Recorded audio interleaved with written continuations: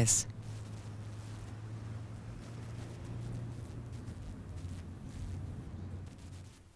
And uh, at this point, no other members being present, uh, aside from the gentleman from Virginia, I would uh, recognize the gentleman from Virginia for five minutes. Uh, Thank you uh, very much, uh, Mr. Chairman.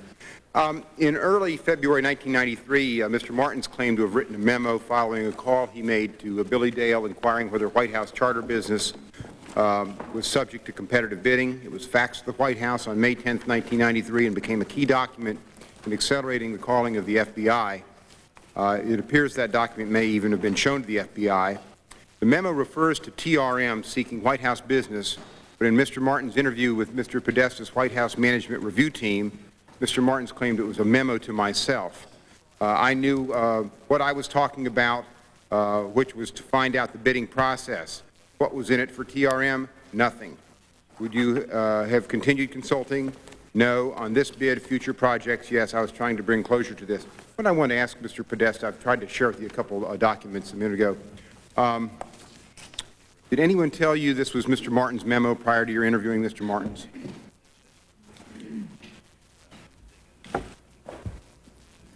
You remember? Congressman, I'm not sure whether someone told me whether it, w- w- that whether it was Martin's memo prior to my interviewing Martens, but Martens, I think, confirmed that it was Martin's memo.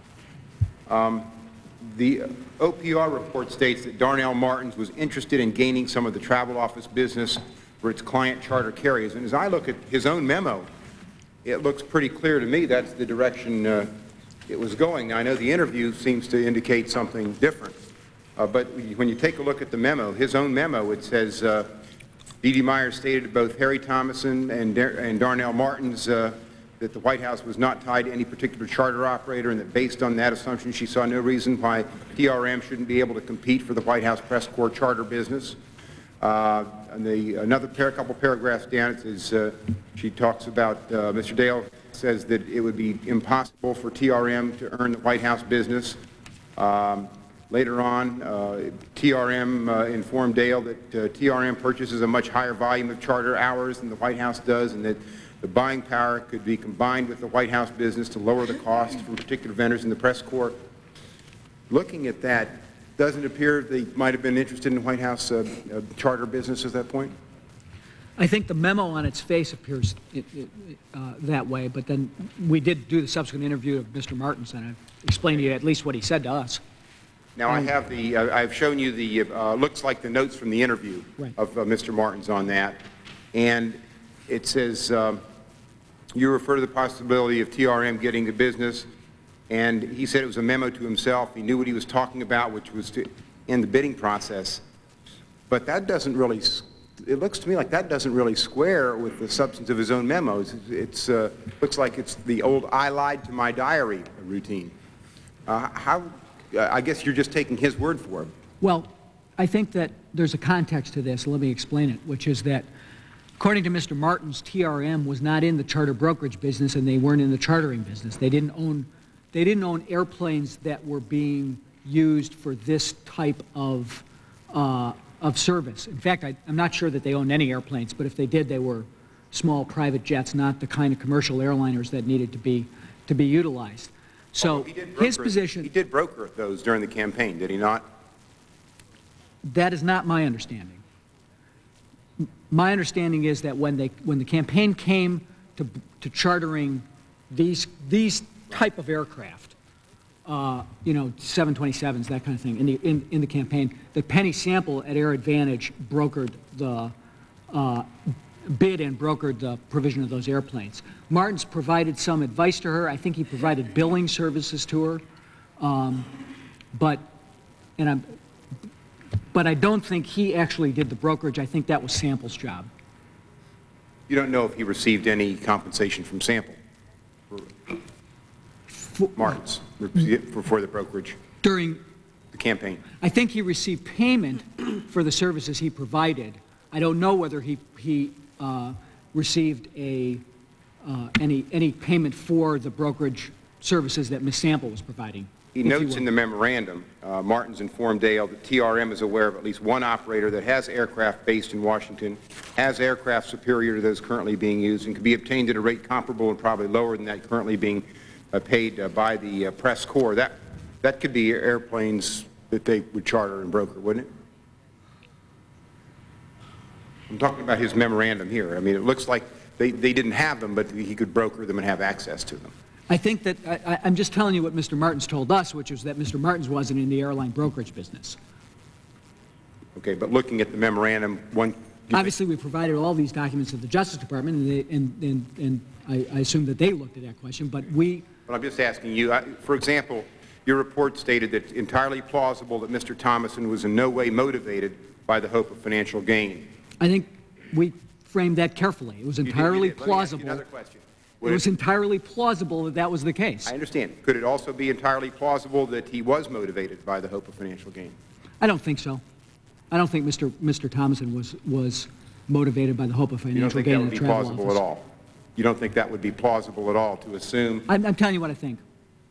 I don't, I don't think that he was interested in this travel office matter because he thought that he- Mr. Thomason would financially gain from it. What about the uh, GSA business and the report uh, in general on aviation that he wanted to do for the White House? I think Mr. Martens was clearly interested in, in, in uh, pursuing that contract and getting that business. You don't think Mr. He, Thomason I, was I interested? believe he pursued it through, through TRM, through the company which Mr. Thomason is a one-third owner He's an owner in that. But you think, and Mr. Thomason was an owner in that TRM? He was an owner in TRM.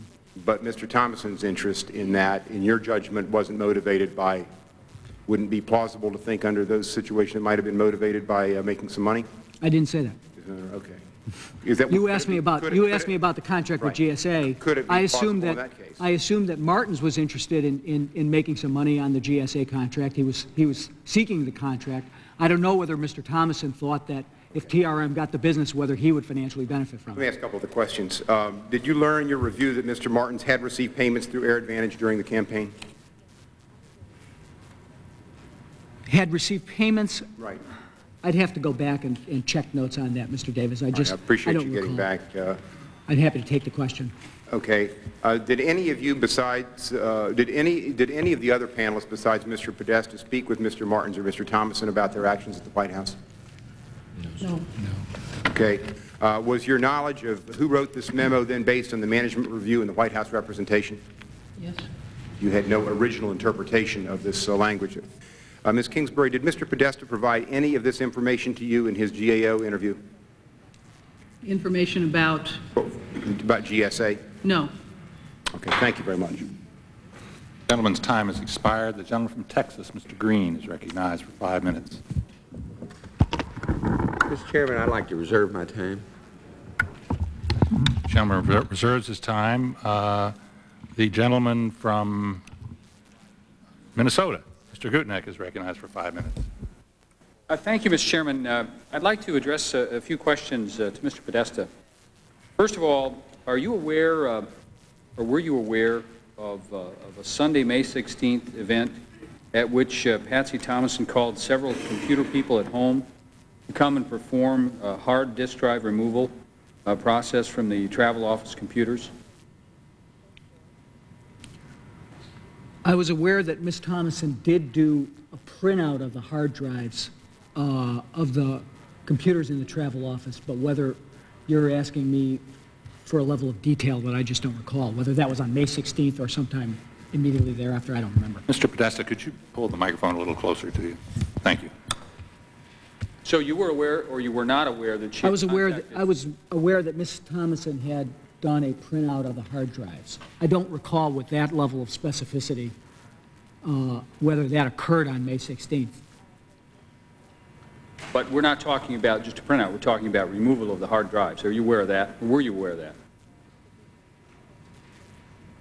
I'd have to go, again, I'd have to go back and, and, and check the notes. These are things that happened two and a half years ago. I, I, I knew that she had the information and she captured the information on the hard drives. So to the extent that that's what's relevant, yes, I knew about that. Do you know Mr. Jeff Eller? Yes, Were you aware that on, uh, make sure I get the right date, that on May 20th, a Thursday of 1993, uh, Eller reports that he threw away, and I quote, "all documents he has concerning the White House tra- uh, Travel Office, and when he removed himself from the issue? Were you aware of that? I was asked that question before and said that I wasn't, I, I didn't remember it, but I would happy, be be happy to have my refresh, re- recollection refreshed. I've been provided with the document of an interview that I conducted with him, in which point he said, I asked him for documents and he said he threw them away. But that's not exactly the way you set, you framed it, and I don't know whether you have documents, and if you could, maybe you could provide them to me, uh, which would indicate that he went beyond that. Well- All I have is, I asked him for documents, he said I threw them away. So you were aware that the documents had been thrown away? Evidently, yes. I asked him the question, and that's his answer. Did any of that information appear in, in any of your reports? That he threw these documents away? That's correct. No. We went back and I believe actually recaptured from his hard drive a document that was, that, uh, that he w- was referring to. And as I said earlier, I believe the document he had on the airplane was, was uh, the memo that Watkins had done, uh, in which case there were m- multiple copies of that document. So you were aware that documents had been thrown away, but that did not appear in your final report? You didn't feel that that was uh, newsworthy? Newsworthy? I was trying to didn't, you didn't feel that that fit in your report? I did, it, we, we didn't put it in our report. It- I didn't that think it wasn't was. the question. You didn't feel that that, that belonged? I didn't think it was to the report? material to the report. We had the facts that we needed to know to decide what had happened. And we had the documents that we thought were relevant. I'd, I'd like to follow up. One of the files, uh, the computer files that, that you say was printed out and, and some may believe was destroyed, uh, the title of that file, the name of that file was uh, Flotus DB, F-L-O-T-U, uh, I'm sorry, F-L-O-T-U-S, point DB. Any significance to that title? FLOTUS is, the, is an acronym for the First Lady of the United States. I don't know what DB means. Database? Probably database. What? Probably Database, I don't know. You know, I'd only be speculating, I don't know. Mr. Podesta, in your review, you learned that David Watkins, Assistant for the uh, President for Management Administration, placed his Special Assistant, Catherine Cornelius, in the travel office to assess staffing and possible reorganization, and that he knew of her interest in running that travel office and replace the current employees with travel companies that she had worked with during the campaign. Isn't that correct? Yes? Mr. Podesta, you also learned that uh, Catherine Cornelius... ca- ca- Can I, can you bear with me? Could you repeat that question one more time, since I've already asked her it affirmatively? I'm not sure I caught it all. Well, you knew that, uh, you knew that David Watkins had appointed uh, Catherine Cornelius, and you also knew that she had an interest in running the travel office. Isn't that correct? Yes, You also learned that uh, Catherine Cornelius wrote a memo on February 15, 1993, to David Watkins at his request. Isn't that correct? that's correct. In the memo, uh, Cornelius outlined the reorganization of the White House Travel Office, placing herself and Clarissa Sarita as the co-directors Cerda. Cerda, okay, thank you. Cerda as the uh, travel office, uh, as co-directors of the travel office, including worldwide travel to handle tra- uh, staff travel. Cornelius and Cerda uh, were told by Mr. Watkins' secretary that Watkins took the memo home that night and he questioned them about the contents of the memo the following day. Isn't that correct? Is it correct that that's what Ms. Cerda said? Yes. I think that's a characterization of Ms. Cerda's testimony, of her interview with, with us, but I think that she was of the view that there were a couple of questions asked by Mr. Watkins which led her to believe that, uh, that he had looked at the memo. But, but Mr. Watkins' secretary indicated that that was correct. Isn't that correct? I, I, you have to let, tell me who you're referring to. Well, in the aftermath of the firings, David Watkins stopped Cornelius outside the press office and told her, and I quote, "You never saw me read that memo."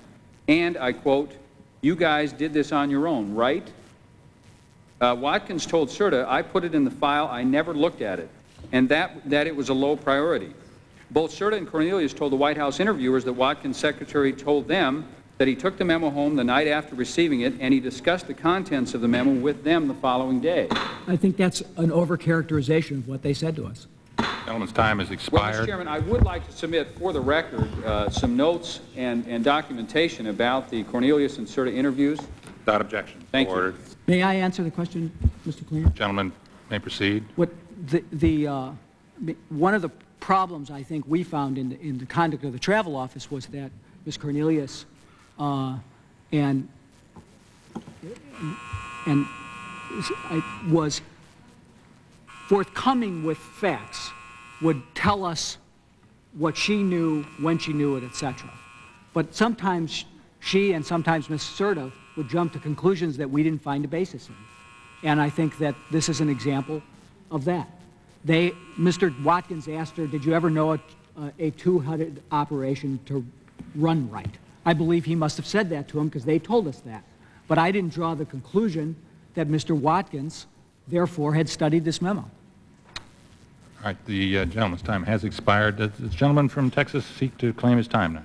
Uh, Yes, Mr. Chairman, I'd like to... Gentleman is recognized for five Thank, minutes. thank you, Mr. Chairman. Um, My colleague earlier, uh, Mr. Mica, mentioned that uh, in his opening that he wanted, he thought that uh, the Democrats or the minority was trying to discredit the hearing. I think that's far from the truth. What we want to do is be able to look at a broad-based hearings to make sure that, that we can see not only what happened in 1993, what's, what's happened since then, and what happened, what has happened before.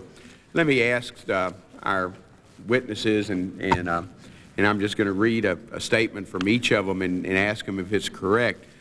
Mr. Uh, Shaheen, on page four of your statement, you say the agents, and, and again, you're with the OPR, the Department of Justice, and obviously talking about the FBI here. Uh, the last four lines, the agents did not interpret Mr. Kennedy's statements as threats or attempts by him to pressure them to respond to the situation in an inappropriate manner or in any way inconsistent with normal procedures. In fact, the FBI did not. Um, Obviously, that's your testimony you gave today. There was no involvement from the White House. Uh, there may have been some appearances but, uh, that was concerned, but the FBI did not uh, feel like that there was any inappropriate manner, uh, and they did not take that. Is that correct? That's, that's correct, yes, sir. Thank you. Um, On the, Mr. Bell, the Chief Inspector for the IRS, on page four of your statement, at the top, you say reported investigations and conclusion, and you're the Chief Inspector for the IRS, and it's nice to be on this side asking questions of the IRS instead of on the other side so often. Uh, The inspection service investigators conclude there was no evidence of any attempts by anyone outside the IRS to influence the course of the matter. There was no evidence of any improper or irregular, irregular actions on the part of any IRS employee, and all actions taken in course in this matter were in the context of the respective employees' official duties. Uh, Again, this is your statement that you provided today.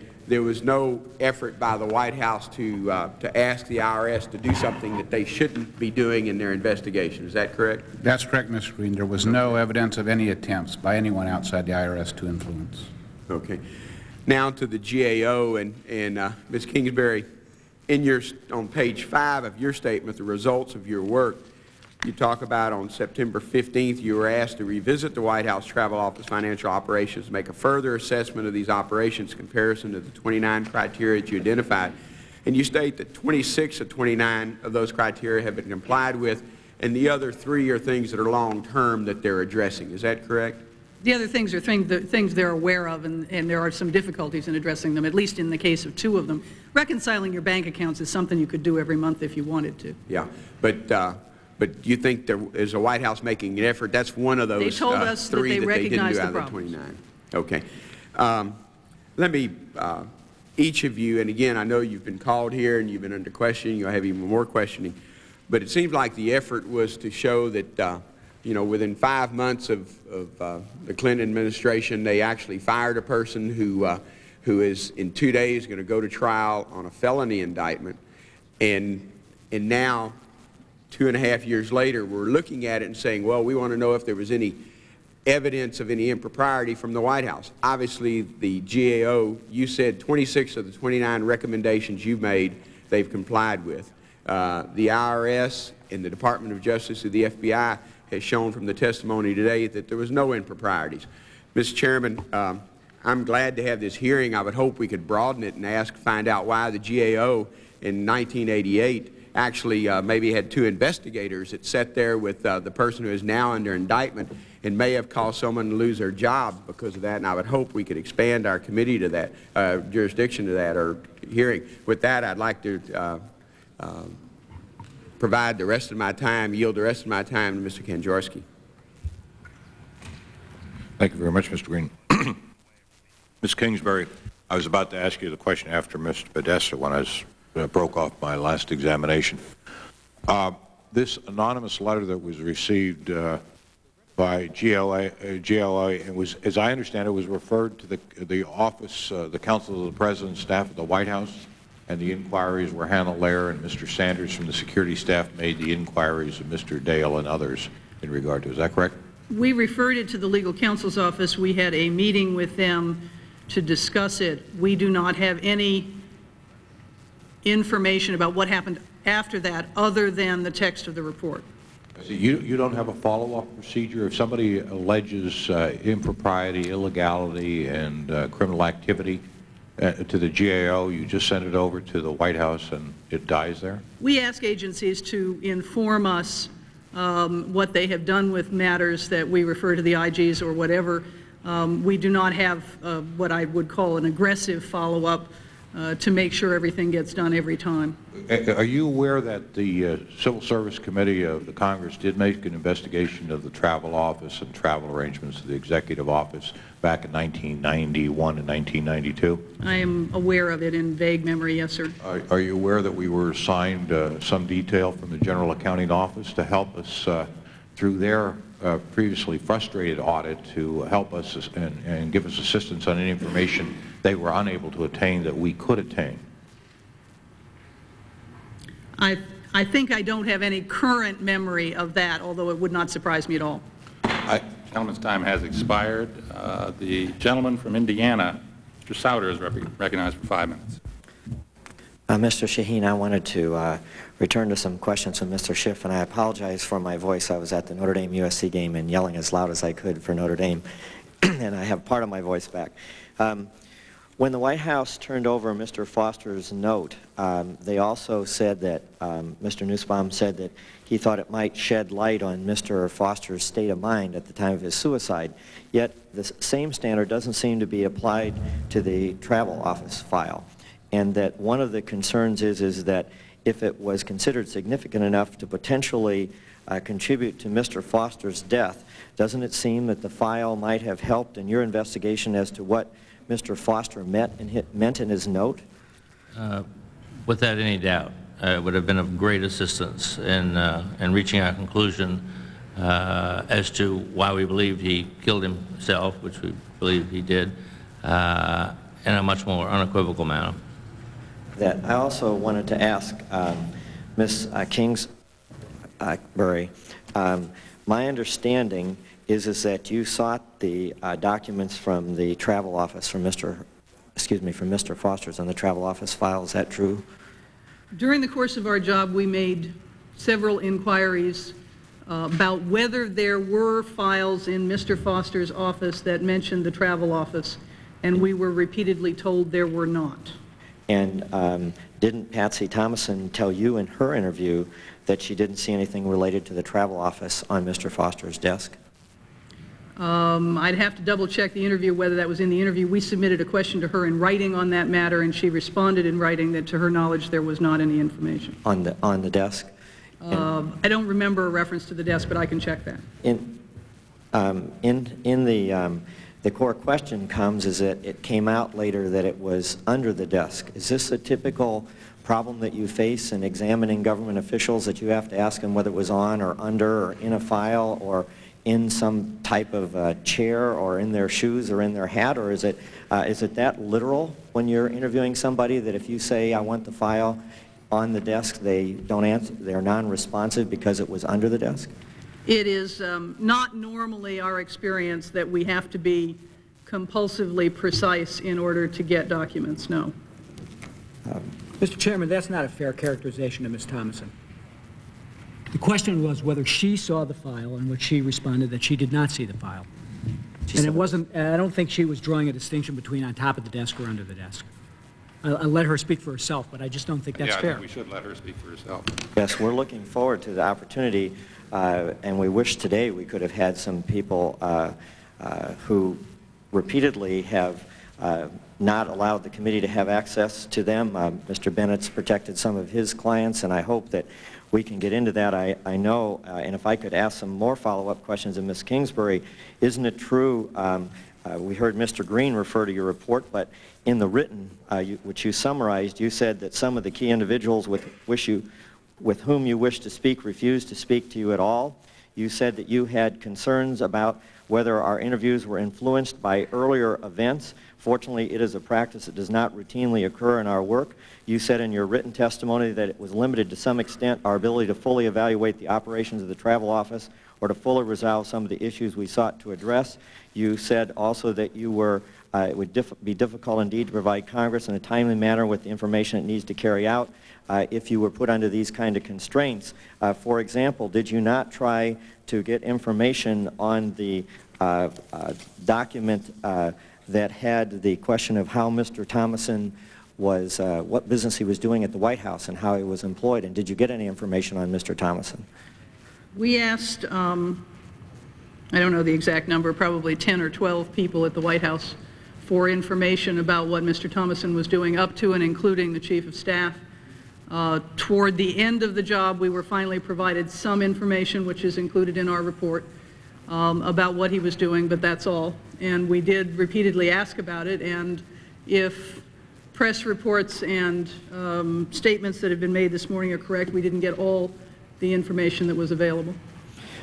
Does that con concern you? Is that uh, uh, typical that when you request that type of information that it's that hard to get it on people who clearly are, uh, we've heard the chronology, we hear all the excuses about the past abuses in the office, yet it's clear that right after the election there was a discussion about changing the White House travel office, that there's a White House project paper that uh, Mr. Podesta said he believes was the same thing that Mr. Eller erased, but he didn't say he was sure, but he, apparently went on that belief, that the uh, project paper suggests that people should be brought on under 501c3s uh, who, uh, to, to, in effect, do what they wish inside the office to supplement office, uh, the work of the Congress. Is that type of thing traditionally not uh, supplied in a GAO audit? Is it this hard uh, when you go in to try to get this kind of information? As I said in my statement, sir, um, most agencies and under most circumstances, we get good cooperation and um, sometimes literally are permitted to go through filing cabinets. That was not the case here. You have made reference in that introduction to a number of documents that I'm not, uh, that we have not actually seen and that I don't know about, so I can't comment about those. Uh, but it is, um, it is strictly true that in, in most of our work, it is not as difficult as it proved to be on this occasion. Thank you. Gentleman's time has expired. The gentleman from Pennsylvania is recognized. Mr. Chairman, I yield my five minutes to Mr. Waxman from California. Gentleman from California is recognized for five minutes. Thank you very much, Mr. Kanjorski and Mr. Chairman. Let me put some things into perspective, because I think there's more going on in this hearing than might meet the eye.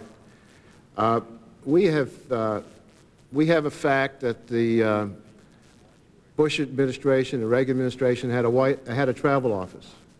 And people in that travel office, according to a Peat Marwick uh, evaluation, were pretty poorly handling their responsibilities.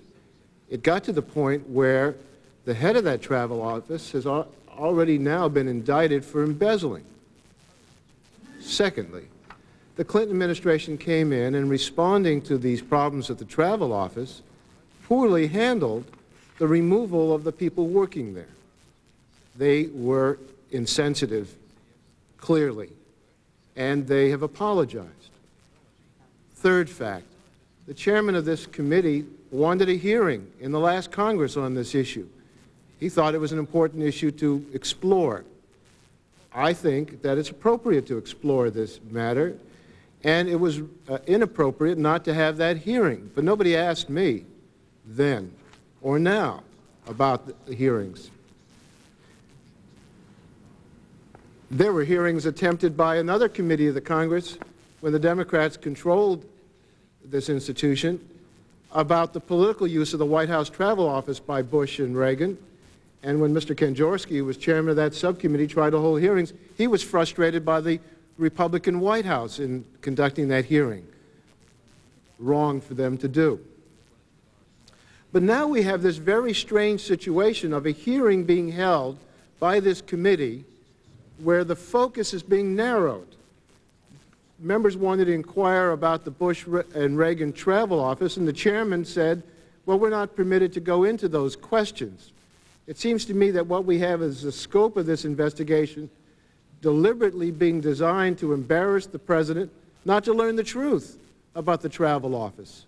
Perhaps it's payback time, but that's really not a very noble goal for this committee to try to go tit for tat on a political uh, basis. What we ought to be doing, no. What we ought to be doing is trying to find out the truth. Members ought not to be muzzled in inquiring about matters that I, I believe are relevant. The next thing that's very peculiar about this hearing, the guy who was the chief advisor to this committee used to work at the Bush White House. What did he do at the Bush White House? He was in charge, apparently, of uh, uh, uh, looking at accounting within the White House operation. And it appears from testimony that was taken by another committee that under that jurisdiction of the fellow who was chief counsel of this committee was the travel office. Now, that just seems to me a very disturbing appearance of a conflict of interest. Uh, if this committee's chief investigator was responsible for accounting in the White House travel office, that ought to make him a material witness at our hearing, not an independent investigator for a committee of the Congress. Next point I want to raise. The, the, Attorney General of the United States wrote to the chairman of this committee and said, don't hold this hearing right now. Mr. Dale is going to go to trial on embezzlement. This may confuse the, the jury evaluation of the case. Instead, we're going forward with it nevertheless. Seems to me inappropriate. And then thirdly, Mr. Chairman, I have letters, and I want to put these in the record. You wrote to the Honorable Jamie Gorelick, Department of Attorney General, Department of Justice, and you said, in the course of reviewing documents to prepare for the committee's October 24, 1995 hearing in the White House Travel Office matter, the committee's chief investigative counsel brought several documents to my attention that appeared to contain material subject to Brady versus Maryland. Now, our committee got boxes of documents. I'm sure Mr. Dale's attorneys got boxes of documents. I don't know how your chief investigator would know that Mr. Dale didn't have a particular document. There must have been a close cooperation between our investigators and the man who's being accused of embezzlement for you to write a letter saying, we ought, I want you, uh, the Attorney General, to give to Mr. Dale's attorneys these particular documents which we know about. How did you know they didn't have it? How did you know they didn't have this one sheet that was attached to the letter? Uh, and I'm going to put this in the record and I'm going to distribute it to the press. I think they ought to see this. Letter written by the chairman of this committee telling the Justice Department they're not giving a defendant in an embezzlement case documents. I find that this close contact between our staff and Mr. Dale's attorneys to be uh, very, very peculiar. I hope we're not actually having our committee intervene in a criminal trial. And, Mr. Chairman, I'd like to yield to you because I find it highly irregular. And frankly, I'm very disappointed in how this inquiry is being conducted. The gentleman's time has expired, and in like response, and in response, uh, let me say that the letter to uh, Deputy Attorney General Gorelick was done in uh, uh, very confidentially. You have now made it a matter of public record. The uh, intent of that was to suggest that there might be information that was subject to the Brady rule. We did not in any way suggest that that should be given or not given. We just indicated that there was a potential, at least, of, of Brady implications. But that was in no sense uh, our intent to make that a matter of public record. I would suggest to the gentleman in California that on this side of the aisle we have been very scrupulously uh, avoiding and, and not involving ourselves in anything that might in any way uh, impede or impute the or, or uh, undermine uh, the prosecution of Mr. Dale. Any implication of that regard is coming from your side of the aisle. You're the only one who has actually raised these questions, tried to enter into the record uh, material that might be damaging to Mr. Dale. I don't think that we should have material at this hearing either damaging or exculpatory for Mr. Dale. chairman, Did your committee staff have contact with Mr. B- Dale's attorneys? And if they didn't, how did they know that Mr. Dale's attorneys did not have that particular document, which evidently came to you in boxes My staff did- was not aware whether they had it or did not have it. Well, We did did not, have we had no contact? with them on this matter. You We had no did, contact- Your staff has had no contact with Mr. Dale or his attorneys? Is that your statement? on this matter, no, but, you know, we've had contact with, not with Mr. What- Dale, What but mean, with, this matter? That sounds like the kind of thing you say Well- when you're trying to obfuscate. On what matters have you had contact with Mr. Dale? we've had contact both with the prosecution on this matter and uh, on Mr. Dale to primarily to fence off any possibility that we could, uh, in fact, uh, jeopardize this trial. That has been the purpose of any contacts which we've had with either side of this matter. But there has been a scrupulous effort to insulate, fence off, uh, How many avoid having any involvement of, uh, of this matter in that, in that, uh, in that pending trial, Mr. Chairman, you wrote a, a letter asking that this particular which you have now made public and which we had not intended to because we thought it would, in fact, raise the question or raise questions with regard to the Dale, the Dale Well, it raises questions as to what you're doing. Why are you going out and trying to get documents to be given to a criminal defendant? I'd like to know how many meetings your staff had, what those meetings were about. It just seems to me that maybe you had a proper inquiry where you thought you could score some political points, but it sounds like you've got an overzealous staff that's running away think and doing very inappropriate things. The gentleman has made his point. I would suggest that in the uh, line of questioning which uh, he wants to pursue, which is to explore uh, evidence or suggestions of malfeasance or misfeasance in previous administrations, may well be the subject of a future hearing. These witnesses are not competent to discuss the matters which you have ra- tried to raise But during you- this hearing. You and your staff are competent to answer the questions of perhaps malfeasance and misfeasance of this committee and its staff in this investigation. All right, Points uh, that are not point of order, that are not parliamentary inquiry. You're absolutely correct. The chair now recognizes the gentleman from Pennsylvania, Mr. Fox. Thank you, Mr. Chairman. I first wanted to state that uh, I believe that this inquiry by the committee is uh, not in any way payback time for anything, but actually a thoughtful discourse on an issue that's important to the committee's efforts to uh, uh, attempt to find the truth. Uh, anything we, we do, uh, I hope, doesn't confuse juries or anyone else in the country, but frankly gets to the clarity of what our co-equal branch's responsibility is to see how we can improve our inquiry into uh, the executive branch of government as it relates to our oversight responsibilities. And in that connection, I would ask Mr. Podesta a few questions. Uh, Mr. Podesta, uh, why was a direct reference to David Watkins and Patsy Thomason's uh, glaring and complete failure to provide any oversight to the travel office employees prior to their firings watered down by Peat Marwick in the final Peat Marwick report and in your management review to apparent oversight?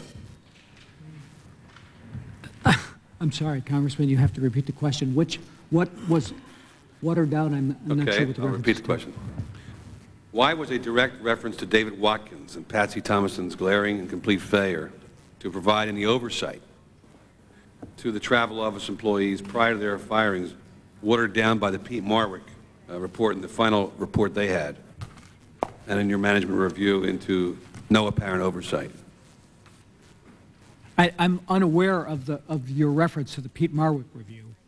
Uh, And with regard to, to the, our report, I think it was immaterial to our report, although I would say that we recognized that and, and criticized the way Mr. Watkins handled the firings of the seven employees uh, based on cause, especially with regard to the five people who did not have financial control.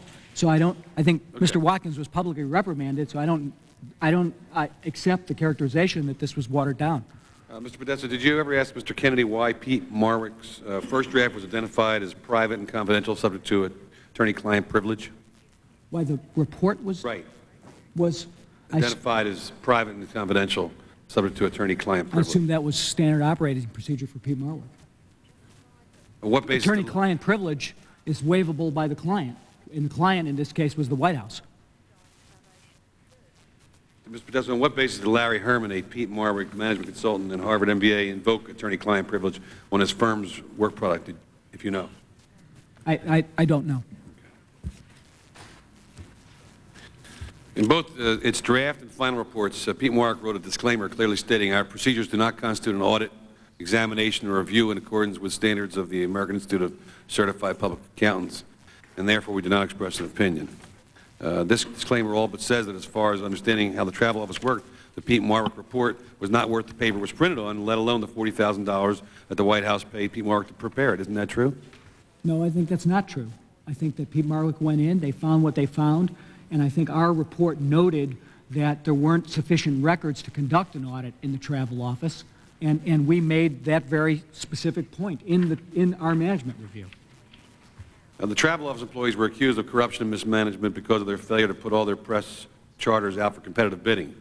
And that ignored the fact that because of the President's schedule, many charters are arranged with only two days lead time. Uh, did Peat Marwick win the White House Travel Office contract by competitive bid? Peat Marwick? Yes. No, they did not. Did Worldwide Travel and Air Advantage take over the White House Travel Office operations on May 19th after winning a competitive bid? I think that you're, I, I would split those two questions. Worldwide did not make a competitive bid, to the best of my knowledge, uh, although I think they were prepared to do so, and, and that was remedied when they were removed from the travel office, and American, uh, American Express uh, did make a competitive bid over that weekend following the firings, and American Express came in and took over the, the, uh, those responsibilities in the travel office.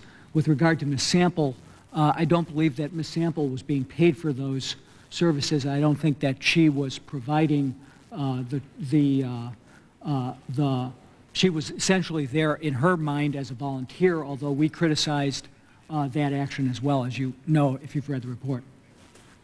Did you mention anywhere in your management review, Mr. Podesta, that even as it plotted the firing of the White House Travel Office employees, in part because of their failure to com- competitive bid uh, press charters, the White House arranged for three separate organizations to undertake travel office-related business without a single competitive bid?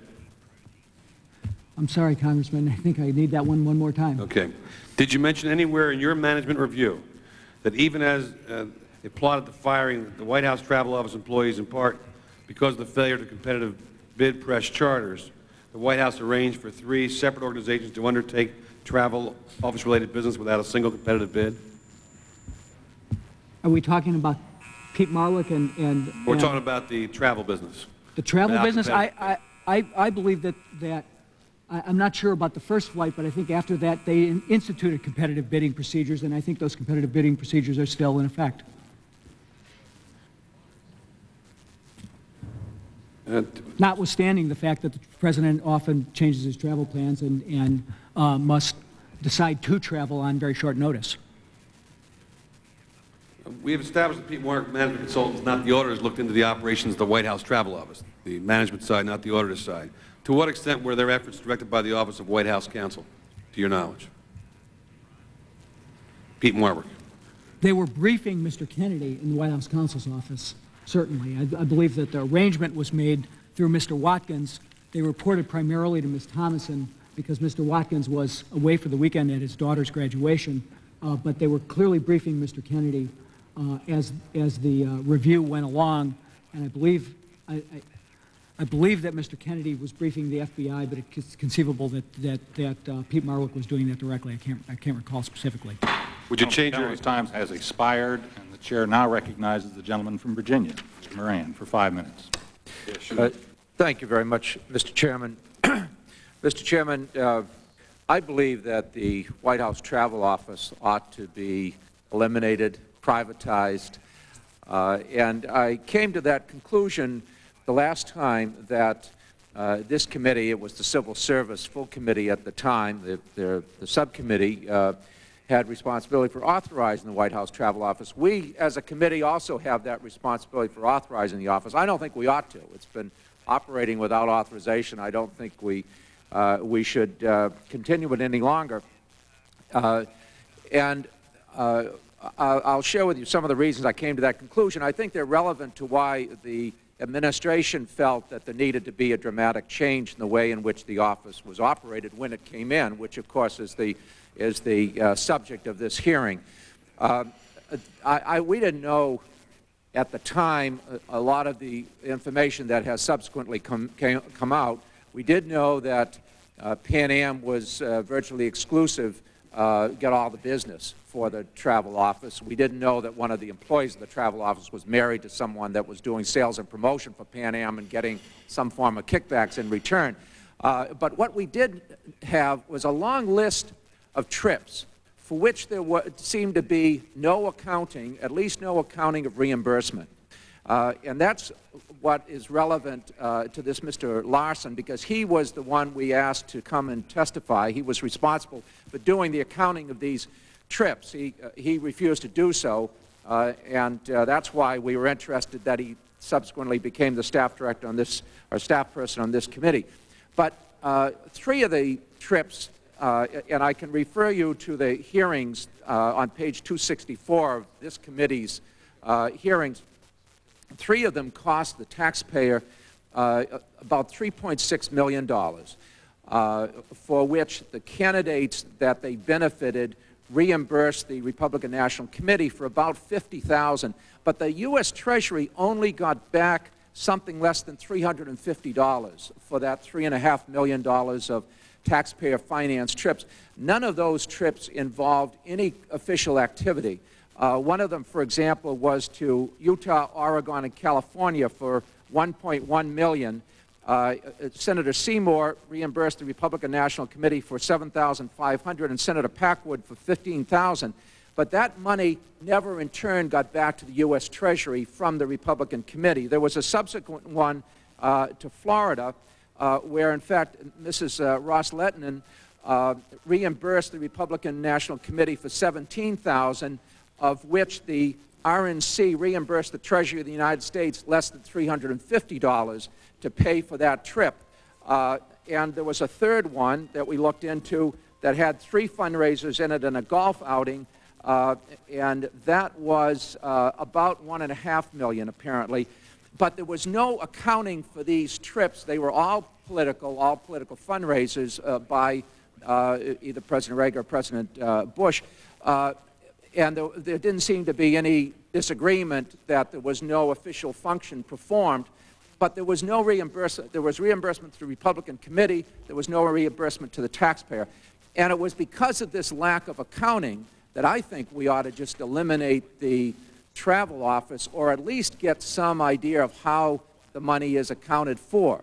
Uh, we asked Mr. Larson to come up. I remember the day when uh, the seat was empty, we had his name tag there. You remember, uh, uh, Paul? And I think if we could get some of this cleared up uh, on how the office maintained its accounting, there may be a, a good reason for why we didn't have the information. Uh, in fact, er, maybe everything is above board. It appeared that that was not the case given the hearings that we held. Uh, but if we don't get answers to that kind of inquiry, uh, then I really think we ought not be having an office that has the official sponsorship and has, ha has such immediate access to taxpayers' money and can, in fact, be used purely for political purposes and avoid uh, reimbursement to the Treasury. Now, um, there may be good answers for what we, the issues we raise, but I think uh, again, Mr. Chairman, that if we're going to get into this issue of the travel office and the way in which it functions, we need to get those kinds of answers that were raised by this committee in the last time we had hearings on the White House Travel Office. If any member of the panel can respond to any issues that I raised, I'd love to hear a response or some uh, uh, information that would clarify uh, these unanswered questions. The, well, the, the, uh, the trips that you describe clearly predate any records that we have seen about uh, the finances of the travel office, so I can't comment, although I'm mildly puzzled by the use of taxpayer money because at least the trips that we examined did not involve the use of taxpayer money, um, at least not uh, insofar as the press travel was concerned. Um, so I really can't comment about the financial management of the office that long this ago. was the cost of the president and his entourage, not the press. Okay. But it was That's- under the That's a whole different Office. subject then. Gentleman's time has expired, and I you. I think we all appreciate and are grateful for his view on what should happen at the travel office, but I would point out that that entire speech was beyond the the scope of this uh, hearing this morning. this afternoon. I would now recognize the, uh, Point of parliamentary inquiry. the gentleman will state his point of parliamentary Uh, inquiry. If, if the questions related to why the Clinton administration decided that the travel office needed a change in personnel because they had been abusing their office, wouldn't that be relevant to the issue before us? I would suggest that that may well be relevant, but not to this panel. This panel is dealing with the investigative studies that were done at the time of the firing. The fact that Mr. The fact that Mr. uh, Moran uh, gave a long speech and then got nobody really to be able to respond to that question suggests that it's a waste of time. We should deal with these witnesses with the matters to which they're competent to address. And I now recognize the gentleman from Ohio, Mr. LaTourette. Thank you, Mr. Chairman. Uh, Inspector Smith, I'd like to chat with you for a minute. You've sort of been ignored down there at the end of the table, and I'm not complaining, Congressman. Oh, I knew that. I knew that, but I'd like to invite you into the fray. And I, I, I'm going to pull a Mr. Horn here, and I, I'm really interested in a chronology of things that occurred relative to the FBI's involvement in the White House request that they be Yes, involved. And from reading everyone's report, and if someone has a contrary view based upon something that your agency did, uh, based upon this discussion we have with Inspector Smith, I'd, I'd more than appreciate you jumping in. But it's my understanding that about 5:30 in the afternoon on the 12th of May is the first contact that the FBI had with the White House uh, concerning uh, this potential matter, and that was in a phone call from Mr. Kennedy uh, to Special Agent Burke. Would that be a... Yes, sir. Okay. Uh, And that was a pretty preliminary, uh, basically a discussion that uh, the White House didn't have audit capabilities, uh, who can audit, we have some problems over here, who should take a look at it.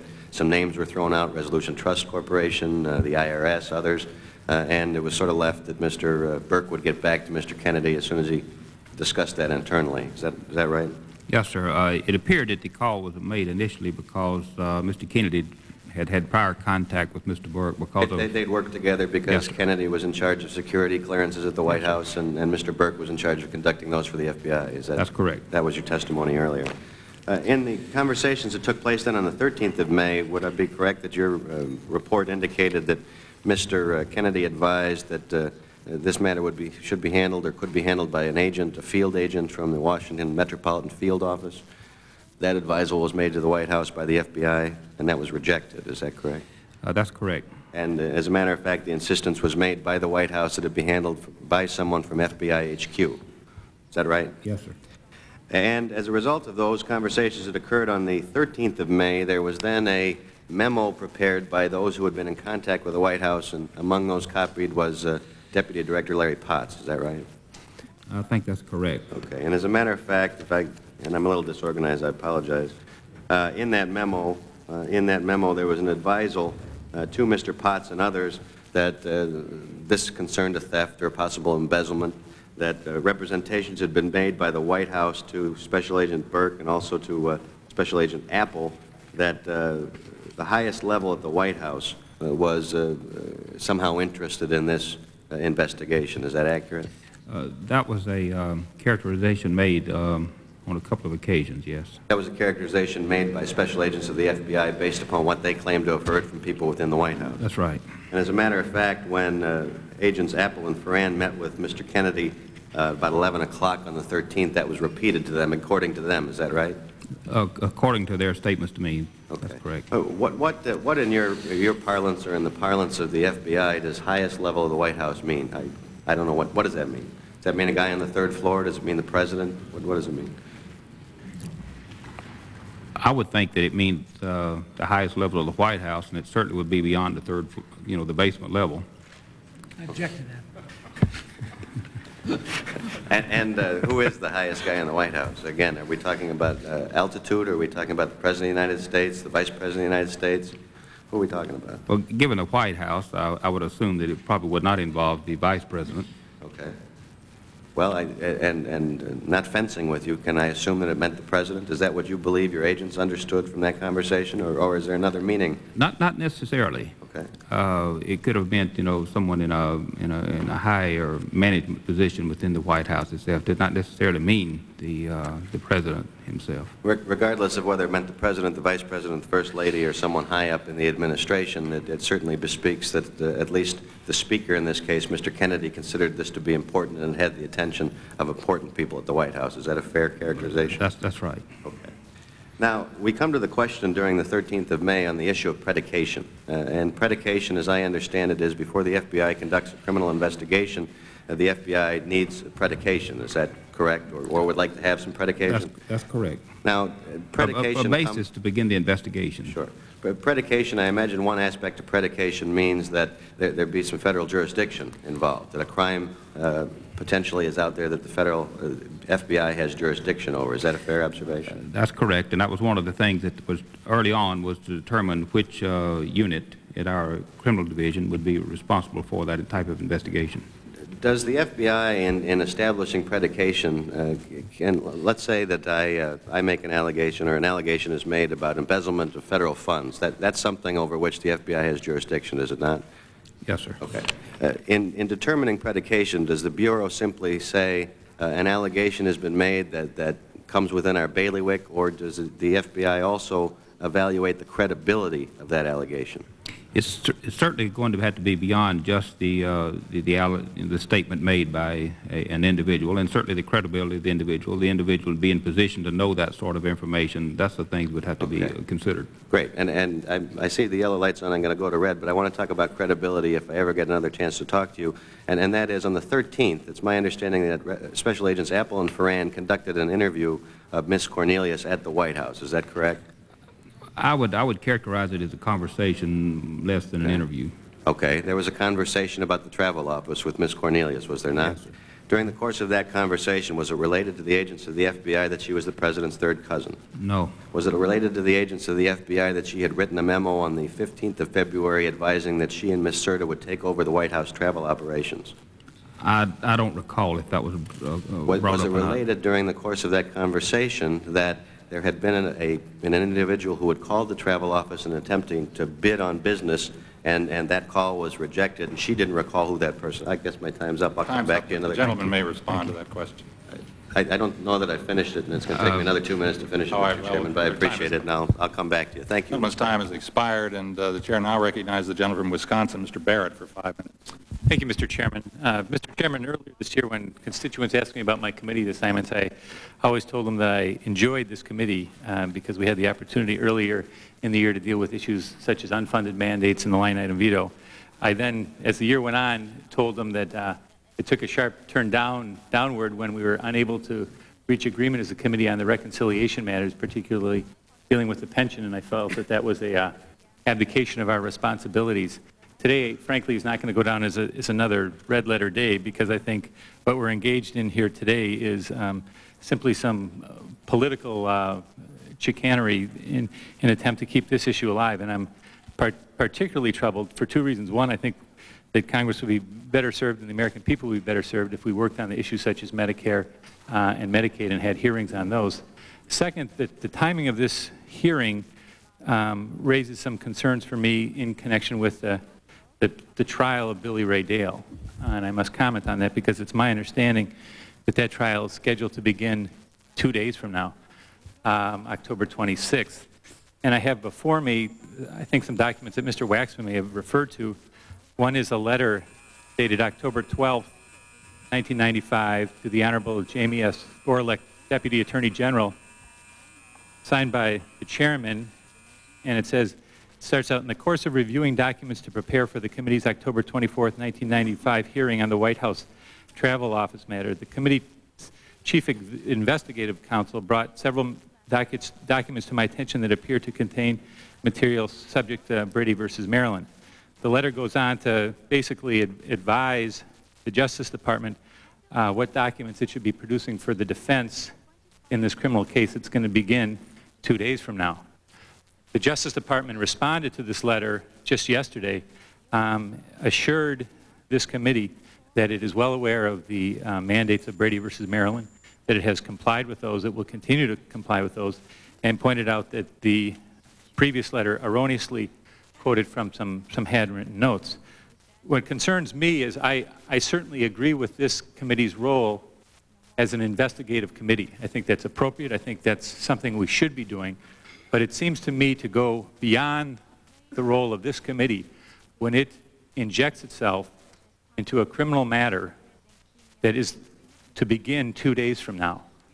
Uh, I, I think that it is not appropriate for this committee uh, in any fashion to do so. Um, and, and frankly, I don't know of any precedent of this. I don't know of any time that a committee has injected itself into a criminal case, uh, particularly two days before it's going to start. So, so I have to raise that matter because I think it, it, it questions the, the, the validity of this hearing in its entirety.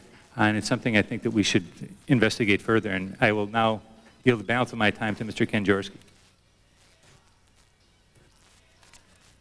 Thank you very much, Mr. Barrett. Uh, are- you, are you aware of Mr. Conahan, uh, Mrs. uh, Kingsbury?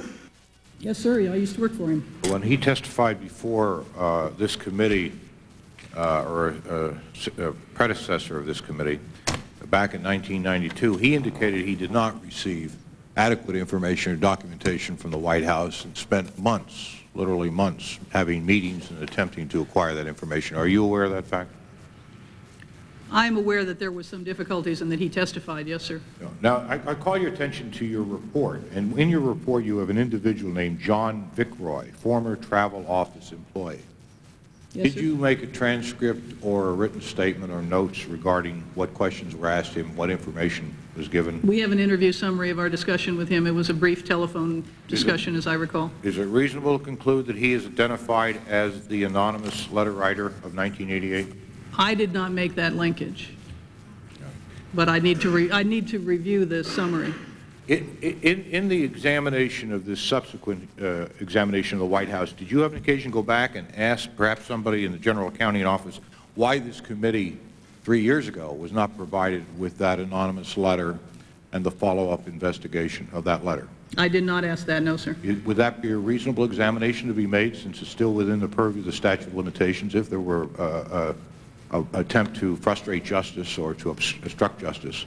Wouldn't their charge still lie?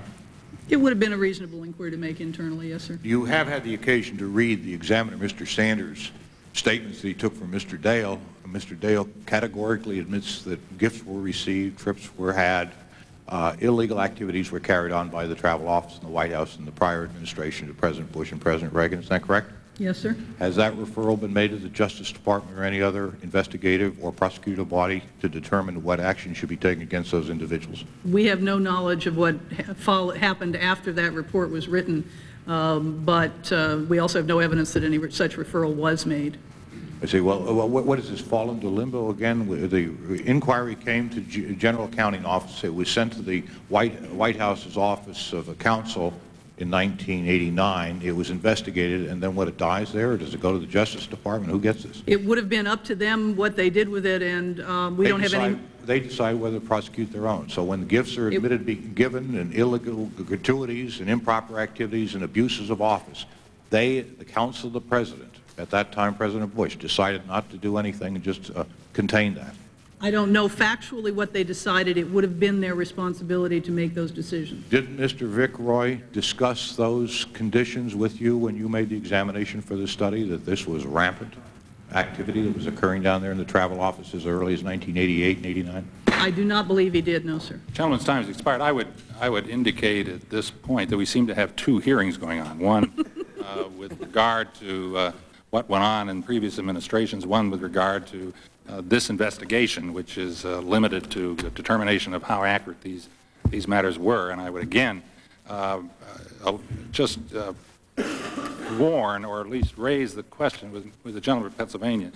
We are doing our very level best to, to stay away from anything that might in any way uh, affect the trial one way or the other of Mr. Dale. And by referring to things that, that seem to be uh, raising the issues that may be raised as part of the trial, I think is, is irresponsible. And Will the chairman reason. I would now inquiry. yield to the gentlelady for a parliamentary inquiry. Thank you, Mr. Chairman. Uh, I, uh, I I was sitting here at both uh, times, and I understand that, and I heard Mr. Waxman say that he wanted to have unanimous consent to have the documents that he was reading from made a part of the record. Now, one was a letter to, uh, from Mr. Steve to Backman requesting a variety of documents from your staff, Ms. Barbara Brasher, dated September 1995, and the other was a letter to um, Mr. Gorelick. And I didn't, I don't recall your saying, Well, there are other documents. and, and other documents. and Without objection, without objection, so ordered. And Thank you, Mr. I would Chairman. now recognize uh, the gentleman will state his point of order. Mr. Chairman, the scope of a hearing is determined, as I understand, By from the chairman. parliamentarian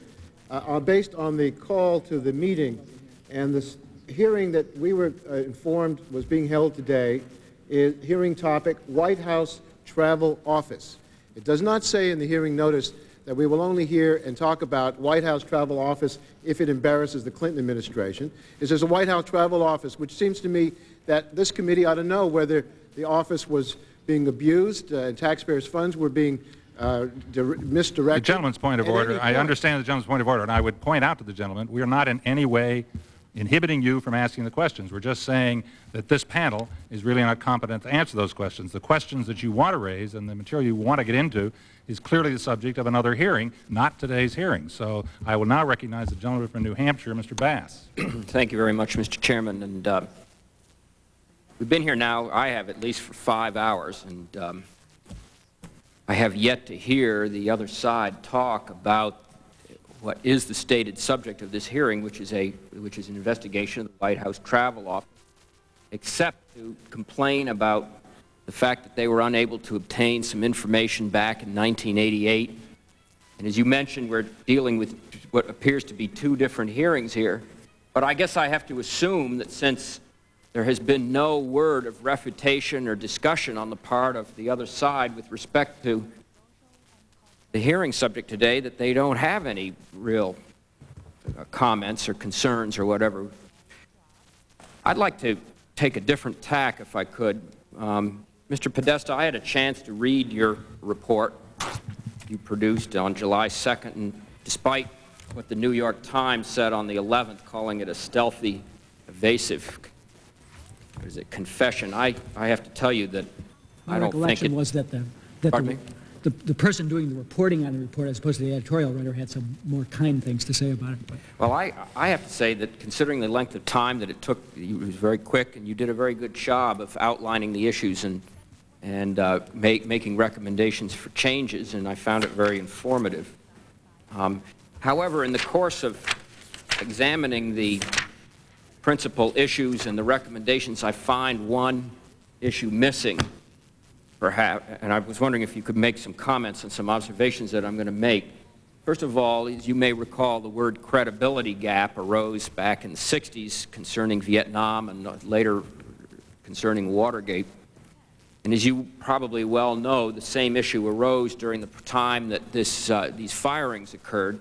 If I could give you a couple of examples. For example, on the 19th of May, Dee Dee Myers said that Peat Marwick did, went in and did a full accounting and looked at it, and there was enough ample evidence of mismanagement that we thought the best thing to do was to restructure the office immediately. Well, it turns out that Peat Marwick didn't conduct an audit, it was, and it wasn't done by an, by an auditor, but rather a management consultant. Here's another uh, item on May 20th. Uh, Dee Dee Myers stated did David Watkins have any association with Worldwide Travel? She responded, I don't believe so. But in fact, it was well known that, that Mr. Watkins did have a business relationship on and off with the owner of Worldwide Travel. Another instance here on the 20th where uh, she states, that's Dee Dee Myers, Peat Marwick went in with the intention of performing an audit, end of quote. The fact is that uh, the engagement letter never even mentioned an audit anywhere. Another example on um, the 24th of May, uh, George Stephanopoulos uh, said, and I quote, I can just, both Darnell and, and Harry have said that they were not seeking White House business. We have no indication that they were seeking business. They have said they were not seeking the business, but the fact is um, that they were seeking the business, and, and, there's evidence to indicate that. Another example, um, Mr. Podesta, let's see, uh, George Stephanopoulos stated Pete, that Peat Marwick partner Larry Herman was, quote, one of the country's leading experts on government accounting practices, but he turned out to be an MBA, not a CPA. Another example, on the 25th, uh, George Stephanopoulos stated, quote, first of all, I reject the contention that we hauled in the FBI in any way. And now, of course, we, we discussed this morning the issue with Mr. Kennedy and the discussions that he had with the FBI. I'm just wondering, uh, Mr. Podesta, given the fact that, that this appeared to be an issue that the New York Times addressed, and in fact, as recently as today, the Washington Times addressed in an editorial, what, why didn't you include in your report that you presented on July 2nd, 1993, any discussion about the apparent misstatements that were made over a period of some, some period of time by White House personnel who were charged with this responsibility of telling the truth to the American people and the press.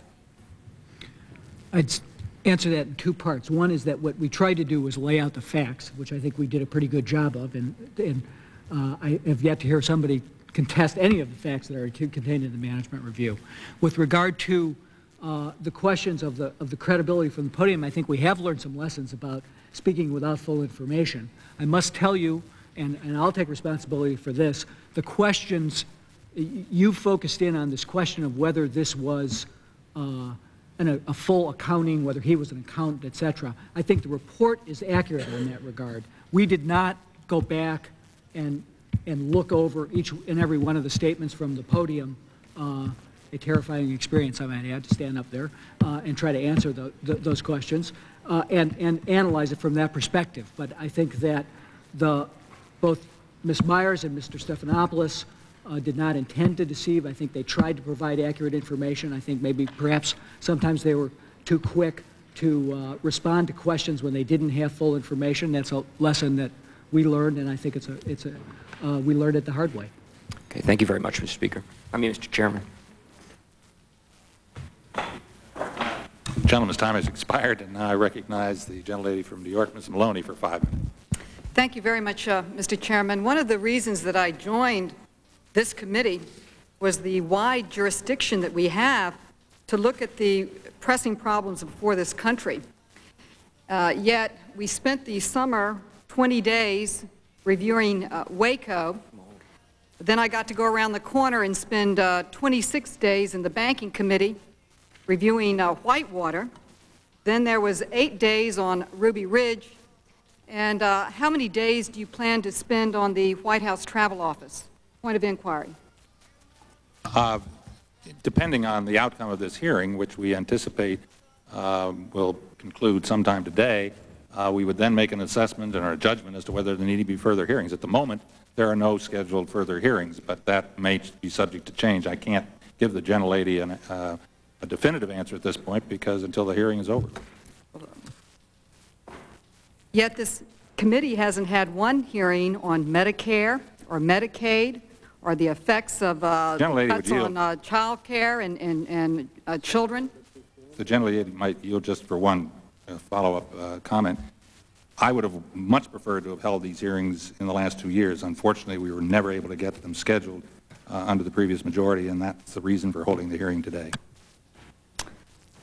To yield to me? No, I, no, I will not, because I, I really want to, I'm really, if you will, excuse me, Mr. Waxman, I'm getting too old, too tired, too worn out to waste my time at this hearing, and, and I'm really becoming very angry over the lack of review of some of the really tremendous problems before this country, yet we continue reviewing this, and there is one statement that I do agree with, though, Mr. Waxman, I believe you made it, uh, that we should privatize this office. There has been statements before um, that during the prior administrations, under the Bush and Reagan administrations, the head of the office was indicted for mismanagement. He's going on trial. And there's allegations of mismanagement now. So I think the best way to, to, to get this behind us is to just privatize the entire office and uh, save taxpayers' dollars. And I hope uh, the chairman will lead this effort in uh, a bipartisan uh, move to solve the problem once and for all. So I would just like to ask, how much does the travel office cost the American taxpayer?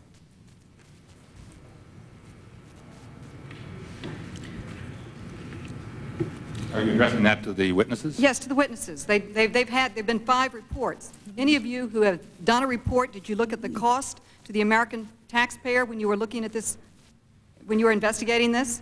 How much does the travel office cost the American taxpayer?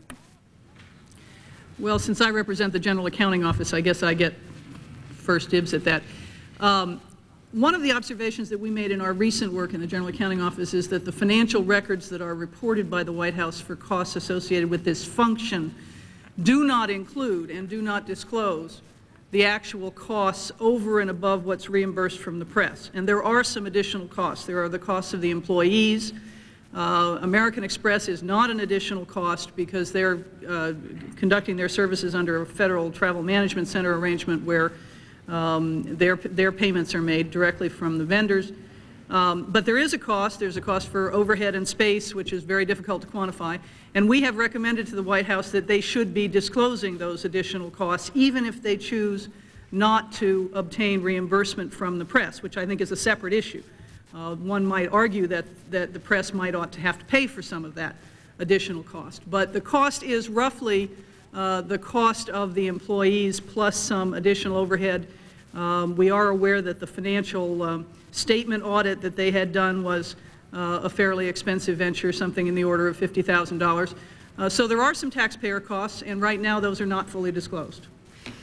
Well, you've already moved to privatize it somewhat by contracting out to American Express. How much do you think that saves, and when was that movement, when did that decision take place, to contract out to American Express?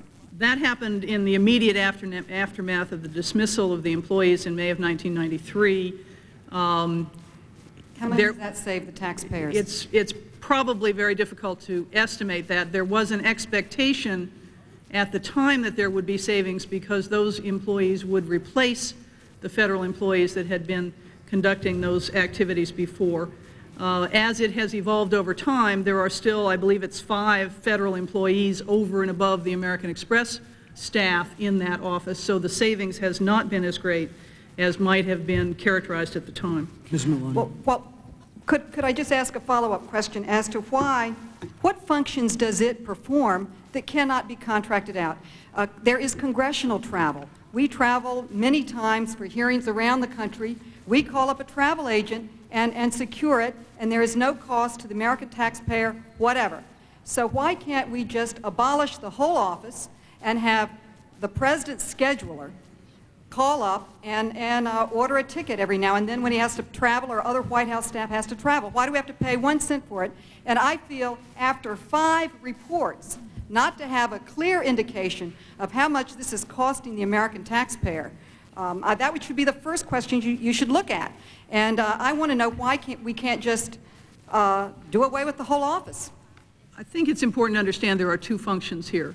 One is a function that provides ticketing services for White House employees, similar to the example of congressional travel that you just made. The other service is a very different service. It provides air chartering arrangements to rent whole airplanes on relatively short notice to take the press around the country and then bills the press and gets reimbursement for those accounts. I frankly think the people who... couldn't American Express take on the responsibilities, or any firm who would like to competitively bid to supply this service? That's what they do. They charter airplanes, they charter private tickets. Why can't we just take the entire office and contract it out and, uh, and save taxpayers' dollars and have a conclusion to this hearing? And I call upon the chairman to join me in a Gentlelady. bill to move this forward and, and to complete this problem. Gentlelady's time has expired. Uh, Mr. Podesta, you want to respond? May I just briefly answer? Uh, When we wrote our management review, uh, we concluded that we could remove the two slots that Ms. Kingsbury talked about, which saved, in our estimate, about $100,000. I think the biggest cost that the taxpayers bore, in addition to what uh, the issues that Mr. Moran brought up earlier, was the failure to collect excise tax, which probably amounts to millions of dollars of lost revenue. Dollars in I lost would- I revenue? would assume so. There was just a settlement. on Gentlelady's the time has expired. The chair now recognizes the gentleman from Arizona, Mr. Shadegg, for five minutes. Thank you, Mr. Chairman. I, I think I'd like to commend Ms. Maloney at the start of my remarks by saying I finally found someone on the other side who was willing to ask a question about the White House Travel Office now and about what we ought to be doing about it. And I commend that because I've spent a good part of a day here listening to discussion about what went on in the White House Travel Office from 1990, 1988 uh, and maybe even back beyond that to 1994, uh, during which this committee was under the control of the other side. I can't imagine why, if they had all those questions about all those years, they didn't conduct hearings back then. And I Will the gentleman yield? And I commend Ms. Maloney. We have, Thank you. Will you yield? or- Two seconds? Well, we're, we have such little time. Following your tradition with Mr. Waxman, I think I will not. Uh, Mr. Podesta, I, I, really would like to follow up on an issue that puzzles me as a former Assistant Attorney General in Arizona. In Arizona, we have a very, very broad open records law. And I, for many years, supervised a series of investigators and agents whose job it was to go out and ask questions.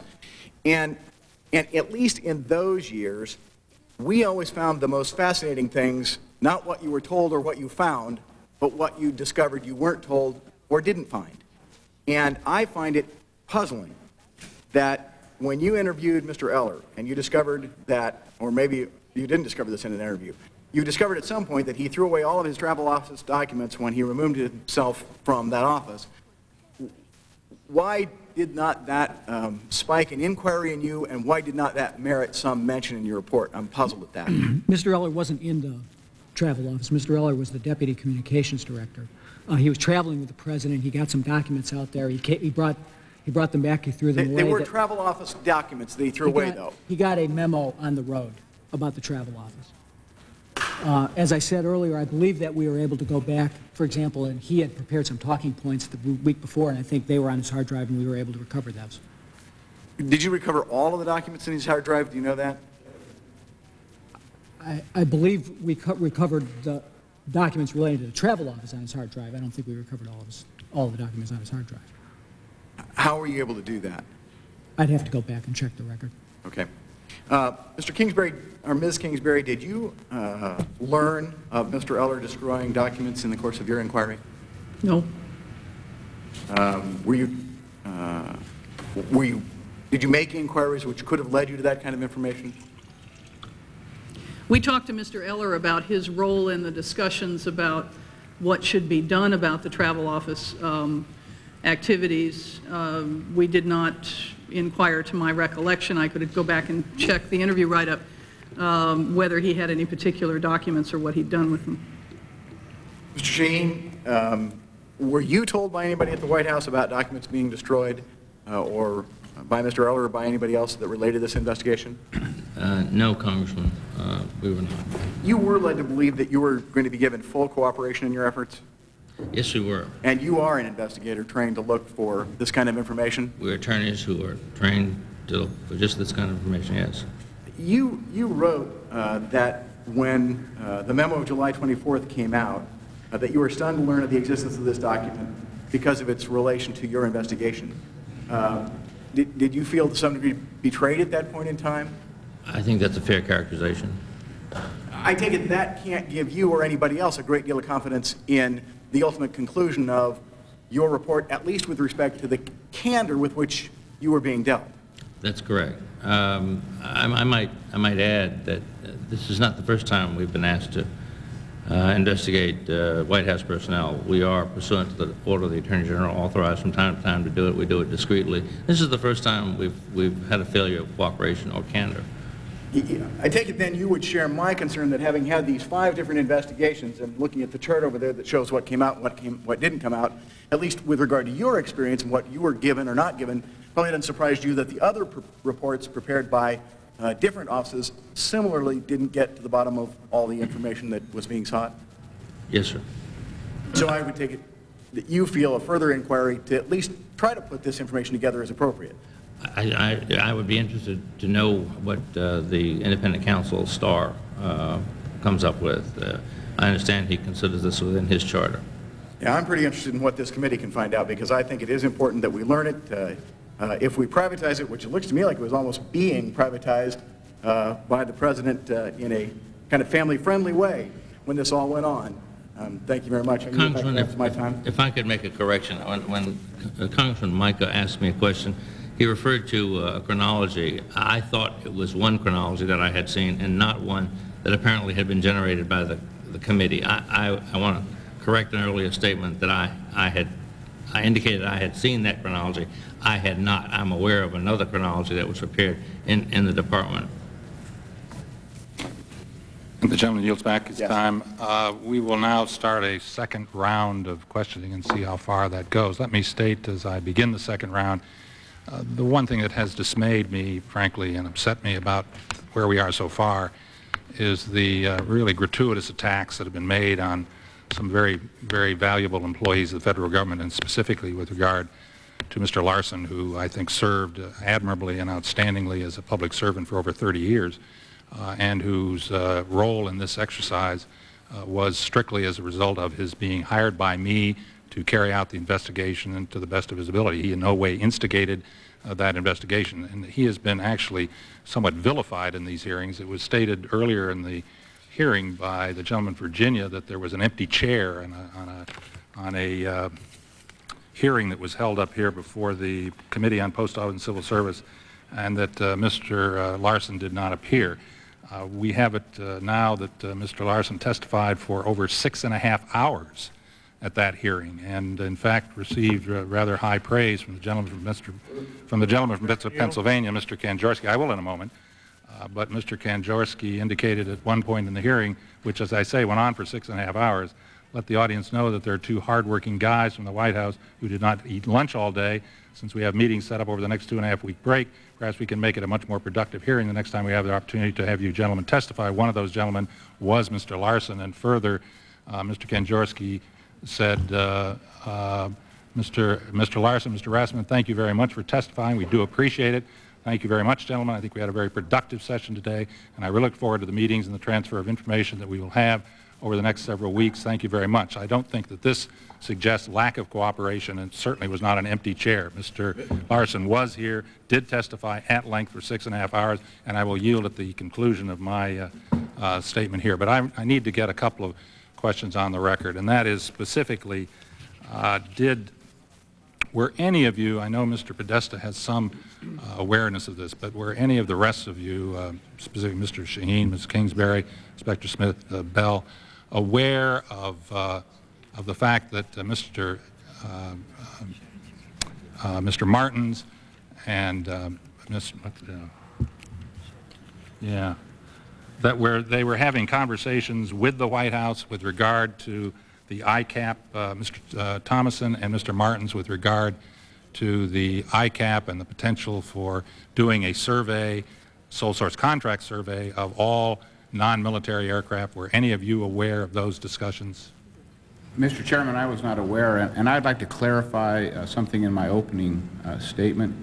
Is our investigation within the IRS was strictly internal? It was an internal inquiry by our uh, criminal investigators and our internal auditors.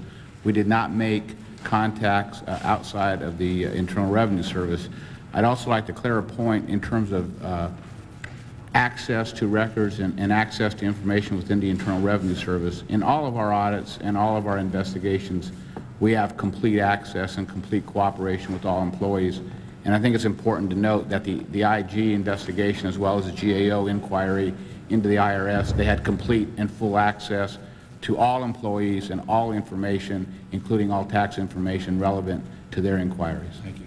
Ms. Kingsbury, you in your uh, investigation determined that uh, Harry Thomason was not a special government employee. Um, but in making that determination, were you aware of some of the discussions and contacts that Mr. Thomason had had and Mr. Martens had had with regard to ICAP? No, sir. Uh, might that have changed your conclusion as to the characterization of uh, Mr. I can't Sanderson's comment role? on whether it would have changed our conclusion or not. We need, would need to see the facts associated with it. All right, thank you. Uh, any of the others, uh, Mr. Shaheen, were you aware of, of any contacts being no, carried out at the White House?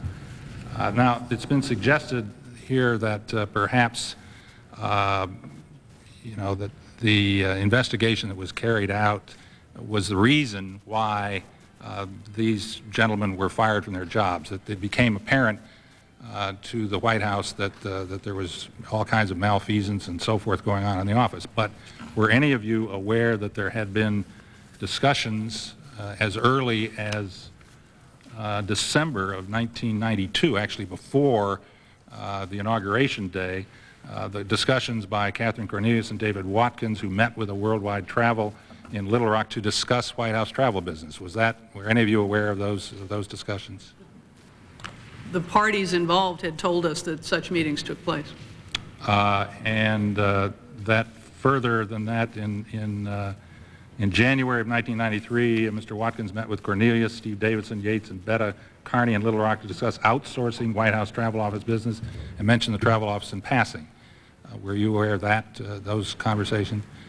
I mean, there is, there's a the record is replete with the numerous of discussions that were held with regard to the White House travel office that clearly predated any suggestion of any kind of wrongdoing in the, uh, in the operation of that office by the pe- people who were presently uh, occupying those, those seats. Uh, so I think it's a little disingenuous to suggest that suddenly we, uh, we had to move against the travel office because, uh, because of all of the wrongdoing that was gone there, when clearly this was a matter that was under very, very intense discussion long before uh, Peat Marwick came on the scene, long before anybody else came on the scene. It does seem to me that some of these employees were made fall guys in what would appear to Mr. be... Clinger, those, those memos and those incidents were referred to in our management review. So I think that anybody who was looking at it would have had to have been aware of them. All right. Uh, Anybody else uh, was aware of this, of these uh, discussions, or would, I mean, wouldn't you, wouldn't it suggest to you uh, that in fact there was at least uh, a, a, a uh, suggestion that we were moving to do something about this? And as a matter of fact, wouldn't it have been perfectly legal for all these people to be fired without any reason whatsoever? Given the fact that everybody in the White House serves at the, uh, at the uh, discretion Yes. of the President. Thank you.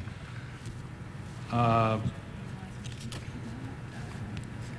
The, yeah, Mr. Podesta, didn't your management review, however, really relied on the uh, Peat Marwick uh, audit, or wasn't an audit, it was a management review, as the basis for the firing? Didn't you conclude that that was the reason for the firing, even though you were aware of all these previous discussions that had gone on uh, with regard to turning the travel office over to, quote, "our people"? I think we tried to seriously analyze what had happened.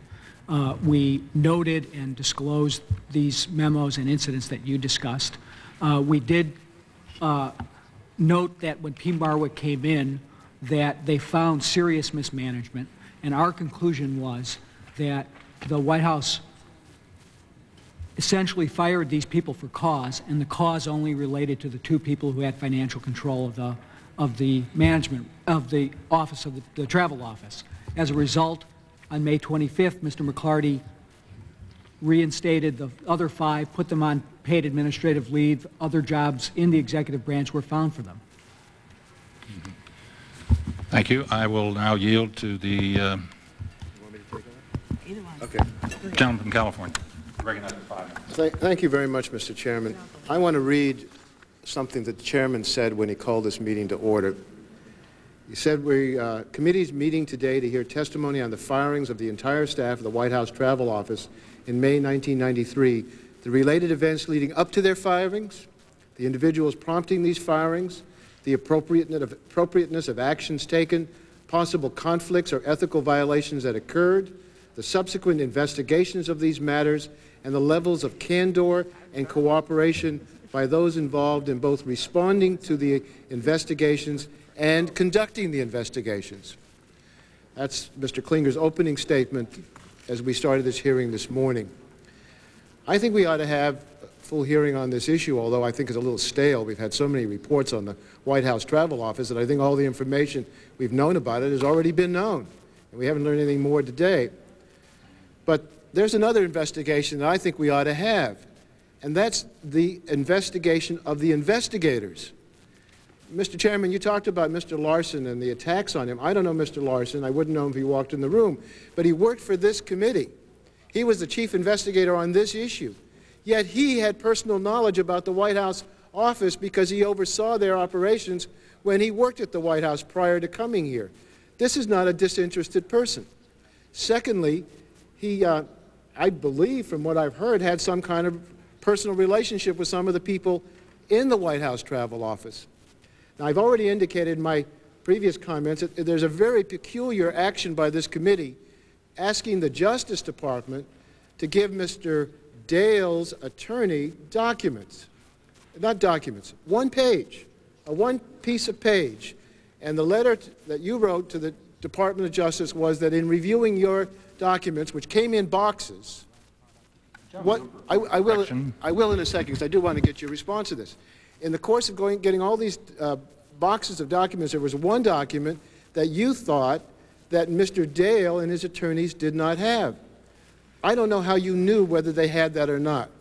I'd like to have, for the record, questions answered about your staff contact with Mr. Dale, his attorney, uh, the involvement of Mr. Larson and the travel office uh, prior to his coming here, during his investigation.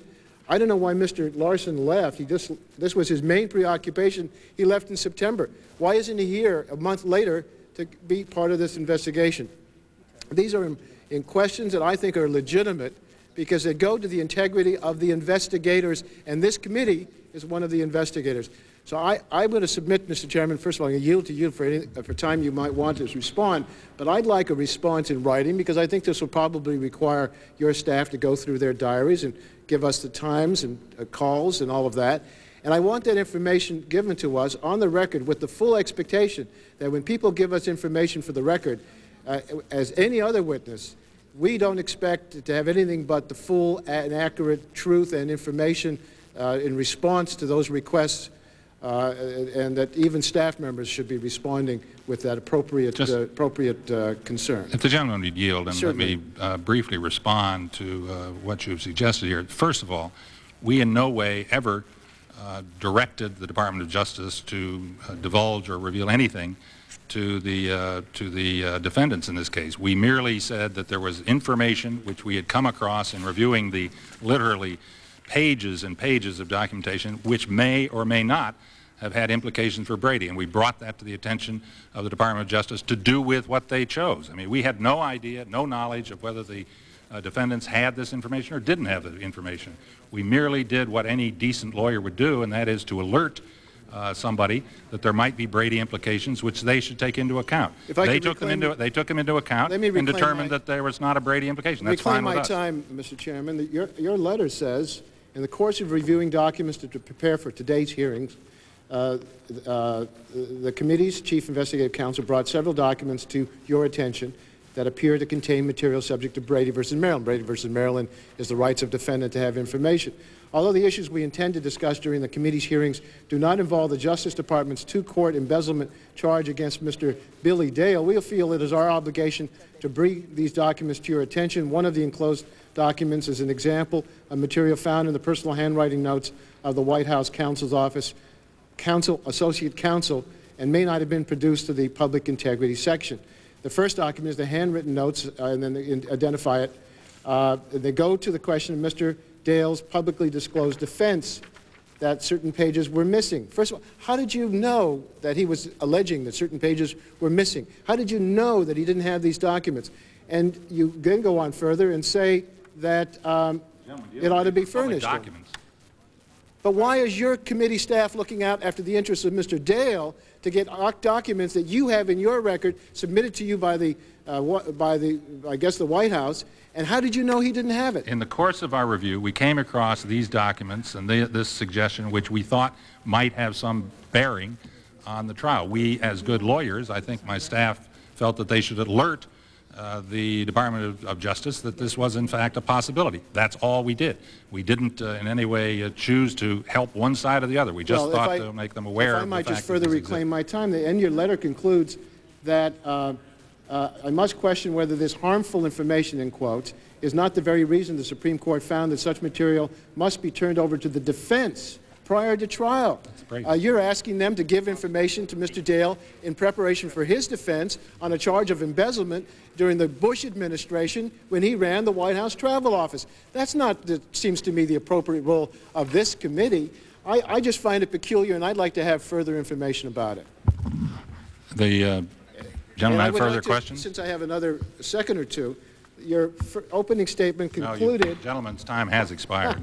Well, he hasn't finished his question, Mr. I, Chairman. I, I don't think the think you chairman is correct. I uh, will not insist And uh, any further time. with that, I would now yield to the gentle lady from Florida, Ms. Ros-Lehtinen. Thank you so much, uh, Mr. Chairman. Uh, I'd like to ask some questions for uh, Mr. Podesta about the uh, competitive uh, bidding. it seems that, uh, of course, there was some concern by, that the uh, White House Travel Office employees uh, were not uh, competitively bidding their, their charter airplanes, and, and they had said that this was a concern to, to some people in, in the White House and in, in other areas about this non-competitive bidding in, in the White House. And I wanted to ask, did anyone uh, in the administration, upon hearing that the travel office was not uh, competitively bidding the, the press charter flights, ever uh, pick up the phone and, and ask any of the other uh, airline charter companies if, uh, if they were even interested in, uh, in competitively bidding for this uh, press charter business? I'd have to go back and review notes, but I'm not aware of anybody who did that. So would you say that uh, none that were qualified ever were, were denied the opportunity, or do you know if that is so? Did any express any, any at any time express any interest or feel that they were being uh, denied the, the opportunity? I just have no knowledge about that, Congressman.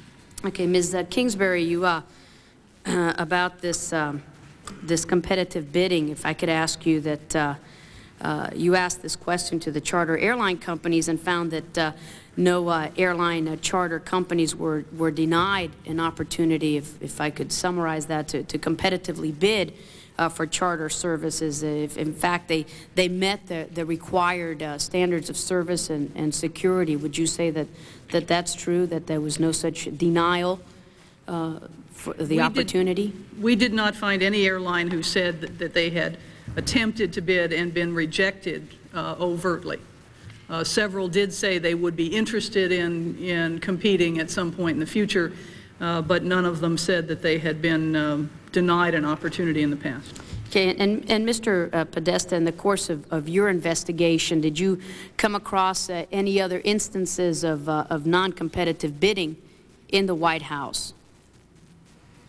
Uh, the, clearly, the, uh, the letting of the contract to Peat Marwick was done on a non-competitive basis. White House counsel looked at that, I believe, and, and concluded that was in, within the, uh, the exception in the law for an emergency procedure. And, and speaking of that, uh, they were brought into the, the travel office by the White House counsel's office uh, to do a financial management systems review. And it was this done without an inquiry of whether this could be done by, by an agency uh, such as uh, OMB or, or GAO. Uh, would that be correct? The, the White House counsel was informed that the White House had no independent capacity to review the, the finances in the office. I don't believe that they made further inquiries to determine whether the, they could uh, utilize resources at OMB. I think that the course of conduct they chose was that Mr. Kennedy called Mr. Uh, Bork and, and asked him how to proceed, and, and uh, we've outlined that, I think, in some detail in our report and in the other reports which are consistent with that. And so you had stated that they were, they were brought in uh, without a competitive uh, bid. Peat Marwick? Right. Yes. Uh, further, the, um, the Worldwide Travel Agency, the, the same agency that made travel arrangements for the, for the presidential campaign, was called to, uh, to come to the White House over a, a week before the firings, and, and there was uh, no competitive bid for their services, uh, was there? No. Uh, in Uh, fact, Not that I'm aware. I don't, I, I believe that that's correct. They, as you know, came in on Wednesday, left, uh, or, or I think there was an announcement they would be leaving by Friday. I, I, I'm not sure whether they stayed over the weekend while a competitive bid was made. American Express won the competitive bid three, four days later, and then American Express came in, I believe, on Monday uh, following the firings.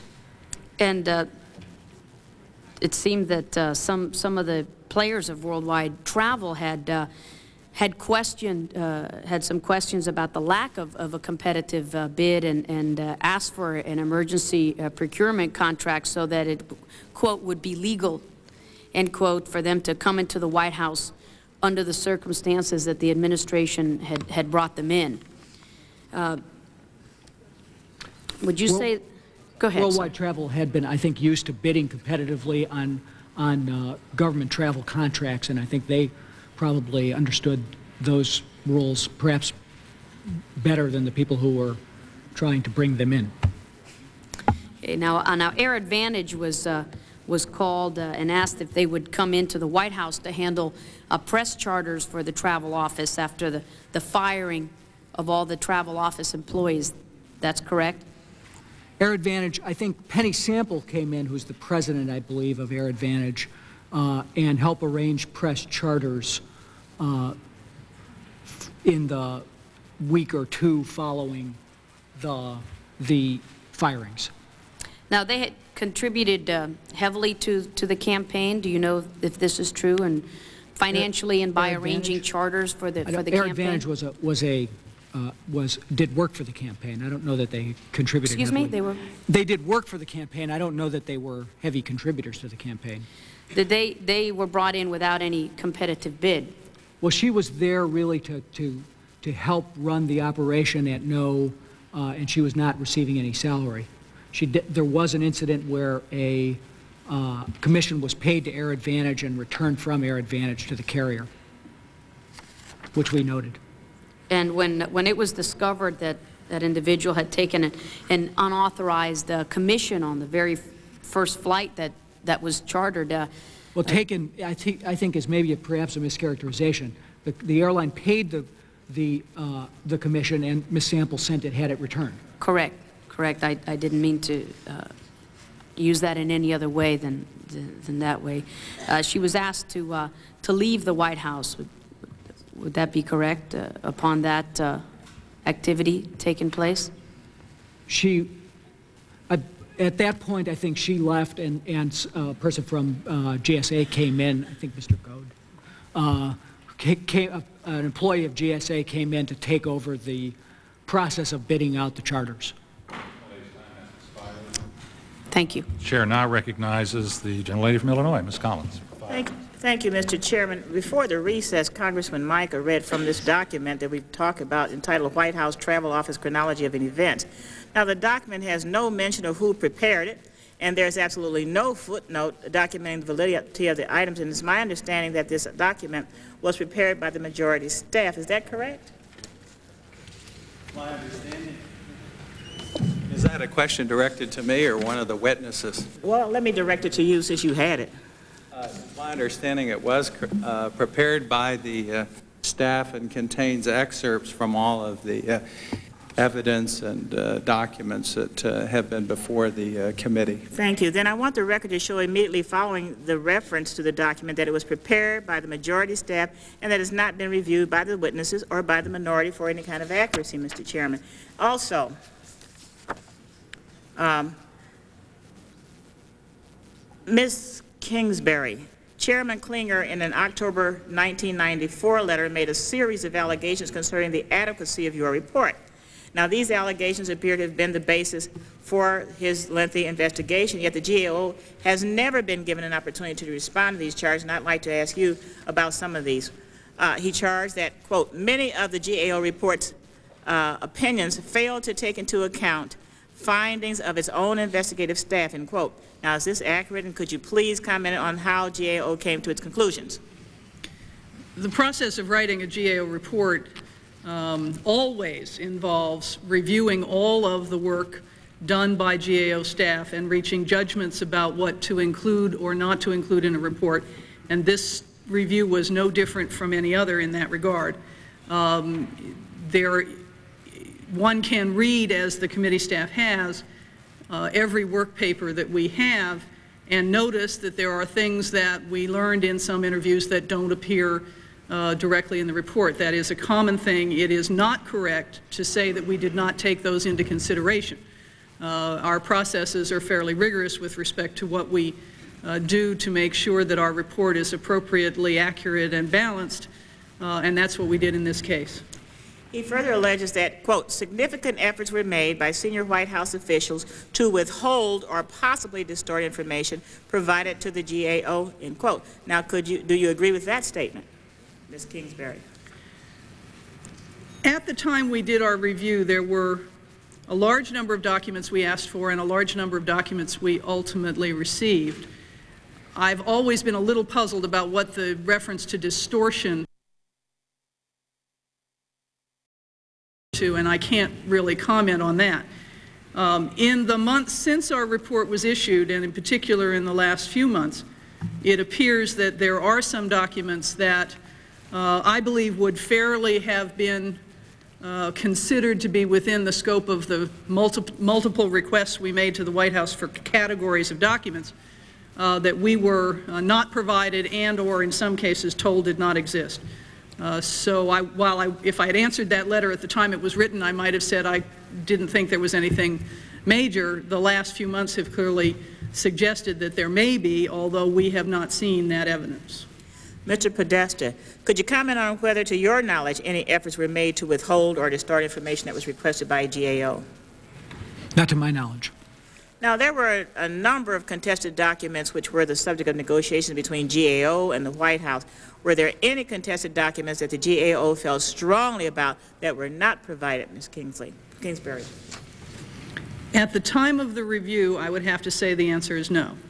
Had we known about the existence of some documents which have been reported to exist in the press, um, I would have have to say that that uh, there are documents to include uh, Mr. Foster's uh, travel office file uh, that would have been relevant to our work and that uh, were withheld. Now, um, the inquiry, the, the letter also alleges that travel office records were not secured and that the whereabouts of some of the records are not known. Now, this is the basis for Mr. Dales Fitzfence in his criminal trial, that if only we could recover his missing secret ledgers, that would explain why he secretly deposited travel office funds into his personal bank account. So while you were conducting your review, did you come across any evidence that missing petty cash ledgers uh, uh, actually existed? I need to preface my answer with that with, with the observation that in this work, we asked for documents by name or category and were provided copies. We never were I'm going to interrupt you here because I think that question really comes very close to the area that I've scrupulously tried to uh, keep out of this hearing, which has to do with the pending criminal trial for Mr. Dale. So Mr. I'm going to ask you not to respond I, to that I, question. I would like to go on record as saying that I think that it's most inappropriate for you to deny a member of Congress an answer to a question that she has asked in a, in a hearing. And I want the record to show that, that the, the, the witness was in the middle of her response when you said it was inappropriate. Now, I think that is not the way hearings are supposed to be conducted. I am a full member of this body, have been for 23 years, and I want my questions asked. Indeed you do. And, and I think that the concern that I think we should both share is that we don't want to do anything that would jeopardize the proper conduct of this trial. And in my view, Well, the question really Mr. does Chairman, skate very close to that. Taking back my time, Mr. Chairman, I wonder why in the world we're even here. The trial is two days from now. I wrote you a letter saying that we should not have this hearing at this point in time, and yet, and so did the Justice Department, and so here we sit asking these questions. Now, if we're going to have a hearing that's valid, and we're going to do what you say in your press release, get all of it out on the, in the open, then I have every right to ask that question. I want the witness to please answer. Can we get a response to the question?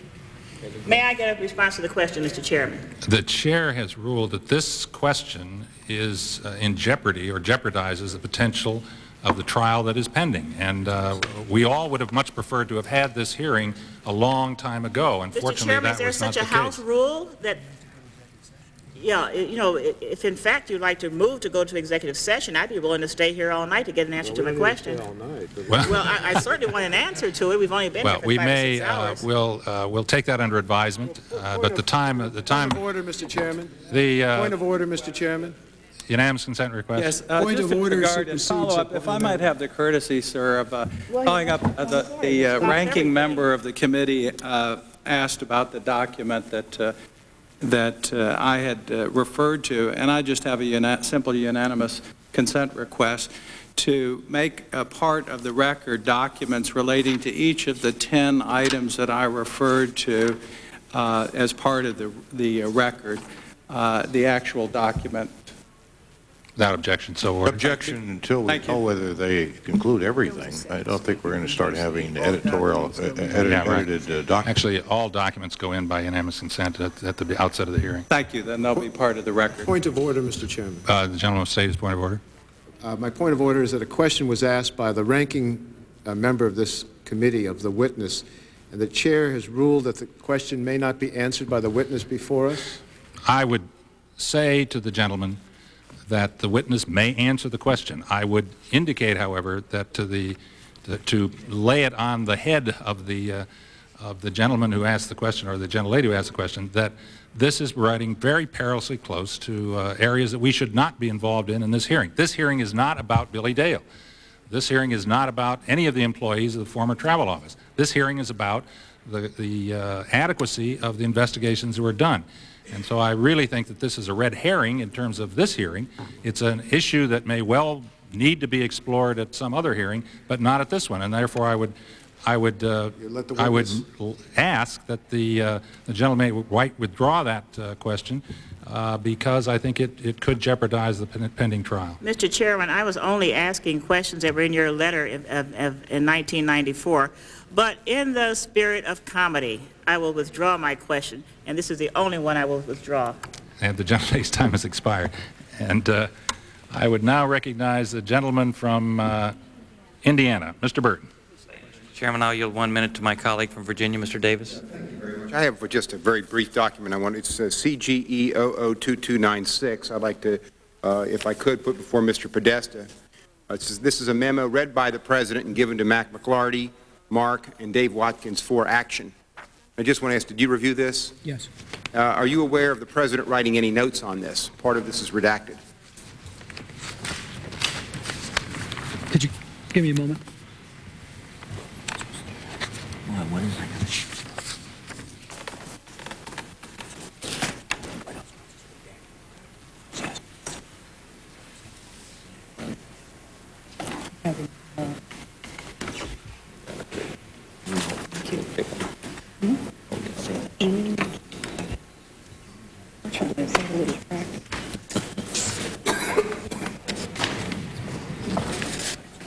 Then I'm going to ask him this. No.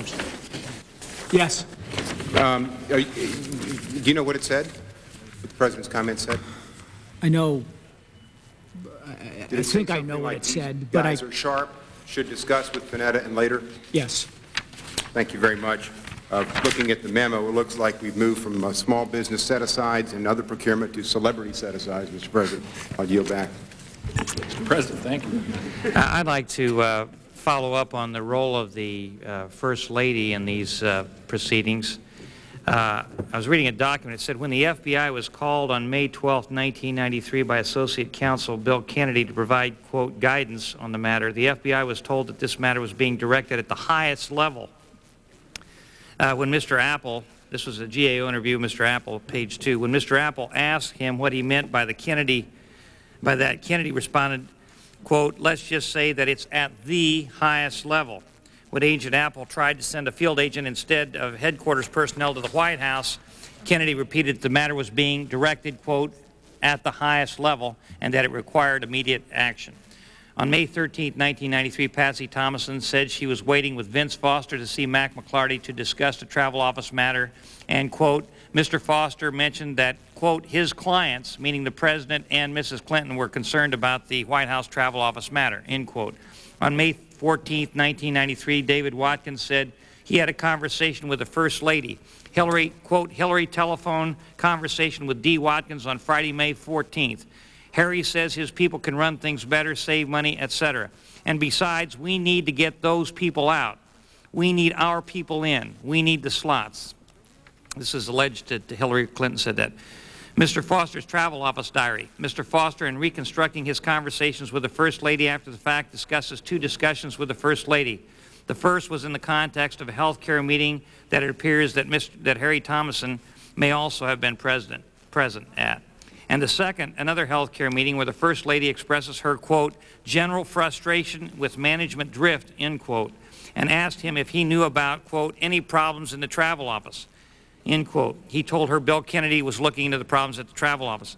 In a Thursday, May 13th meeting, Foster says that in a discussion with Mac McLarty, Patsy Thomason, and David Watkins, quote, he could have discussed general ob observation that Hillary Rodham Clinton generally appeared less than satisfied with timeliness of decision-making, i.e. cloture.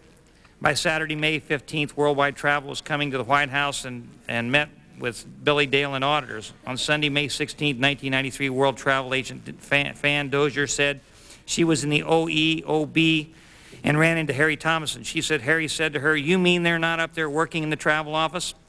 Harry Thomason said he'd call Hillary Rodham Clinton and she would be very upset to hear they were still there. Now, my question is to any of you, and I understand there's a discrepancy between the GAO and the OPR in some of these, uh, report, in, in these reports. Can you tell us how involved the First Lady was in this issue and how much influence she exerted? And you can give me some details on that if you will. I'm happy to take that first. Uh, the, I think the first reference that Mr. Kennedy made to highest levels of the White House, there was no indication that the First Lady was even aware of, uh, of, of, of, this matter. What about these quotes I just read uh, by That- Foster out the- of his diary and everything else? Foster, that was occurred in a conversation that occurred later after Mr. Kennedy had originally contacted the FBI. Uh, so that's for starters. I think she did inquire into it. She heard there were problems there. She asked Mr. Foster uh, whether he was looking into it. He informed her that he was, that Kennedy was had had taken over the matter. He later informed her that Peat Marwick would review the situation, and. Uh, subsequent to that, she asked Mr. McLarty whether he was on top of the situation, and uh, he informed her that he was. He was looking into it, but I think her involvement was rather limited. Who do, who do you think Mr. Foster was referring to when he said his clients? I mean, you said that didn't refer to the President the First Lady. Who do you think he was talking about? He was working at the White House. He was the President's attorney. Who do you think he's talking about? Can you refresh my recollection as to the date of that? May 13th, Mr. Foster mentioned that his clients, meaning the President and Mrs. Clinton, were concerned about the White House travel office. I think he's. I think he. I think that the uh, the overall Mr. Foster was counsel to the president, but he was in the White House counsel's office. Watkins had come to see him. I think he treated all the people in the White House As his clients? As clients, absolutely. You've got to be kidding. I am not kidding. Oh, my. What about the rest of these remarks that are attributed to the First Lady and her involvement? What she said uh, that Vince Foster quoted? Excuse me? What about those comments that were made by the First Lady that Vince Foster quoted? We, do you want to read them to me? Mr. Foster's travel office diary. Mr. Foster, in reconstructing his conversations with the First Lady after the fact, discusses two discussions with the First Lady. And the second one, which I'll go into again, expresses her general frustration with management drift and asks him if he knew about any problems in the travel office. he told her Bill Kennedy was looking into the problems in the travel office. I, I, I think that is accurate, and they stated, and, and that's stated in our report that we released on July 2nd, 1993, along with the memo CCing Mrs. Clinton on, on that. Before that time, before we released this report, Mrs. Clinton's involvement Well, hadn't, haven't- hadn't been brought up. I- I've been uh, uh, told, and I haven't read the entire reports, but I've been told that the GAO and the OPR reports are, are, are different, and that the GAO report is not quite as thorough as the OPR report. Why is that? Well, I'll let GAO and OPR re- reply to that.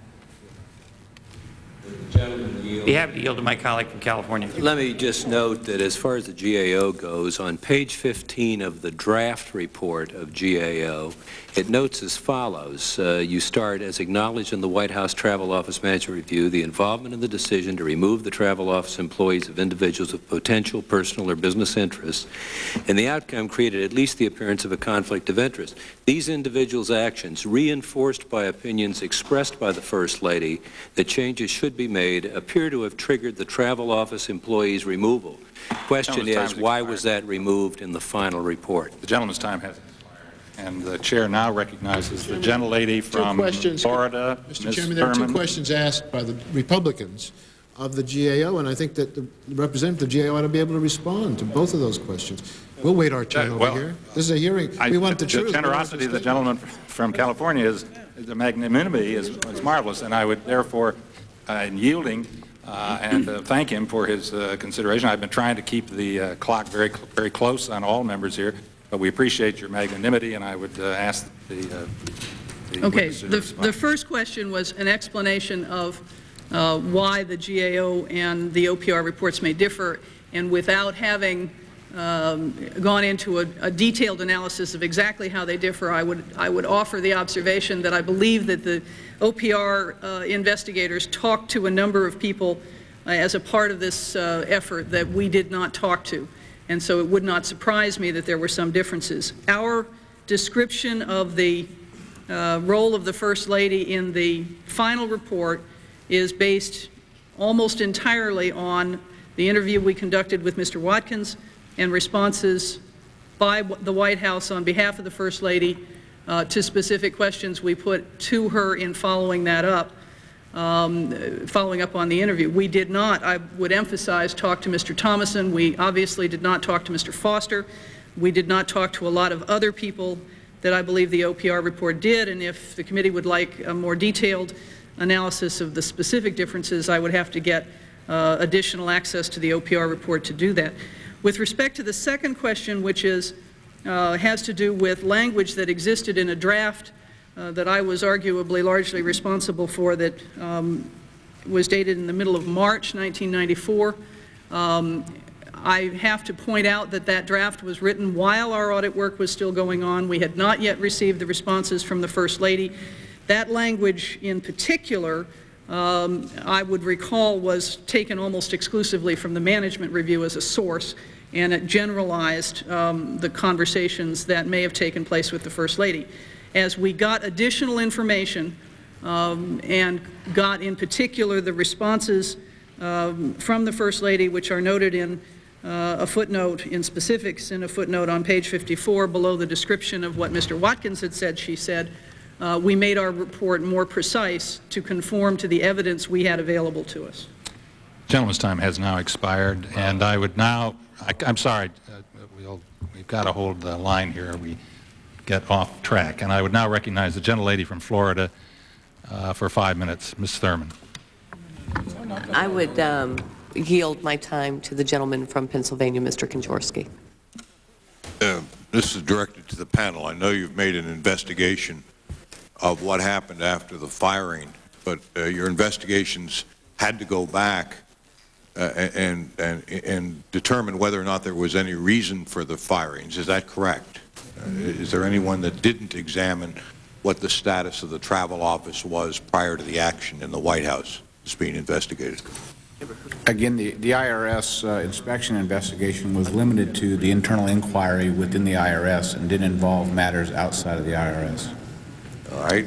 This would be also for the FBI. It's purely an, an in-house inquiry as to um, the chronology of events that occurred with the White House contacts. But secondly, if we violated any rules and policy procedures uh, within the FBI with those contacts. So your reports do not go back as to any conditions existing in the White House prior to the actions taken by the White House. Is that correct? That's correct for the FBI. All right. Now, Congressman, that, that applies as well to, to our report. So you, you don't know and, ha and have no information as to what the existence of circumstances were coming up to the... We have general information that we gleaned in the course of some interviews, but that was not part of our investigative charge. Not part of your investigative charge, right. but are you of information now uh, as to what the conditions were in the travel office and related we, travel conditions? We got information that it was not a tidy place. Okay. Well, then my question is directed to you, sir, to the GAO, and to Mr. Podesta.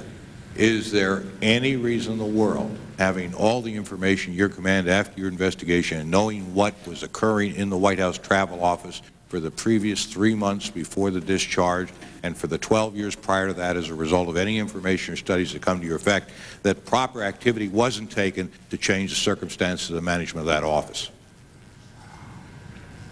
We examined some of the, the, records of the travel office for the period from January 1992 forward. Uh, we were unable to do a comprehensive review. Our findings clearly support the KPMG Peat Marwick findings uh, that there was significant financial management weaknesses in that office. Uh, we do not have an independent view of whether or not that meant the employees should be fired or not. No question about mismanagement in that office, is that correct? Not to us, sir. Yourself, Mr. Shaheen, do you uh, concur with that? We agree with that there was mismanagement in the office. I don't have a basis on which to determine whether it was appropriate or not to fire them. Mr. Podesta, in your internal study, do you have any indication that there wasn't abuse, mismanagement, and potentially fraud existing in the travel office prior to the action taken by the White House that uh, is the purpose of this inquiry? We concluded, I think, based on largely on the uh, the Peat Marwick study, that that management changes were necessary in the in the travel office, and that and that the firings of the of the of the uh, people responsible for the financial affairs of the travel office were uh, within uh, reason within reason for the White House. In the prior examination of some of the members on the other side, they asked you whether or not there were notations of the President of the United States himself on some of the memorandum. And I understand that you've seen those documents. All of you have seen those documents? I Have not. I think just I've seen it. Okay. They were shared with the committee, is that correct? That, it- that's my understanding, yes. Was- uh, May I make an inquiry of the chairman? Did those, did those documents come to this committee upon a request of this committee of the Office of the President? I'm not sure which documents you're referring to. There was a notation of a memorandum to the President of the United States where he actually made a notation. Well, I, if if the gentleman would yield, uh, is I, oh, a little bit the class. No, I'm, I'm advised that we did not have that. There was a redaction. Uh, we did hear about it from the media, but we never had access to that document. You, you mean we received that document not directly from the Office of the President, but through the media? No, can, can, Mr. Chairman, would, would gentlemen yield? We had the underlying document, but one page was redacted, and the page with the President's comments, I assume, was, was redacted. But you did receive that document from the White House, but subsequently someone provided you with the redacted copy. No one's, no one provided me with the redacted Well, copy. We just did it here. Did I understand there was, you, the copy you had did not have the President's notations on it, is that correct? That's correct. I did not Now, have. where, where did the notations come that were referred to in cross-examination of these witnesses? I just asked, uh, I I assume the media had it somewhere, but it was not provided by the White So House. it- it came Except, except under cross-examination. We got a came to the redacted empty copy. It, it makes a point. The point is, when this committee held hearings in 1992 of the Bush White House, we requested five members of the President's staff to testify. And at that time, his chief assistant asserted that the President was exercising executive privilege, that he would not even allow some of his assistants to come to the Congress of the United States to tell us in general form what facts existed in the travel office of the President. And the point I think I want to make is that there isn't anyone here asserting that there hasn't been total cooperation in every regard, even giving documents that have notations of the President's own handwriting on those documents to this committee in assisting us to make this examination. Is that correct? The one Mr. other Chairman, point, uh, would the gentleman yield for a question? Uh, I'm just curious, the document you're talking about was released to the press, apparently, but not released to this committee. Am I wrong on that?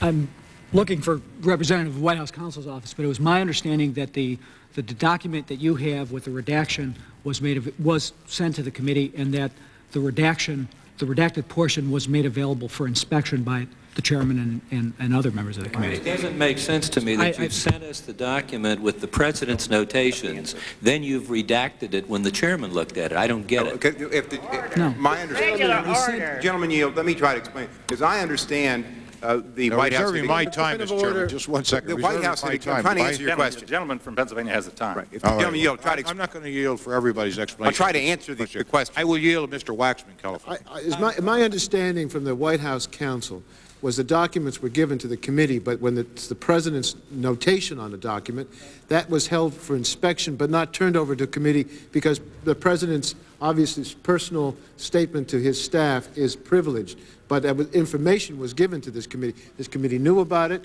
and I think the gentleman from Pennsylvania's point is that all the documents that everybody's ever had on this whole subject has been given by the White House and everybody involved to this committee, unlike the investigation he conducted of the Bush White House. Gentleman's time has expired, and uh, I'm now going to recognize Ms. Morella. Before I do, I just would like to indicate, these are the documents which uh, were turned over to the gentleman from Pennsylvania, Mr. Kanjorski, by Mr. Yes. Larson. So there Mr. was Chairman, not may I yield now at that withholding of point? documents. I Would would the point out chair yield? plenty of documents here. May I ask unanimous consent to have two minutes to explain the purpose of my question, and now that you've shown the documents my committee received so that the record is quite Is there clear. objection? Uh, If the gentleman will allow me 30 seconds of that to answer his question, If we which go he for wouldn't do. a- a- a unanimous consent of two and a half minutes, I will yield the 30 seconds to you, Mr. Thomas. Is there objection? The gentleman- Reserving the right to object.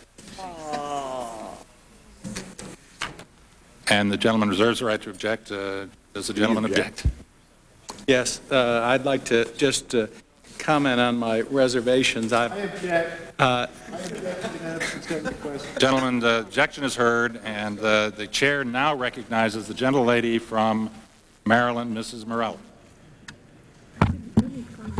Uh, Thanks, Mr. Chairman. I wanted to get back on the track that I've been trying to pursue, and I recognize and value the deliberations. I'm concerned about what happened to um, these gentlemen who were dedicated uh, civil servants. And so in terms of pursuing that, early, early on, uh, I think I mentioned something about what happened on May 19th as the new travel people were coming in, the, uh, uh, the others were being fired on the upper floor. But I have found out also since then that this had been anticipated, this firing had been anticipated long before that time, and that frankly, um, uh, the, uh, uh, the locks to the White House travel office had been changed on the 17th, and uh, the keys that they had didn't work when they arrived at work. Um, all of these kinds of things that had happened, and I think it's important that the record demonstrate that too. And I wondered, Mr. Shaheen, um, didn't you find in your report that the FBI had, be, had been asked not to fire the employees before they had a chance to review the Peat uh, Marwick work? I think the FBI had uh, been, been, that their opinion had been solicited, but I don't think that, that their answer was, uh, was a dispositive one as far as the White House was concerned. I think it said that they were, it was kind of immature, uh, not immature, premature. Premature, Immature right. also maybe, That- but. that's correct. But, but premature. Right. So that the point is, no investigation had been held. I also was concerned about um, jumping to conclusions without l- doing research, not only in that regard, but the idea that Mr. Podesta, Ms. Kingsbury, and Mr. Shaheen, I understand that you reported that Ms. Cornelius told David Watkins, Vince Foster, William Kennedy, uh, Harry Thomason, and eventually agents from the FBI that the White House Travel Office employees lived extravagant lifestyles well beyond the means of government employees. Is that correct? That that had, She- That was Yeah. provided to us in interviews, yes. Well, did any of these persons to whom these allegations were made do any checking on it before you- we begin to tarnish characters? In in our case, uh, uh, Congresswoman, they were not relevant for, uh, with respect to our investigative charge. They were not not relevant? Uh, That, for our purposes, they were not relevant. Mr. Burwell, that would be a question better directed to Mr. Smith. Okay, great. Mr. Smith, thank you. At the time of uh, initial investigation that we conducted, uh, and I made a chronology of the contacts with the White House, uh, I think it was on the 13th that Mr. Kennedy uh, offered, uh, uh, he said he had three options to deal with the White House. One of them was to fire the seven employees. Second was to send them home and seal the office and conduct an audit. And third, to send uh, half of them home and use the remainder to assist in the audit. At that particular time, the, uh, the two unit chiefs that were at the White House, uh, Unit Chiefs uh, Apple and Ferran, refused to provide uh, Mr. Kennedy uh, with any advice in that regard. Later on, of course, I think it was that day or the next day, they did in fact meet Ms. Cornelius. At that time that she voiced concerns for the, um, the lifestyles that some of the uh, travel office employees were uh, using without, without any elaboration, I might add. Uh, other concerns are things, no competitive bids, checks written to cash, and things of this nature. But it was just, uh, that was, uh, statements made at that time without any supporting documents or any- anything. Right, and, and my concern is that a statement like that that was made was picked up by others and perhaps used in this investigation, and I think it is a, a terrible situation for us in government to, to have occur with our dedicated people. You want to comment on that? Yeah, I would just note that Mr., that occurred on, on the afternoon of the 13th when I believe agents Wade and Carl interviewed Ms. Cornelius, is that right?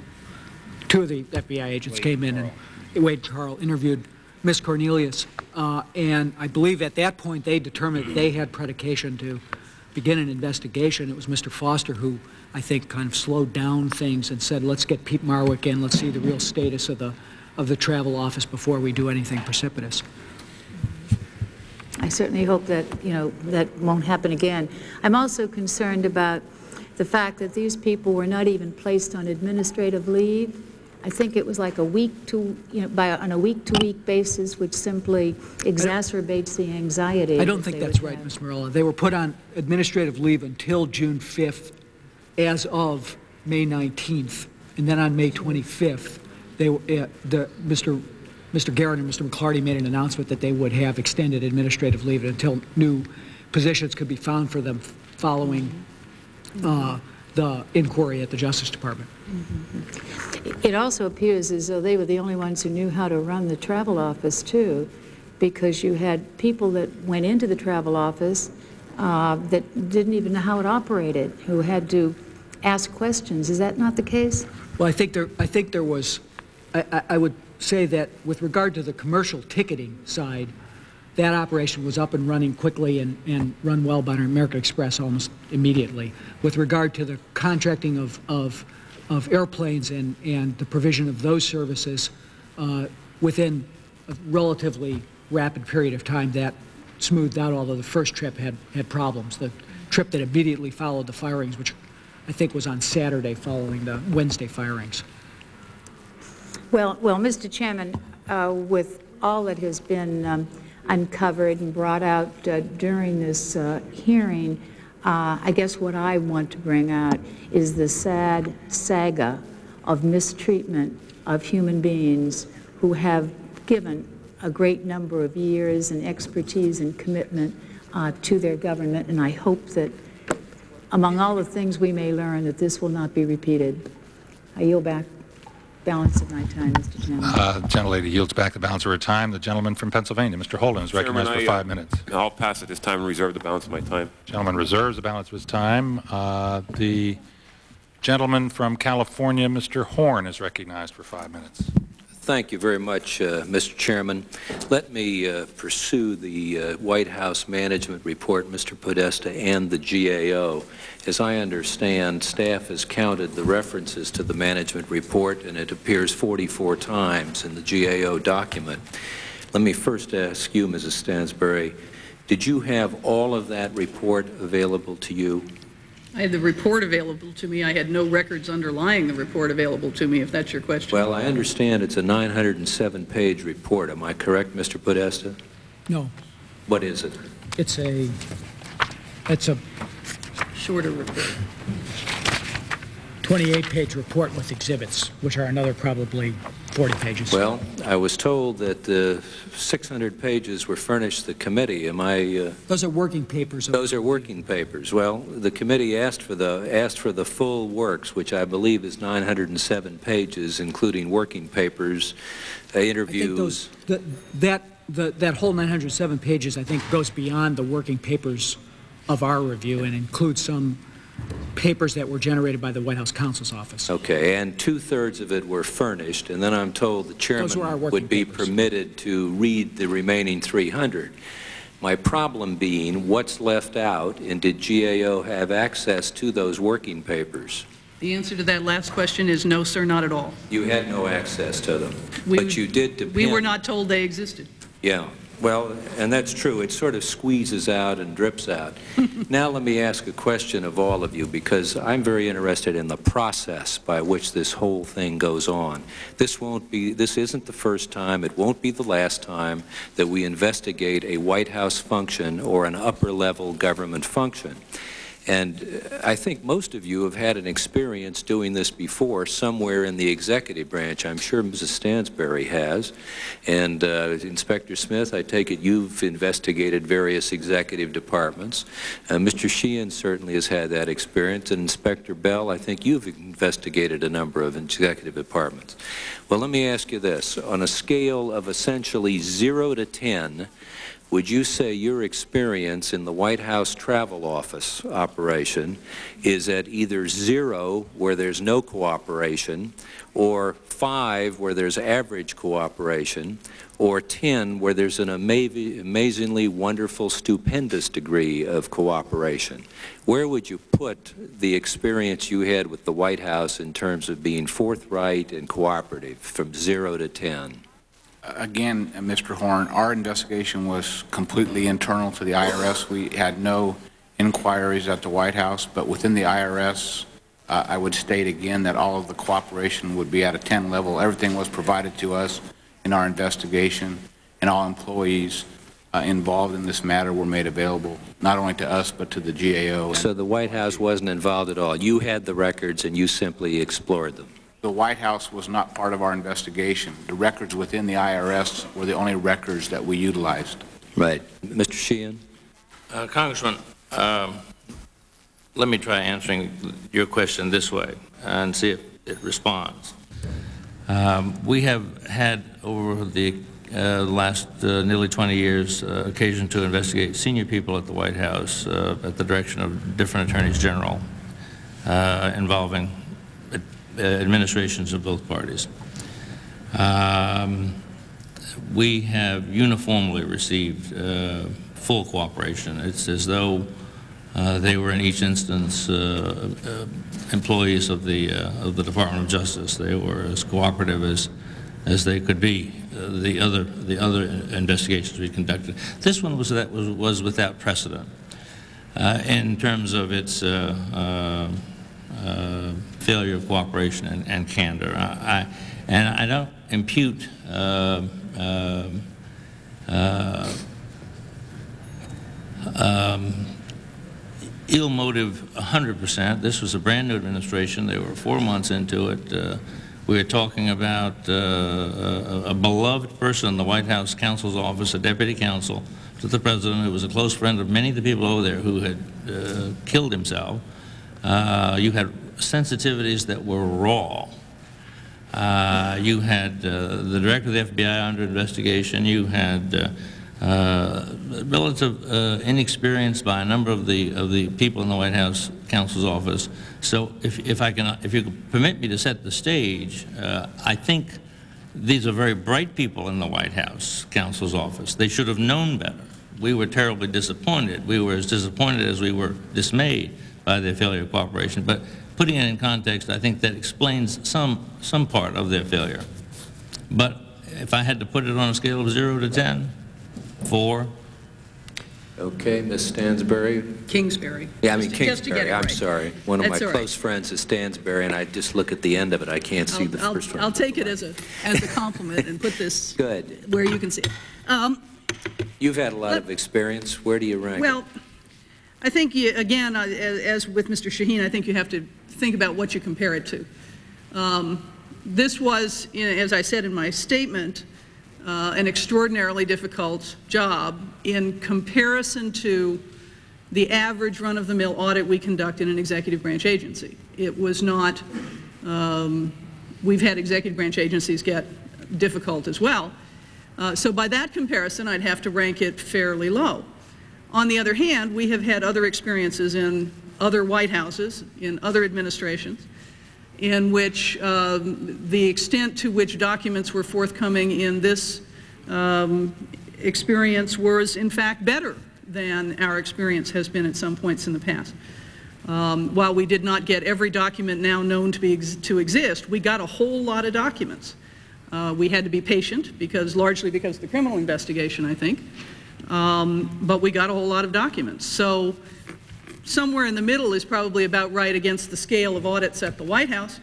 Um, Better than that in some other places. I mean, the, the cooperation we had from the IRS and the, and the ability we had to ta- handle that part of the story uh, was uh, extraordinarily good. Gentleman's time uh, has expired. Inspector Smith, could we get his answer to complete the question? Briefly, Mr. Smith, if you would.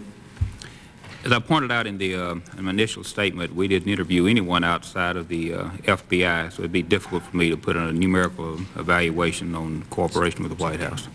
So there were no records denied? There were no records denied that you needed? Uh, there was, we didn't ask for any records. Okay. I'd call that a 10. Regular order, please. Uh, Mr. Barrett from Wisconsin, you're recognized for five minutes. Thank you, Mr. Chairman. Mr. Chairman, I would yield my time to Mr. Kanjorski from Pennsylvania. All right, time is yielded. Thank you very much, Mr. Barrett. Uh, Mr. Chairman, uh, everything has to be put in perspective, and, and I think uh, uh, Ms. Kingsbury uh, did that very well in comparing the, the uh, cooperation of the White House with this investigation as opposed to other investigations. And of course, I was involved in the travel investigation of the White House in the immediate preceding administration of Mr. Bush. And at that time, this committee requested the presence of five uh, individuals from the White House. Uh, they consisted of uh, Mr. McBride, who was Assistant to the President for Management and Administration, Mr. Bateman, who was Deputy Assistant to the President for Management and Director of the Office of Administration. The third member uh, was Mr. Brennan, Administrative Operations Division, Office of Administration of the White House, and the fourth member, Mr. Alexander, Director of Administration, Office of Policy Development of the White House, and the fifth member was Mr. Rasmussen. And when we uh, convened that hearing uh, some uh, two years and three months ago, we had five very empty seats, and they just absolutely uh, refused to come and testify before the Congress of the United States. It was the authorizing committee for travel of the White House after various discussions internally within the committee and with the clerk of the House and the attorney for the uh, House and the suggestion of the need for direct subpoenas uh, and the assertion of executive privilege by the White House on these people, it was finally concluded that two members would uh, testify, and that was Mr. Rasmussen and Mr. Larson. And the reason that it's so interesting is Mr. Larson was the person who, in the White House, really was responsible for all the documentation that two years ago should have flown to this committee and didn't. And though ultimately he did testify for six and a half hours, it was without the benefit practically of any internal documents from the White House of even the most minimal importance, no less documentation that had notations from the President or memorandums directly to the President.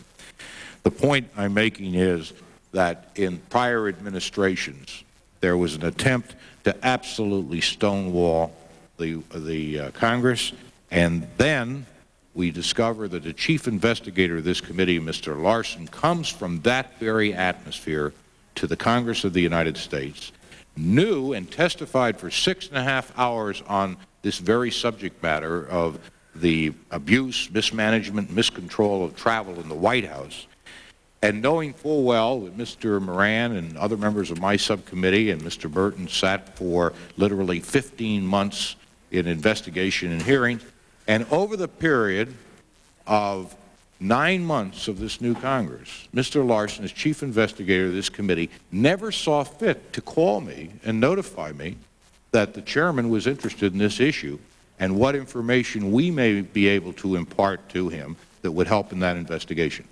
But in fact, all of the approach here is a very narrow approach to talk about merely the firing circumstances. It reminds me when I tried a case one time and we agreed to bifurcation of the issue of negligence and damages. And that my uh, client was bowling in a bowling alley and he stepped on a, a slippery element that was on the alley and we were only allowed to put in the testimony of negligence. So suddenly he hit the slippery spot, flew up in the air, and that was the end of our testimony. Here we have the same thing. We're asked to hear in bifurcation what happened at the White House after a set of circumstances when the, when the new president was in only 120 days. And the American people are listening out there as to why did this all occur. If we had a total complex picture of what had been happening for 12 years in the White House prior to the Clinton administration, through multiple examinations by the General Accounting Office where their officials related to me, although Mr. Kingsbury may be, not be aware of those conversations, but we're willing to call them if it's need be, that they were stonewalled, not provided with documents, not given the information, and had zero cooperation from the White House over periods of years, not only months. With all this sum total, I think we can conclude that this picture of attempting to bifurcate what happened is going to give a total misimpression to the American people. That there is a substantial element of fact and information that justifies exactly what happened. That does not justify the new administration's inability to properly handle the situation or bungle the situation. When I heard of the dismissal of the travel office, I said, finally, after four months, they have gotten to a root, root core problem in the White House.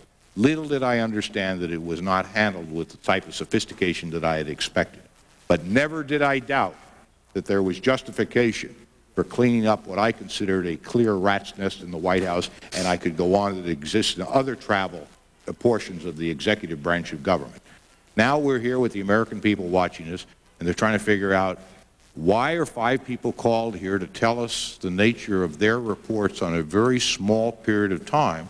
And, and I, I'm not sure what we're asking them. They've all committed reports. They feel very good about it. They've had documents even that had notations of the President of the United States on. We have letters from Judge Mikva, the chairman of the committee, that all documents have been exposed. Some had to be done in camera, but they're perfectly available. Everything is available. Everything is before the Congress. What should be before the Congress and the American people is the history of travel in the White House and travel in the executive office of the President for the last 12 years up until now.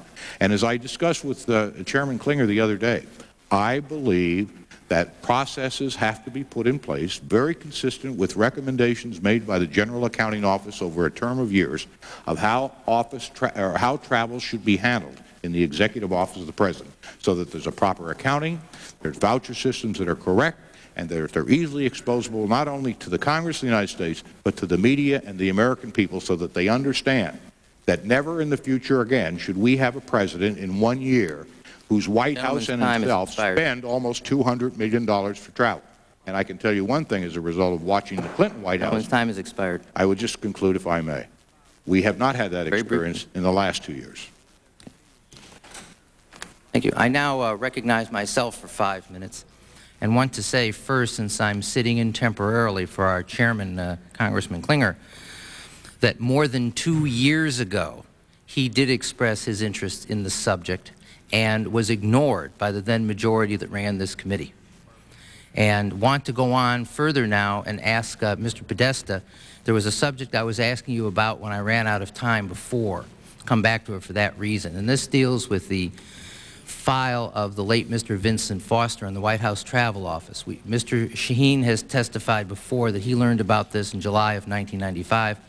You learned about it as a White House staff member in July of 1994, and I asked you, where was the file for Mr. Foster's death from July of 1993 to July of 1994? And I believe you said you, you believe that it was in the possession of White House counsel Mr. Nussbaum. Is that right? That's correct. Do you know why, and you may not know why, but do you know why Mr. Nussbaum did not make that file available in 1993 to the various investigations that were going on at that time? I, I believe that he has said that he, that he was aware of, the, of the uh, matters that they had requested, of the document requests that they had made, and thought that, they, that it was either privileged or outside the scope. But I, I should defer to Mr. Nussbaum. I, that, that's fine. I just wanted to see if, if, if you did know for sure. Um, Mr. Shaheen, I'd like to come back to you in the note that Mr. Foster wrote that was found in shreds in his briefcase. Some have called a suicide note. You know what I'm talking about. He said in there that uh, the, F, the, the FBI lied to the Attorney General. And, and, and it was apparently related to this particular investigation. And you testified in your opening statement that you believed that Mr. Foster was referring to the FBI report where it said that the White House told them uh, the highest levels are uh, interested in this investigation as, as uh, almost implied kind of pressure on them. It, did, is your did I have your testimony correct on that? You heard that testimony correctly, yes, sir, Congressman. Did you, uh, um, I realize that there's no way, of course, we can ask Mr. Foster precisely, but in terms of being an investigator in this matter, did you reach a conclusion about whether, in fact, the FBI did misstate what they were told uh, at the White House? We did reach a conclusion. Uh, the, the particular uh, note uh, that we were interested in um, that Mr. Foster wrote was that the, the FBI lied in its report to the AG. He was, we believe, referring to the, uh, the FBI's own internal report uh, when there was no reflection in that report that the FBI succumbed to any attempted uh, pressure uh, when there were aversions to interest at the highest levels or the, uh, the threats, as I'll characterize them, of the alternative use of the IRS in the event the FBI's help was unavailable, unavailing. We, we believe that the Bureau, uh, uh, the Bureau's internal report uh, accurately reflected that they were not pressured. They may have appreciated that uh, uh, Mr. Kennedy uh, uh, was trying to suggest pressure. On the other hand, Mr. Kennedy may have honestly been repeating the interest of his superiors and honestly representing that people above him uh, were interested in this matter, and keenly so. Uh, But the FBI in its report, we believe accurately, and we conducted a a host of interviews by the oper- the the operative FBI personnel. Uh, We believe the FBI honestly represented to the Attorney General in- in its report that they they were not, they did not feel they were under pressure. Well, nevertheless, although I'm, pr I, I'm proud of the FBI, uh, based on your conclusion that they did not succumb to any threats or pressure, wouldn't statements to the FBI from a, a, a White House official, the highest levels are interested in this, and something to the effect of, if the FBI doesn't act, the IRS will be asked to do so, don't you think those constitute uh, an attempt to, to threaten or an attempt to influence, the, uh, threaten may be too strong a word, an attempt to influence uh, the agency to get involved when maybe there was not a basis to do so? A cold reading of the record might suggest that, uh, Congressman, but uh, there was an honest belief that when Mr. Kennedy referred to uh, interest at the highest levels, that he was uh, honestly repeating uh, uh, intense pressure he was feeling and was passing it on. And I, I uh, we've given careful thought to this, uh, and, and, and the, the message may have been lost in the translation, and maybe there was some feeling of pressure, but the Bureau did not uh, yield, did not succumb. I might add, it's an observation of mine, I don't know, it, it's, it's, it's uh, with 10 cents and, and, and, a cup of coffee, you can't get on a metro with it. But, but the FBI is probably the savviest uh, institution in the, uh, in the executive branch in terms of dealing with the White House. They're, they're of necessity and constant uh, communication with them because they do the, the backgrounds of, of most of the senior people over there. What about when the White House announced, I think through Ms. Myers, I could be mistaken about that, but the White House announced that the FBI was investigating the travel office right after the firings. Isn't that out of the ordinary as far as procedure goes to announce the FBI is investigating? It, it may be out of the ordinary. Uh, I don't know that it's inappropriate. What about when Mr., I believe, Collingwood uh, of the Congressional Affairs Department uh, went and met with White House officials to discuss what press statement would be given? Isn't that kind of coordination between the White House and, and a law enforcement agency unusual? Uh, not with respect to uh, uh, an exchange of, and not by a visit by, by, by someone of Mr. Collingwood's rank uh, in the circumstances. It's not the norm, but it's not altogether un unusual. It's not the norm, though, you would It's not the norm. You would say. All right. And he is a senior official, though. Right. Mr. Podesta, did you want to respond on that? I did, Mr. Schiff. I, I just must tell you that I was a little bit surprised when I read a uh, redact, redacted co copy of Mr. Me, I'm, Shaheen's... I'm just going to ask you to be brief just because my time has expired, okay. but go ahead and you can Mr. answer Shaheen's memo, which criticized us for being too tough on ourselves on the points you just raised, I felt a little bit like I was in the movie Chinatown. Thank you. My time has expired. Mr. Green of Texas. Thank you, Mr. Chairman. And, and again, let me revisit what uh, I know we've had a long day for not only the members who can come and go, but the witnesses who have to stay. And, uh, and again, I thought it was interesting, Mr. Chairman, that uh, you, you, questioned whether the FBI had lied to the Department of Justice. And Mr.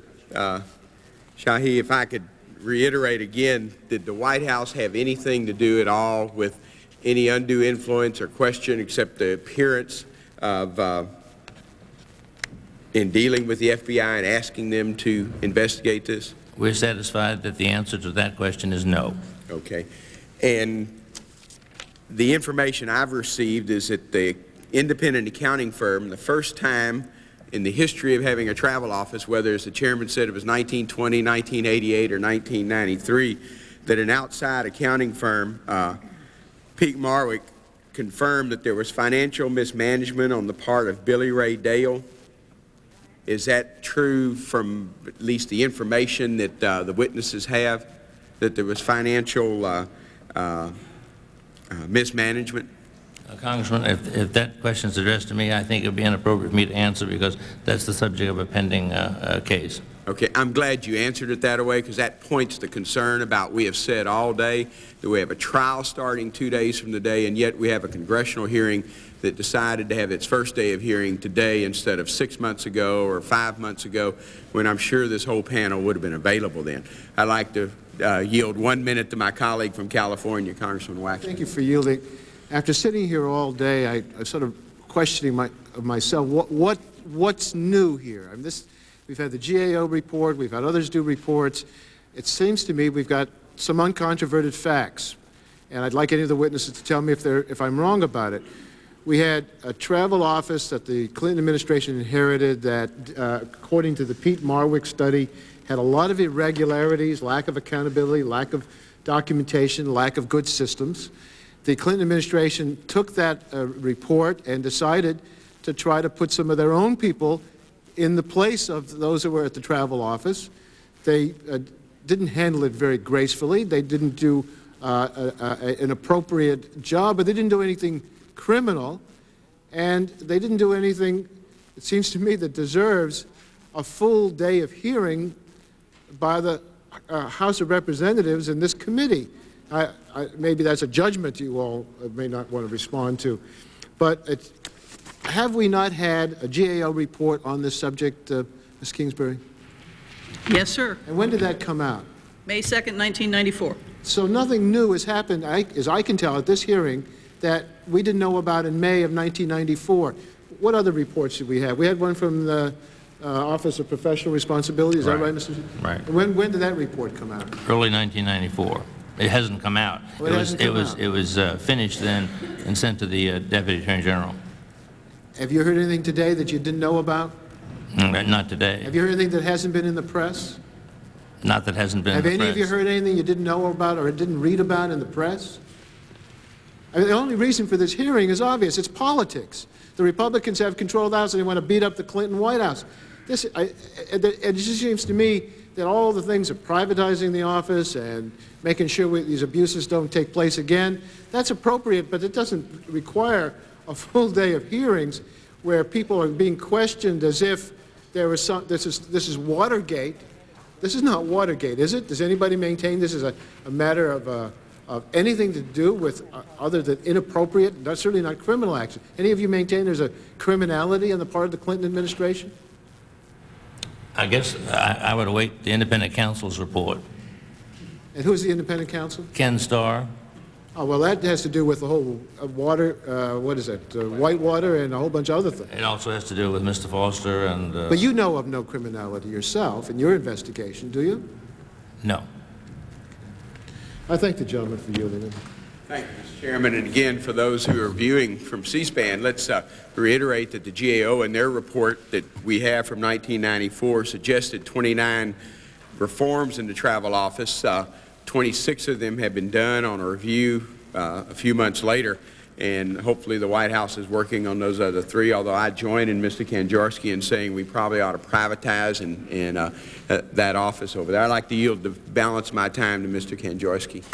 Before you do, could I just ask unanimous consent, uh, and I'd like unanimous, because I'm going to leave, unanimous consent that members may submit additional written questions to the chairman for written responses to be included in the record? Without objection. Thank you. I, I, would like to direct my question to uh, the GAO again. Uh, why, why was it that when we were holding our hearings in 1992, the, the Congress wasn't informed about the whistleblowers' charges in the White House and, and provided with the additional information? That would have been a natural follow-up for us. We were looking for just that sort of thing, and we never received that cooperation. Uh, matter of fact, we had to dig it out of, uh, it was interesting, we dug it out of the library uh, of Ronald Reagan Library. Uh, That's where we got it from in, during this job. I honestly uh, don't know and can't, I can look in, look into why we might have overlooked that at the time. You, you Um, agree that those, uh, th- th- those are criminal allegations that are made in that 88 uh, letter, and then they were followed up, and Mr. Dale uh, uh, agreed that that activity of gift-giving and special trips were actually occurring and had been occurring for a very long period of time. Is that correct? Uh, As I said earlier, I have the two documents. I have the letter we got and the report that, with- that we did get from the archives uh, of the Reagan White House. And he certainly seems to be admitting to things that my attorneys advise me would be uh, serious violations of the standards of We- conduct. We have two people here from the Office of Responsibility and the FBI. Ha- Are we following up uh, th- this gift-giving to federal employees and this uh, almost cabal down there at the travel office? that occurred and continued until nine, until January of 1993 when the new White House took over? I would, I would, May we have the answer to those questions, Mr. Chairman? Machine may respond. that would involve a referral, if there has been one, to the criminal division of the department, and we're separate from, from them. You mean when you run across criminality, you don't make a referral? We certainly do when we come across it, yes. Gentleman's time has expired. I'm going to recognize Mr. Mica, but I would just note, uh, and Mr. uh, Waxman raised the point that uh, why were we spending a day of hearings at this point, and I think that makes the point. The point is we would have loved to have had these hearings in the last two years, but were prevented from doing so at the time. And I recognize the gentleman from Florida, Mr. Mica, for five minutes. Uh, Thank you, Mr. Chairman. Mr. Podesta, this is the White House Travel Management Review that you helped prepare, is that correct? That's correct. Uh, Mr. Smith, you uh, were working on a, uh, a report. Did the White House request a copy of uh, your report prior to this July 2nd, 1993, Not to me directly. No, but to the agency? Uh, We received a um, a request, um, I- as I recall, it was some conversation between uh, the the- the department and the uh, FBI regarding So uh, hire- making our, my report available to the get White House. copy of your, the FBI report from the White House before this was published? Uh, That's correct. It is correct. And, um, Mr. Podesta, uh, you worked on the Clinton campaign, is that correct? I was a volunteer in the campaign. Uh, Did you, did you know Miss Cornelius, the president? Did you meet her during the campaign? I think I met her perhaps briefly uh, in the transition to pick up a ticket at one point. Is she a first cousin or second cousin to the president? I believe the GAO established that, but she's a third cousin. Third or fifth, I forget which. Uh, Were you aware of uh, World Travel, uh, where they were from? Prior to, Prior, well, Doing the review? Yes, prior to, uh, I don't think so. you weren't? I don't Uh, think where- so. Where Although they I might have, uh, I traveled during the transition, I traveled once to Little Rock, and it may be that I got a ticket where from they- Where are they Worldwide. from? I didn't, I wasn't aware of where they were from. Uh, Were you aware who the principals of uh, Worldwide Travel are? Prior to these events? Prior to doing the review? Yes. No. You weren't. Um, You're aware, though, that uh, it- you said today that uh, the president's cousin, uh, David Watkins, met in Little Rock in December. You found that out, discovered that they talked about uh, worldwide travel from Little Little Rock to possibly get into the travel business, take this over. I guess the ballot boxes weren't even cold yet. This was in December of 92, is that correct? Well, I won't accept the characterization, but it was in December of 1992. Uh, And it's my understanding, too, that Mr. Stephanopoulos announced the award uh, May 21st to American Express, is that correct? Uh, Of the uh, White House travel business, uh, I believe that is correct, yes. and the competition was to be held May 23rd, I think it was held on the 22nd and the 23rd. but he announced it on the 21st. I think that was a mistake. It was a, that was a sort of an interesting sequence of events. I can, I can help shed some light on that, Mr. Mike, if you like. um, I guess you wouldn't. The White House, it sounds like, was lining, and in the interim, World Travel took over these responsibilities. We had World Travel uh, folks in place, so they were already there. uh, When was it, the 13th, 14th, 15th, uh, 16th, 17th? What- I what think day? one person came to D.C. on the 13th or 14th, and then the others arrived on the 19th. Now, did you ask, uh, after you prepared this, to get uh, some type of a, uh, a, this report, did you try to get uh, from FBI some type of a letter saying that this was a valid report, a good report? uh, From the FBI? Yes. No. You you didn't at any time make that inquiry To or get- to request get a- to after request this was published from the White House? No, I believe that the, the uh, report was sent to the Department of Justice, and, and Mr. McLarty asked, asked the Attorney General to review it to determine whether it was consistent with the, with the report. And But I didn't do that Ms. personally. Ms. Kingsbury, you referred to this report 44 times, the White House report prepared, I'll take your word for it, I haven't counted. and uh, Mr. Podesta, Darnell Martens, we also looked through this, we see that uh, Mr. Martens is also trying to land some business with the White House, a consulting contract. Not with the White House. Mr. Yeah, and Mr. you're aware of that. Were you aware Mr. Thomason, his buddy, uh, the president's buddy, uh, owned one-third of Mr. Martens' uh, corporation when he was trying to get this business? Yeah, of course, it's stated in our report. Uh, So it sounds like what we were trying But to it do... was a contract with GSA. It was not to White get House some business. business for some of the campaign fr- friends, and this whole thing sort of blew up.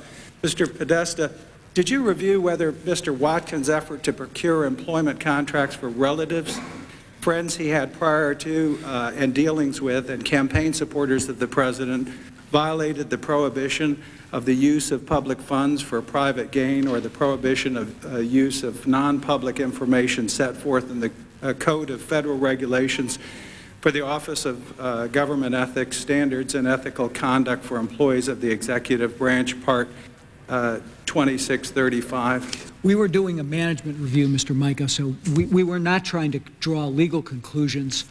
Uh, as you know, the matter, the travel office matter itself had been referred to the Justice Department. Uh, we were trying to find out what went wrong. We were trying to uh, implement policies to make sure that it didn't happen again, but we were not trying to draw legal conclusions. Did, Mr. Podesta, did you inquire whether or not Mr. David Watkins, assistant to the president, or, or Ms. Uh, Patsy Thomasson, special assistant to the president, violated the prohibition of giving preferential treatment to a private organization or individual set forth in the Code of Federal Regulations in Part 2635? I, I, I think my last answer was responsive to that. It wasn't our mandate to draw legal conclusions. That was a job for the Ms. Department of Justice or the Thank Office you. of Government Ms. Ethics. Kingsbury, did you review this? Did I review what? What, the matter I just spoke about? Not that specific issue, no, sir. Mr. Podesta, uh, in what has been labeled the Vince Foster suicide note, Mr. Foster wrote, and I quote, "I didn't knowingly violate any law or any standard of conduct," unquote. This is the Vince Foster note from the OPR uh, report attachments. Mr. Podesta, did you know of Mr. Foster's concern about violating laws or standards of conduct in re- regard to the travel office? The witness may answer the quest- question. I did not. I think that's reflective of his state of mind at the time, frankly. Gentleman's time has expired, and the chair now recognizes the gentlelady from New York, Ms. Maloney, for five minutes. Thank you, Mr. Chairman. I'd like to request that my opening statement be part of the record. Without objection, all opening statements are going to be part of the record. Thank, thank you very much. Uh, Mr. Chairman, there's been no less than five detailed uh, reports on various aspects of, of this incident. I'd like to ask Inspector Smith if he read all five reports. No, Did you read any of them? just mine, Which one? the one that I did. Okay. In, in your report, or in any reports, or in the testimony you heard today, uh, are you aware of any illegal or unethical conduct by any White House employee or anyone related to the White House Travel Office? Well, as I stated, my uh, investigation was, uh, was only involving internally with the FBI and did not uh, involve interviewing anyone from the White House. But I are you be- aware, are you aware of any illegal or unethical activity by any White House employee? Uh, Based upon my report, uh, no. I'd like to ask Mr. Podesta, did you uh, read all five uh, reports? I didn't review the IRS report. I don't know whether there is an IRS report, but if there is, I did- I have not reviewed it. But I've, I've, I've seen a redacted copy of the OPR report. I've reviewed GAO, and I've seen the FBI report. In all the reports that you reviewed and the one that you wrote um, or was involved in, are you aware of any illegal or unethical activity by any White House employee or? Well, I'm aware that one person's been indicted, but beyond that, no. Pardon me? I'm aware that one person has been indicted, but beyond that, the answer is no. But that was a prior, activities in a Yes. prior administration. Yes, that's correct. But in the present administration. Well, he served into our Uh, And, and uh, That's are you aware of, well, No. oh, he was a holdover. He was a holdover from a prior, That's correct. oh, yeah. But are you aware in the present White House staff now working there, was there anything illegal or unethical conduct that you're aware of? Not that I'm aware of. Mrs. Kingsbury, um, are you aware in the report uh, that you've read and uh, in your own report, are you aware of any uh, illegal or unethical activity with any White House employee? based on reading these reports, certainly not based on any other sources of information. I do not have any such facts. And I may be the only person at the table that's actually read them all. You read all of them? Yeah. Okay. Ms- Mr. Shaheen, uh, have- how many reports did you read of the five reports? I've read the uh, White House, the uh, Smith, uh, I re- I reviewed the GAO, it was carefully studied in the office. Uh, I read my own carefully. Uh, I have not read the IRS report. Are you aware of any illegal or unethical activity by any member of the current White House staff? Uh, I'm not aware of any illegal activity. I don't know how one characterizes the failure to respond to a uh, demand by the Department of Justice from the Attorney General promised by the President on the part of the White House counsel to provide documents that were relevant to an official review of, uh, of the functions. I don't know, uh, I don't, I don't know whether that violates the ethics or not. But you're not aware of any illegal activity? I'm not aware of any illegal activity. Did any of the reports uh, report on unethical activities? I'm sorry. Was, was there a specific finding in any of the reports as to unethical activity? No. No. So in, in the reports that you read, there was no finding for illegal or unethical uh, activities. Inspector Bell, how many reports did you read of the five reports? Of these five, I- I've read two, the GAO and, uh, of course, our report. There also is a sixth report by the IG Treasury Department. I have read that report also. I'm not aware of any illegal or ethical misconduct in, in the reports that I read. Um, My colleague mentioned earlier that, uh, Mrs. Kingsbury, you, you noted uh, the White House management report uh, 44 times, and in fact, your report echoed many of the findings in the um, management report, and, and I, I was particularly pleased that they didn't just make a scapegoat out of little guys, but, but actually criticized uh, senior management. And in fact, uh, is it fair to say that it, it, it has been cited for its candor and for being uh, refreshingly uh, self-critical? There were some uh, citations at the time it was issued to that effect. Um, I think it's fair to say while we cite the management report, uh, we are also in some respects critical of the management report in that it um, made statements to the effect that the problems, the financial management problems of the White House Travel Office had been fixed. And when we issued our report, it was our judgment that that was an overstatement of what had been accomplished at that point in time. Uh, So I can't say that we, um, we used the management report without um, a- an appropriate uh, sense of examination and judgment. In many cases of the use of the citation of the report, uh, we had to rely on it because certain parties, notably including Harry Thomason and Darnell Martens, were not available to us to talk to. And consequently, uh, in order to tell the story in some kind of coherent way, I won't say uh, totally complete because we acknowledge it wasn't, um, we would use factual information from the management report, citing its source as our standards require us to do, uh, in order to tell a coherent story.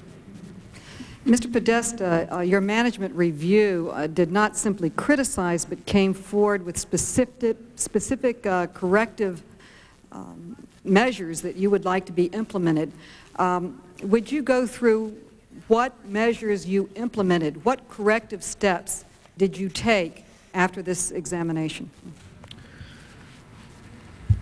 First, we instituted a policy with regard to what would happen, uh, who should contact who when criminal activity was uh, under review at the White House, and, and set up a policy that, that rather than having a direct contact with the FBI, that go through the White House counsel to high-level people at the Justice Department. That was the first time such a policy was implemented.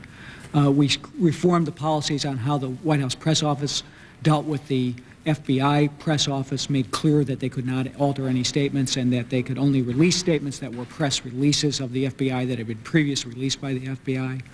Uh, we instituted competitive bidding procedures, as I mentioned. Uh, we brought in uh, uh, American Express to handle the outside uh, work for ticketing of, of White House employees.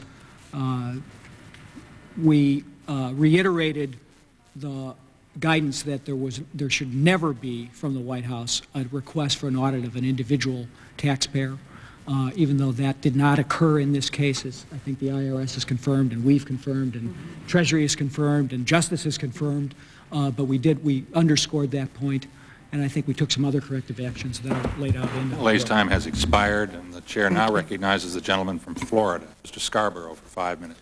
Thank you, Mr. Chairman, and I thank you for holding these important hearings, and I also thank our witnesses for sitting through uh, some arduous questioning. This has to be about as exciting uh, for all of you as the reports that you uh, have, have told us you read.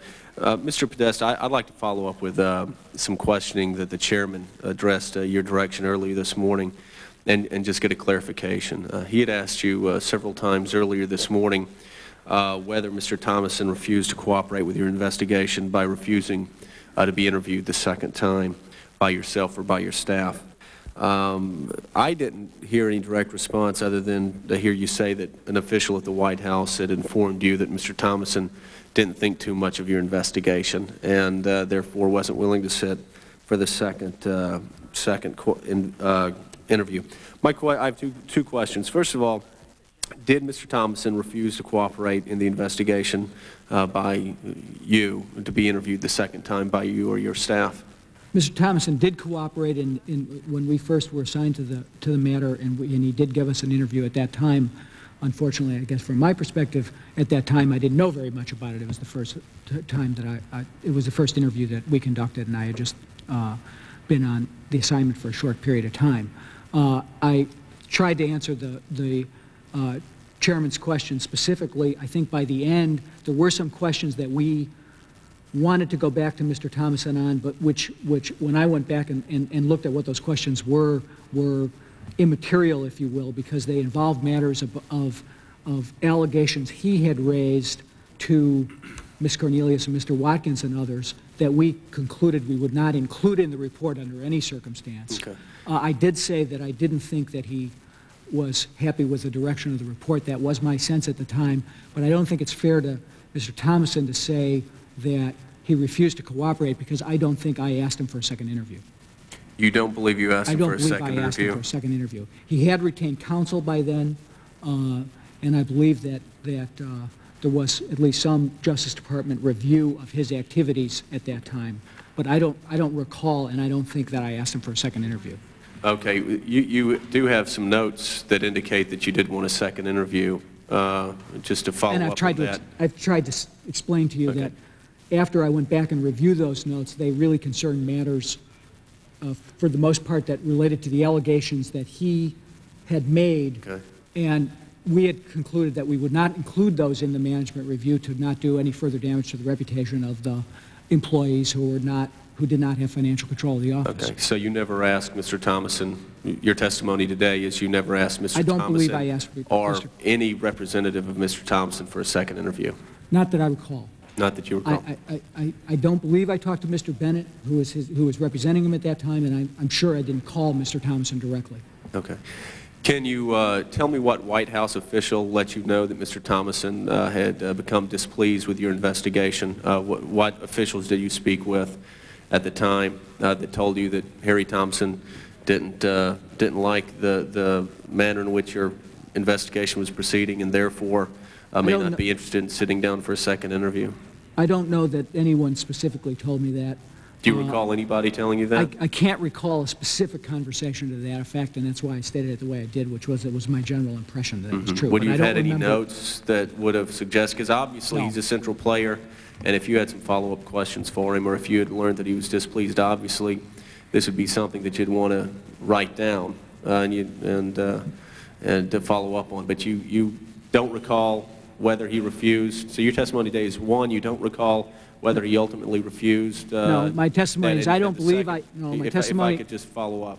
And, and, and the second thing is, you don't recall in the White House who told you that Mr. Thomason was not pleased with your investigation. Well, I think you're mischaracterizing my Well, testimony. no, no, l- I said take that, it one at a I time. I said then. that, A, I don't believe that I called him. I, I'm certain of that, to ask him for a Okay, second you're certain interview. of that. You don't- Certain that I did not I call don't believe him. to you were certain. I am, I'm certain that I did not call him Or a representative to ask for his, for a are second interview. representative of his? I said that I do not believe that I talked to Mr. Okay, Bennett. we're back to believe. And you understand not that be- I'm trying to nail this down. Yeah, I understand what you're a trying to do. Mr. Scarborough. Uh, I- I- I understand explicitly what you're trying to do. Mr. Chairman, if you could tell the ranking I'm trying member to give you my state of knowledge. regular order here. I mean, and, and uh, those who live in glass houses shouldn't throw stones.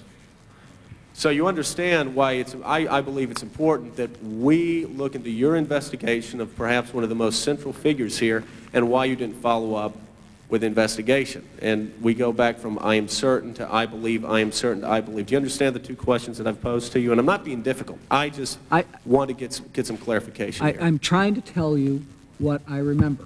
Okay. I, I remember that I did not call him and ask for a second interview. I do not believe that I talked to Mr. Bennett. If Mr. Bennett has a different recollection of that, maybe that would refresh my recollection, but I don't think it would because I don't believe that I asked him for a second interview. That's Okay. the best, that's the best state of my knowledge at this point. And secondly, you don't recall... And secondly, I don't told you at the recall White House? specific conversations about that. Okay. Uh, Okay. Uh, Let me ask one more Third. question uh, regarding uh, July 2nd, uh, 1993 press conference that uh, Mac McLarty uh, held. And he'd said that he'd met with each of the four reprimanded staffers individually about the reprimands and that they had had emotional reactions to them. Uh, Did you know that Mr. McLarty had met with the four reprimanded employees on uh, July 2nd, 1993? I'm sorry, I missed the question. Okay. Uh, Mr. McLarty held a press conference and said that, that every, that they had met with the four reprimanded uh, staffers and individually about the reprimands and that they had had an emotional reaction to them. And what I'm asking you, because this certainly uh, contradicts documentation that, that subsequently came out, did you know uh, Mr. McLarty had met with the four reprimanded employees before his press conference on July the 2nd, 1993? I was aware that he had met with them. Okay. Gentleman's time has expired. Chair now recognize the gentleman from Pennsylvania, Mr. Kanjorski, for five Thank, minutes. Thank you very much, Mr. Chairman. Mr. Bell, I was curious, uh, uh, the Internal Revenue Service, how did you get into this uh, to make a report of some sort? What happened? Based on the uh, allegations of improper uh, actions and activities that would influence the IRS in the conducting of our activities relative to these matters. Did someone make that allegation uh, directly, or? No, there were allegations in uh, public reports, press reports, there were congressional inquiries. So as a result of what you read in the newspaper or heard from the press, you, you, uh, uh, you uh, convened an internal revenue review or examination? Well, at the time we, of the public reports in the media regarding the misuse of, of IRS, allegations of misuse of IRS, that's something that inspection in, in our responsibility in terms of the integrity of the Internal Revenue Service would get involved in. In addition, there were inquiries from Congress relative to the improper use of IRS in this matter. Okay. And I understand that because uh, a- a- as a chairman of an investigating committee in the 103rd Congress on this very issue, or, uh, I'm sorry, the 102nd Congress on this very issue, uh, very often we received information from the press and statements. And, and that's part of my question probably to the whole panel. As I recall, some of the information was provided for us during the Reagan administration. There were several officials of high position on the President's staff that were entering into the importation of automobiles. I think 24 or 20 Mercedes-Benz were flown back on presidential planes, brought into the country, and then sold in the country by these officials or given out as gifts. Then I recall press uh, statements and information that we received and leakages from the White House itself and annoyance that guests of the President and other individuals that would travel abroad with the President would bring back untaxed, uncustom-paid gifts and, and uh, huge amounts of fur coats and other things. Uh, and I'm curious whether these five agencies here, when you read that material and you see that material, are we, are we to assume here in Congress that somebody's assuming there may be something wrong here and looking into it or doing some sort of an investigation? I'm very curious as, uh, after everything that transpired from 1989, 90, 91, 92 on travel, Office of the President and executive travel, that it wasn't until the firing occurred, it wasn't until the problem was cured that, the, that a new president decided he wasn't going to have this rat's nest that suddenly we see the FBI involved, the GAO involved, the Office of Professional Responsibility involved, and the Internal Revenue involved. Where were all your agencies and all you folks when the press has been telling us fur coats, jewelry, Mercedes-Benz cars on a regular basis over 12 years were being brought illegally in the country and, and abuses were made? Did, you, did the IRS examine that? I, I can't speak to the, what the IRS examined in those instances, but, but what I can speak to is where allegations are made that undermine the public confidence in the Internal Revenue Service, it's our responsibility in the, in the inspection service to conduct inquiries, and if there is a predicate action, to go on with an investigation. Is there potential something that, that raised the question if uh, top officials in the White House are bringing Mercedes-Benz back on foreign trips to Europe and selling them in the United States? Could that suggest to you that there may be a failure to pay taxes or some violation of tax law? As it relates, again, my responsibility is internal security, internal investigation within the IRS. If it was something that was allegations against the Internal Revenue Service employees, yes. In the instance that you're uh, alluding to, it is more in terms of a tax compliance issue, and that's something that I am not directly responsible for. Okay, but you're responsible for your employees that didn't look into these things, aren't you? I mean, I'm going to direct it to uh, Mr. Shaheen there. Uh, uh, w- w- Didn't this uh, sort of excite you in the Justice Department? Does that, it uh, sort of excite me? Was that the question? Yeah. Uh, uh, If the, if, we- Somebody not doing their job. for sure. Well, Uh, did you examine into these we- illegal If importations? we receive allegations that someone is not uh, enforcing the criminal law and they are a department employee, we look into it. Did you read in the newspaper during the Reagan and Bush administration that high White House officials were flying Mercedes-Benz cars in, bringing fur coats and jewelry in the United States and not paying taxation on it? I, I did not. You really did? I really That's very did. interesting. How about the FBI? Did you uh, ever have any uh, indication of what the wild shenanigans of the travel office of the president during the Reagan and Bush administration was? It was, was replete in newspapers, replete. I mean, I can show you one place where they spent $2,000 to take a limousine across the street to go to lunch. You mean you guys never saw this? Or, or Mr. Shin- Sununu, $54,000 for a, uh, a dental visit in New York City. You never saw any of this in the paper? I suppose to uh, paraphrase a, um, a great American, I don't know what I read in the newspaper, but I don't recall reading uh, allegations of that nature, no. Really? Well, I, I do. Did you- I- did I don't, ever- I did you read about Mr. Sununu and his Did you guys ever read congressional investigations? Uh, Could be very informative to the uh, administrative agencies of the United States, perhaps, is just look what we find out about. And one of the reasons I'm raising the question here is I think this is a good hearing. I think it's important to have accountability and find out what people in high office are doing. I don't object with that. The problem that I object to is why are we narrowing the scope so much and not looking at the real rat's nest that has existed for 10, 12 years and would have continued to exist in the White House if this president and this administration didn't read the newspapers, didn't listen to congressional investigation to decide they were not going to have all that and cleared this up. That's only the point I'm trying to make. I I yield back the balance of my time. Thank the gentleman uh, yields back the balance of his time, uh, and I would now recognize the, let's see, the gentleman from Virginia, Mr. Davis, for five Thank you minutes. very much. And I suspect the reason so many members here haven't heard about the items my friend from Pennsylvania talks about is that uh, they probably didn't exist in the form that he has, uh, he has uh, said they would. Let me ask a few questions. And, and frankly, I'm very tired of this federal employee bashing that's going on here, intimating that things happened in the past. And these were career employees. They have been absolved of any wrongdoing. Sitting here, they were fired uh, uh, surreptitiously. Uh, one of the uh, employee's daughter uh, saw this on the television set. I think they're owed an apology by the administration. It hasn't been forthcoming, and I, uh, it, to, to hear some of the comments from the other side of the aisle, I think it's a, a real injustice of very hardworking uh, civil servants. But let me ask a few questions for the record. First of all, I understand there are executive orders in Vince Foster's travel office file that have not been provided to this committee. Uh, Mr. Prest, is that accurate? I, I don't know the answer to that. I'd have to seek guidance from White House counsel. Did you say executive orders? Yes, executive orders.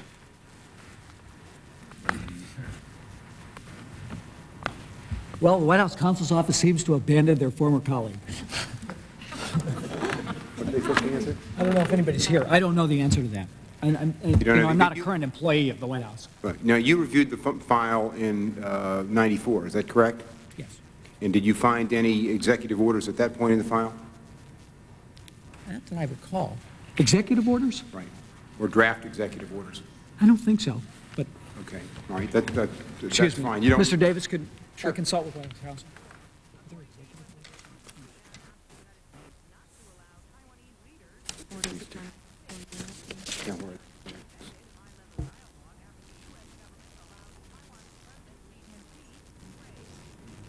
I yield to the gentleman from Pennsylvania, my uh, gentleman's consulting. I mean, excuse me, from my friend from Florida. Just, I've just been, Mr. Davis, I've just been informed by, by counsel that there were draft executive orders in Mr. Foster's briefcase, is my understanding now, Okay. secondhand, that, but not in, but not in the travel office file. okay, And I take it, all right. Were that's as much as any I of know these items related to the travel office? No, Were any related to ICAP? no. Were any related to the White House project? I don't think so, no. Do you know what they were related to? No, I don't, since I have never seen them. Perhaps you want to submit these questions for the record. I think we may want to, want to uh, do that. I had had a couple of questions. uh, uh, oh, I'd yield to the gentleman from Florida for one second. I appreciate your yielding just for a minute, Mr. uh, Shaheen. I want to get back to one thing. We've, we've heard uh, comments about everyone being so forthcoming and uh, uh, how there's been great, great cooperation uh, in this investigation. But as I recall earlier uh, this morning, you, did you say that, uh, and you, you had, I mean, you uh, uh, are part of the uh, Office of Professional Responsibility of the Department of Justice, which has a re- really important oversight responsibility. Did I hear you say this morning that you had never seen this uh, level of non-cooperation? I don't think I put it uh, with those words, but uh, you captured the sense of my testimony Thank you in that regard. Could could I reclaim my time? I want to move through some questions, if I could, very quickly, Mr. Podesta. Your interview notes of Mr. Lindsey read, uh, Darnell came in and met with GSA that morning. Don't know how he got meeting. Maybe Harry, I don't know. I didn't do it. Lindsey said new GSA administrator soon. Lay it out with them. How would Harry Thomason arrange a meeting for Mr. Martens? Any idea? Mr. Davis, you went over that so fast, I don't have, I don't think I have that document in front of me. I can't, I really couldn't tell what you said. I couldn't understand what you said. All right. Uh, Dar, you had some interview notes of Mr. Lindsey that read, and that's not what's in front of you. I have some others in front of you I'm going to ask him about. But it said Darnell came in and met with GSA that morning, uh, and then you had a comment, don't know how he got meeting, maybe Harry, I don't know, I didn't do it. Uh, Lindsey said new GSA administrator soon, lay it out with them. Do you know how Mr. Thomason could have arranged a meeting for Mr. Martens if he in fact did that? First of all, I want to be clear about one thing because it comes back to the chairman's opening statement. Those are not my notes. Okay. Uh, But they are notes, they are work papers of the, of the They were under your direction, is that right? But since I was, I'm sensitive about this. Right.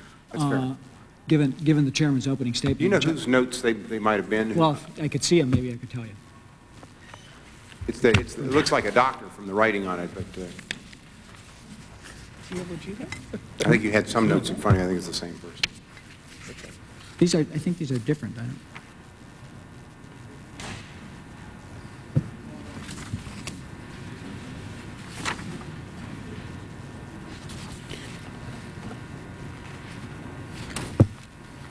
Okay. Let me, let me go with another uh, line if I could. Let me refer you to documents 0044 and 0045. Notes uh, on 0, uh, 044, which I produced and given to you, notes the proposed questions by one of four White House staff involved in management review read, meeting with DM, who I uh, assume is Darnell Martens, Ray, Federal Fleet, do anything for DM, call anyone, anything to help, question.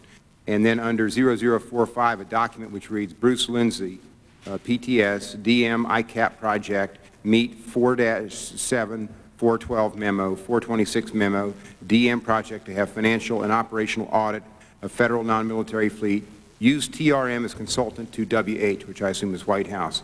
What did BL do? Question mark. Were you aware of Bruce Lindsey assisting Harry Thomason and Darnell Martens in seeking these contracts? I was aware of Bruce Lindsey's uh, role, which I would not describe as assistance, on this project. All right, let me ask Mr., uh, Ms. Kingsbury and Mr. Shaheen, Mr. Smith, Commissioner Richards, a- any of you uh, heard of any of Mr. Lindsey's role? Were you all aware of that? No. No, sir. No. Pretty critical to the area. None of your reports could have possibly covered that because you didn't know anything about that. Is that? No. Correct, okay. Um, did- Ms. Kingsbury, GAO All right, report... the gentleman's time has expired. And the gentleman, uh, the chair now recognizes the gentleman from Ohio, Mr. LaTourette, for five minutes. Thank you, Mr. Chairman. Um, And Inspector Smith, I I really wanted to get back and finish that conversation, which seems like it happened hours ago, and it did happen hours ago. But but so much has happened in between that I I think I need to uh, to address for just a second. Mr. Podesta, are are you a professor of criminal law, perchance, now in your your uh, private life? No. Okay. Well, uh, there's been a couple of references during the course of some questioning by the other side about a letter sent by the chairman that dealt with Brady versus Maryland. And, and Brady versus Maryland I'm familiar with by being a former prosecutor because I was always accused of defense lawyers for violating the Brady rule. And basically the Brady rule is that if the government has exculpatory material within its file and it doesn't hand it over to the defense, uh, what happens in the case of a conviction where the government has sufficient proof to uh, to prove its case beyond a reasonable doubt before judge or jury, that conviction can be overturned. It's one of those technicalities that drives people in the, uh, the public at large um, wild, but it protects the constitutional guarantees of all Americans.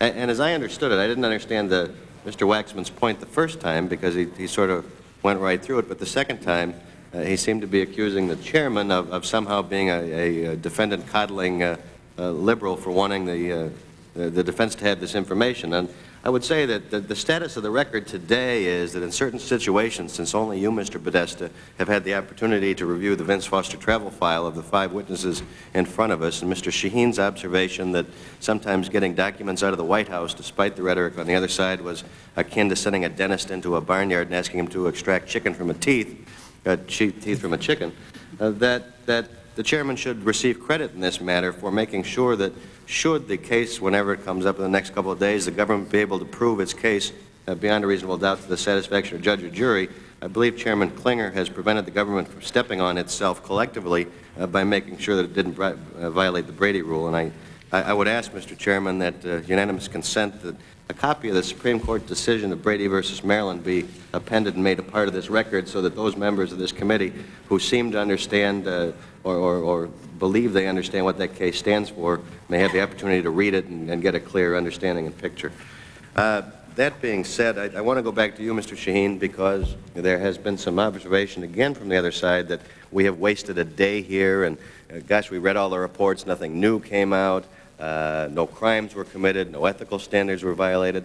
Uh, and in preparing for a hearing, uh, I, anyway, look, look for a, a, couple of things. And one of the things that struck me was uh, your memo to, I believe, your, your supervisors or superiors that indicated you were stunned, uh, and I, that's been covered, and I don't want to cover it again, by the fact that the Vince Foster file was somehow two years in coming, uh, wasn't made available to you.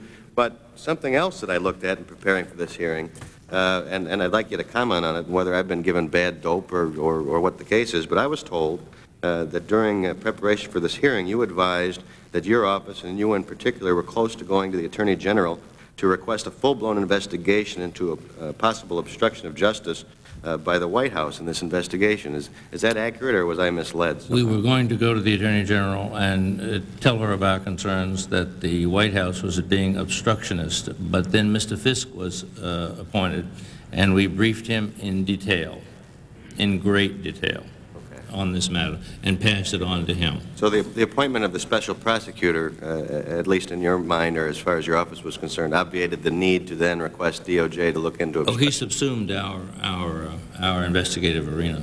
Uh, okay. The memo, the memo to Mr. Margolis, I might add, uh, was the memo to a man who already had one encounter with Mr. Nussbaum in which he uh, essentially testified that got rolled by Mr. Nussbaum when he was, you know, going over to do the investigation of Mr. Foster's, uh, do the inventory of Mr. Foster's office. But, and I believe, and I don't remember whose report this was in, maybe it was yours, Mr. Podesta, that, that when Mr. Nussbaum uh, finally indicated where the Foster file was, it was in some file cabinet under T for travel. Didn't somebody write that in a report someplace?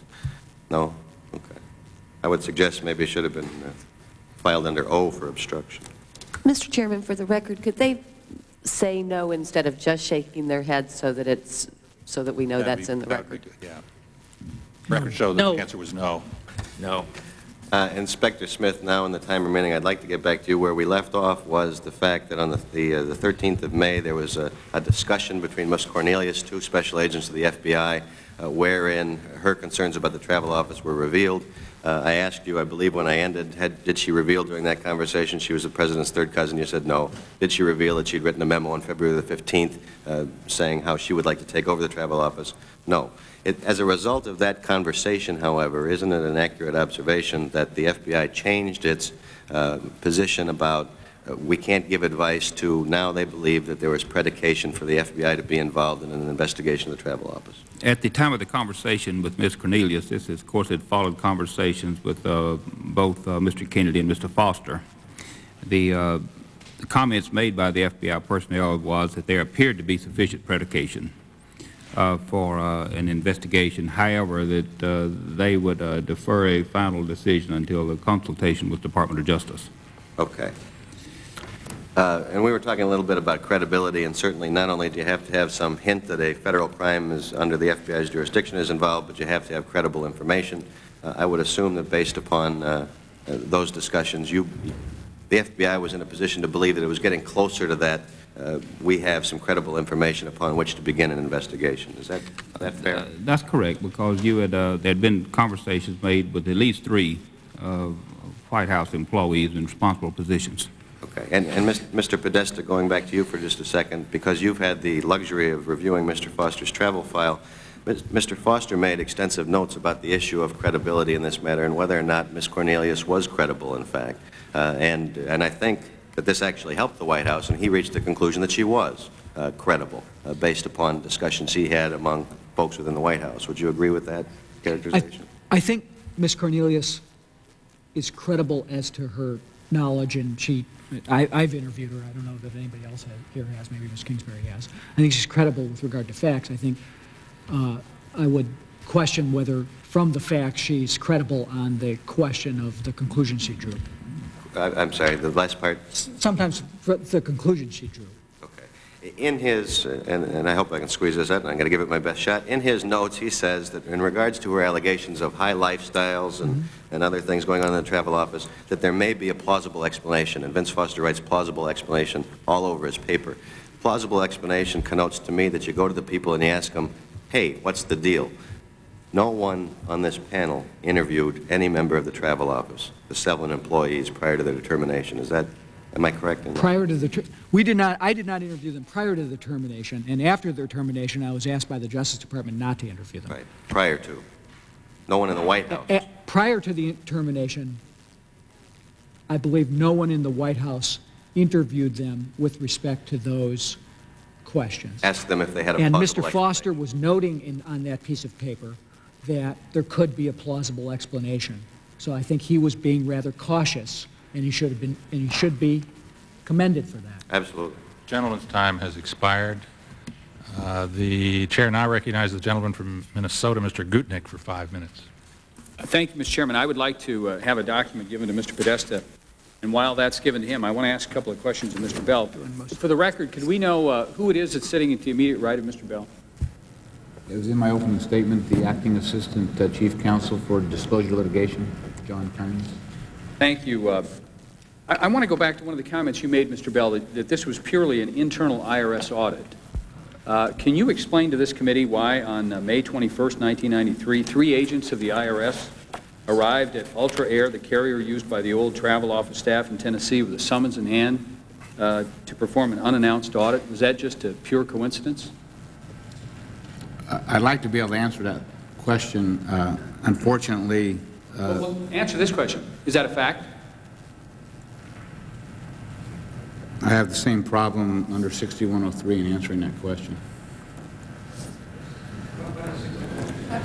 Yeah, I'd like to hear an explanation as to why we can't know whether in fact they were audited. Section 6103 uh, of the Internal Revenue Code prohibits us from discussing issues involving particular taxpayers without a taxpayer consent that allows us in public forum to disclose information. That was in my, my opening statement relative to my inability to discuss in open session uh, any tax matters related to the investigation of the White House uh, matters. So there- you don't know whether there was an audit, or you just won't tell us? I can't confirm or deny any specific questions relative to tax matters. Mr. Chairman, I do hope we can get to the bottom of this and get it on the record, because we've been told that there was no pressure uh, to do external audits on individuals, and it seems to me to be an in- in- unbelievable coincidence that that happened. I I should also note that as far as the information that we have currently available, that the result of that audit was that uh, uh, Mr. Charles Caudell, or Caudle, I'm sorry, uh, the prior president of Ultra Air, received a $5,000 refund from the IRS. Now, maybe that's not true, but we can get to the bottom of that. I want to go to uh, Mr. Podesta. Um, I've, I've had distributed to you a copy of some handwritten notes. Can you tell us whose handwritten uh, notes those are and who wrote the notes?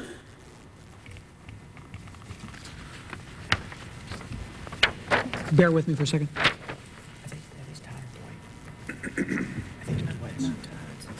I believe they're Dwight Holton's. Now, these are apparently from a meeting which uh, involved uh, someone by the name of Todd. Who would Todd be? Todd Stern, my deputy, who assisted me in the preparation of this report. And he was operating on your behalf. We, we did the report together. Were you familiar with these notes when you wrote the report? I don't know that I went back and reviewed the notes, but I believe I sat in the interview. You were in on the interview. Yes. JP is John Podesta.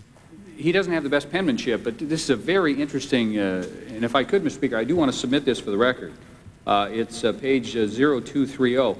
As a matter of fact, I would uh, request unanimous consent for, uh, to have put into the record uh, pages 0227 through 03, uh, 0230. But let me just Without read- objection. I- Let me just read some of the line of questioning here in the responses. Did you talk to Ricky about this? Who would Ricky be? Ricky Seidman. And then the answer is, uh, just happened to be there when I met with Nick. Who would Nick be? It's Mac. And that'd be Mac McLarty. That would be Matt McLarty? Yeah, but that's not Nick, it's Mac. Okay, well, that's even more interesting. Um, and, and, and JP says there was uh, stuff about horse races, uh, racehorses, et cetera. Did you hear the rumor? The answer is yes. Any evidence? No. Um, from where, inside or out? The answer is inside. Uh, you didn't know uh, uh, before they were fired, and the answer is uh, not before that week. So why? And then I think it says memo. Uh, I'm not sure what memo we're talking about here. But you go on down the page, and this is, this is interesting too. Uh, what was Harry's hurry? Who was Harry who we were talking Thomason. about? Harry Harry- Thomason. Harry Thomason was the person we were talking about here. Uh, don't really know. He agreed with me that, can you fill us in, that what? Well, the note ends, but I believe uh, uh, Mr. Eller was one of the people act, seeking swift action in this matter. which we- else that you, Which we uh, criticized them for in our management report. And I think it probably relates to that. And then, the- then the question is, uh, anybody else included that you know of? And the answer was no. But this is where it gets very interesting, Mr. Chairman. Uh, Did you keep any docs? And I assume that means documents. I assume, I think that's correct. And the answer is, threw them away. Now, the, the next question wasn't, why did you throw them away? This could be subject to a criminal investigation. The next question was, any email? And the answer was no. And then any conversations with Bruce? Who would Bruce be? Lindsey, And, and the next question is, give him anything, like uh, Martens' memo? Uh, maybe he was on a trip. This, uh, this strikes me, and I'm, I'm not an attorney, and perhaps I should turn to uh, one of the representatives of the FBI, but it, but it seems to me that if there's documents destroyed, and that you knew about it, and that did not get reported to the FBI who was doing investigations, that seems to be rather unusual, doesn't it? And perhaps I should talk, uh, Mr. Shaheen, does that bother you?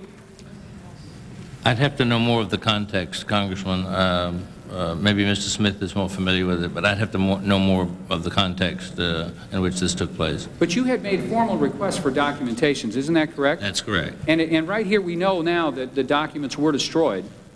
Did you know that before this meeting today? No. No, sir. Okay, thank you very much. Uh, The gentleman's time has uh, has expired, and I now recognize the gentleman from Indiana, Mr. Souder, for five minutes. I first want to make a, and I once again apologize for my uh, loud Notre Dame voice that's now disappeared, um, that I want to make a brief comment on Mr. Kanjorski's uh, points, and I, I personally don't know, and I don't think um, uh, many of us here know what, whether or not the uh, employees, I mean, many have been reinstated, have have practiced mismanagement in the past. Uh, I know the house banking system certainly was uh, not practicing the uh, correct procedures, and I think many of the steps to clean that operation up are commendable, and I think we ought to be looking at cleaning up all the government operations that are done sloppily. However, this investigation today, uh, which he's also uh, said was worthwhile, is um, more on how it's been handled, and oops, quite frankly, isn't going to do it. I see uh, constantly in these reports uh, and in listening today things like uh, it was unfortunate the appearance of things going wrong. Uh, quite frankly, the American people aren't stupid. Bottom line is this, that after the election, a friend of the president and a friend of the president's wife, big friends, start proceedings that say that they're interested uh, in trying to get uh, contracts, which while they may not have been much money, were certainly very prestigious. Uh, they go in effect on a witch hunt. Uh, Ms. Cornelius starts sneaking around the office. It's uh, been stated in numerous documents that she tried to copy documents, was afraid uh, about getting caught. That isn't the way you do investigations. Uh, the White House has the power to do an appropriate investigation if they suspect fraud. Uh, in this case, it was a person who had a vested interest and had done a memo that was interested in replacing it. And quite frankly, sometimes in witch hunts you find things, and they may have found things, but the bottom line is the American people can figure out uh, what initiated this investigation, and it's an abuse of power uh, that we have the uh, friend of the president's wandering around the White House uncertain on what credentials and refusing to answer from different reports as to what kind of credentials there were. The FBI is announced at a press conference that they're investigating. Uh, they say that that was a mistake, and then they proceed to investigate.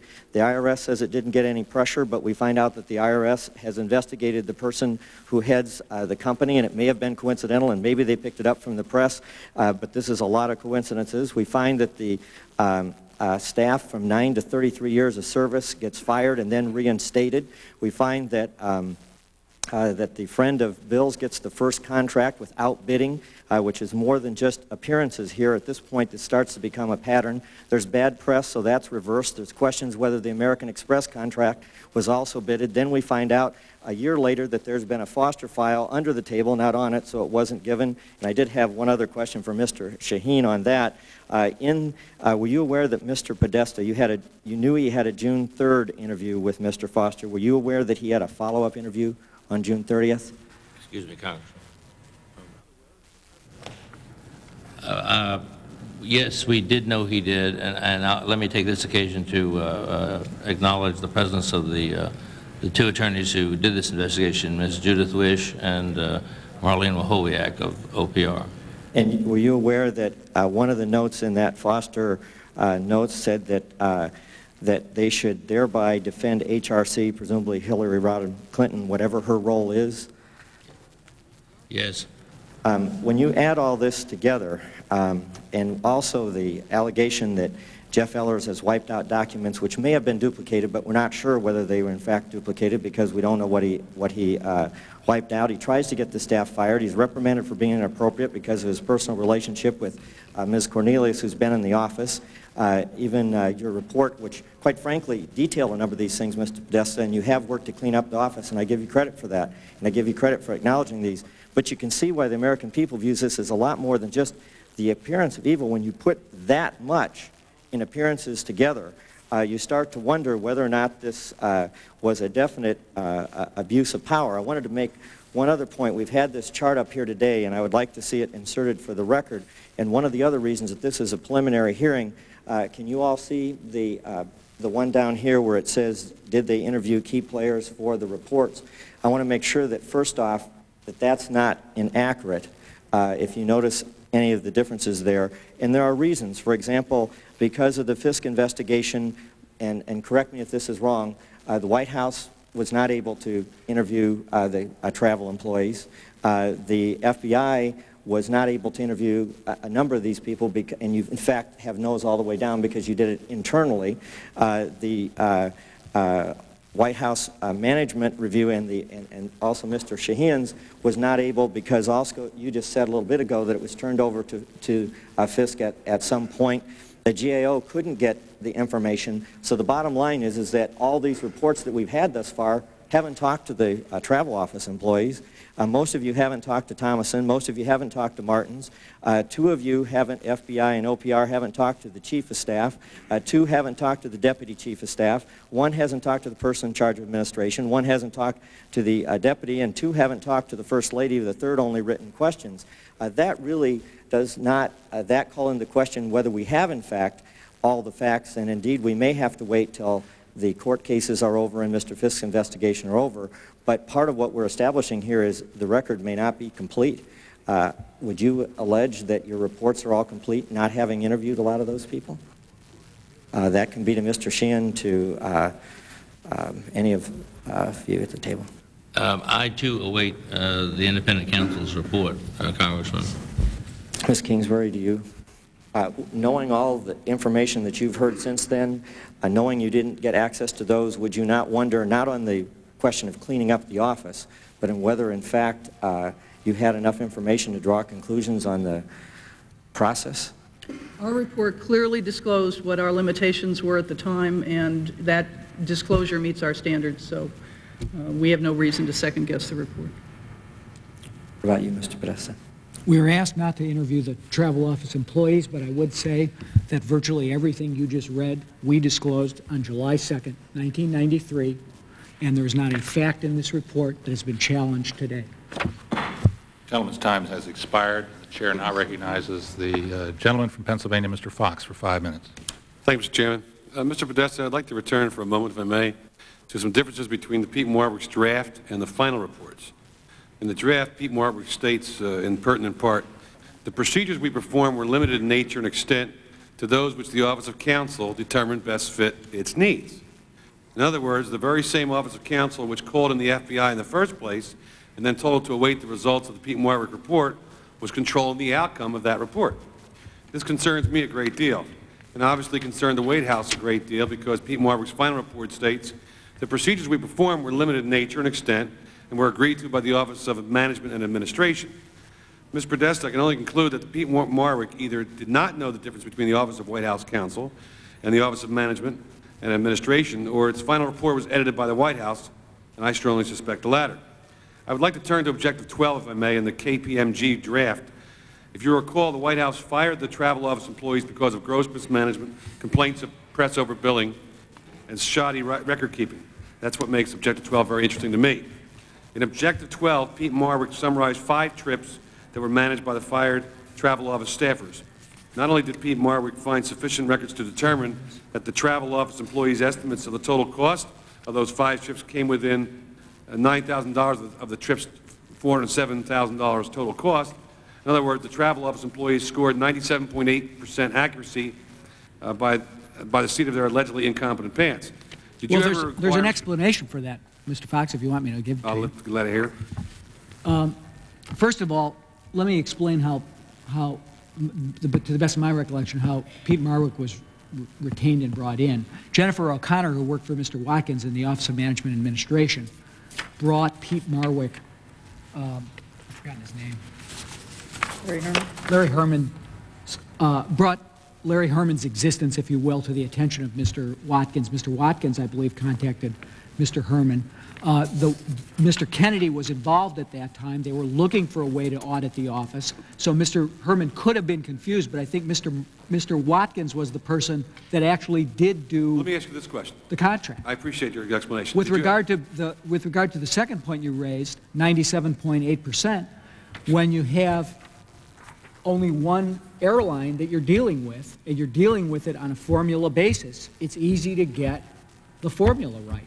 If there's no competitive bidding, it's easy to estimate what the ultimate cost is going to be. But the question is, uh, this is the one that's actually probative, why did, uh, did you ever inquire in the course of your White House management review why the very results that I'm speaking of were removed from the final Peat Marwick report? You know why, yes or no?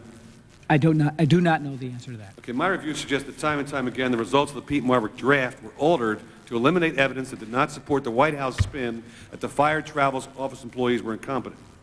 One very large piece of evidence that was not available to us two years ago was the Vince Foster travel office file. Uh, did you ever, uh, Mr. Fos- uh, Mr. Podesta, become aware in the course of your management review of a meeting on Friday, May 21st to review the Peat Marwick final report? Yes or no? On May 21st? Yes. Were you aware of that meeting to review the final Peat Marwick report? You may not have been. Well, I may have been. I just, I don't recall. Let me uh, just bring this to your attention. Vince Foster noted in an entry dated May 21st that Ricky Seidman requested me to join review of the audit. Ricky Seidman, William Kennedy, David Watkins, uh, and Mr. uh, Foster were to be at the old Executive Office Building to take the draft. were to be at the old Executive Office Building to take the draft to Nussbaum on question whether to release it. And when finished while awaiting final printing, were to meet again at George Stephanopoulos' office. Were you aware of that meeting? Yes or no?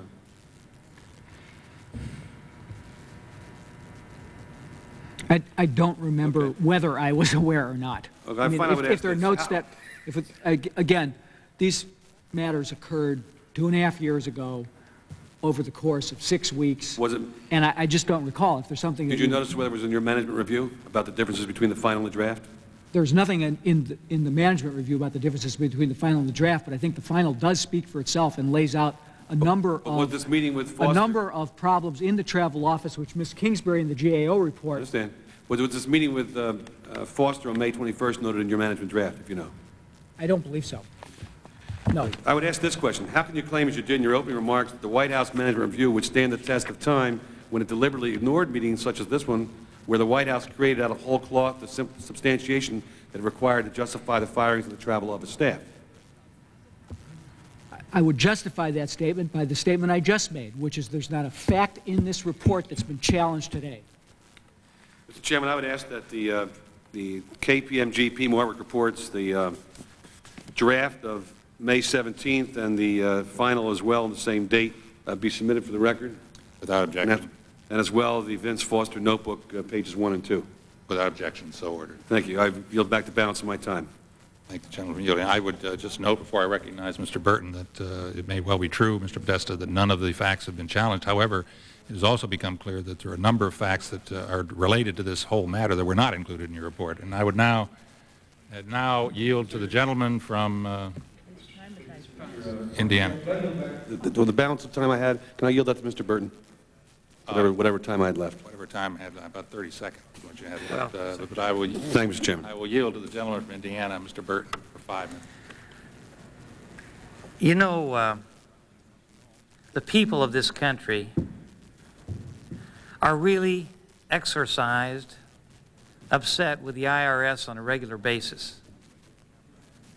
And when you see something like this, it drives you right up a wall. Now, let me get this straight. Ultra Air comes to the IRS and said, I'm having an, I'm having an excise tax problem, and we'd like to have your input to help us solve the problem and it's in the paper, and the next day, within 24 hours, you're out there seizing their books, and they have to go through two years of audits when there was no probable cause, nothing, other than they asked for some help with an excise tax problem? I know you can't answer because of 6103. Well, I'll tell you, Mr. Chairman, we ought to get releases from these people, have a closed executive session, and have you guys answer these questions, because this is baloney. The American people are tired of being beaten over the head by the IRS. They want to make sure there's fairness and equity. And I think most of the people that work the IRS are pretty good people. But this kind of stuff gives you a black eye, and it looks very bad. I mean, you know, if you call the IRS and you try to get an answer, sometimes it takes you two, three, four weeks, and yet in less than 24 hours, you're out there seizing these people's books because of an article that was in the paper. And it raises the question in some people's minds, did the White House call the IRS and say, hey, get out there and use this as a pretext to get control of these books so they couldn't be looked at? These records so they couldn't be looked at? You know, that's a possibility. You know, people start thinking about that. Was there interference? Was there obstruction of justice? These questions pop into your mind, you know, when you see this sort of thing happen within 24 hours. Now, let me talk about Mr. something Burton, else. Could I respond to that? Well, I thought you couldn't respond because of 6103. There are certain things that you inquire, made in allegations there that I'd like to respond to. First of all, our investigation was an internal investigation, and it, it revealed no evidence at all of any White House contact with the IRS whatsoever. The GAO reviewed our investigation, and they came to the same conclusion within their examination. Well, let me ask you I'd. I'd like to Let be me able. ask you a question. If somebody at the White House had called the IRS, who would admit it? If they called you and asked you to go out and pick up these books, and you went out and did it, and you know it was a violation of the law, would you admit that? M- Mr. Burton, we. Would you admit that? Mr. Burton, we interviewed 36 employees of the Internal Revenue Service. There was no inconsistent responses at all to any of the questions that will lead you to a conclusion otherwise. The GAO... Well, let me ask you this. The Do you think GAO it's curious that you were out there within 24 hours to seize these books after it was in the paper? Don't you think that's a little curious? I- I'd like to be able to speak to that question, but be- because of 6103, I cannot. However, we have provided the report consistent with the taxpayer's consent to the, to the, Mr. Chair, the chairman and the designated staff members for their review. That was the extent of the authorization uh, that the just say, I think provided this is to so us. important, Mr. Chairman, that what we ought to do is we ought to get these consent forms and have a closed-door hearing and have everybody sworn so that we can get to the bottom of this, because it is curious. It's very curious, because I know that you move, you don't move that fast. You see it in the paper in 24 hours, you're out there seizing those books. It just doesn't make sense to me. Mr. Podesta, a while ago I asked you a couple of questions, and, and uh, you were very emphatic in saying that, uh, uh, that Vince Foster, when he referred to his clients, was not talking about Hill, Hill, uh, Bill uh, and Hillary Clinton. I, I think you said that a while ago. He was talking about something else. He was their attorney, was he not? He was the deputy White House counsel. He was the Hillary, Bill and Hillary's Clint, uh, Clinton's attorney on other matters prior to becoming the White House counsel, wasn't he?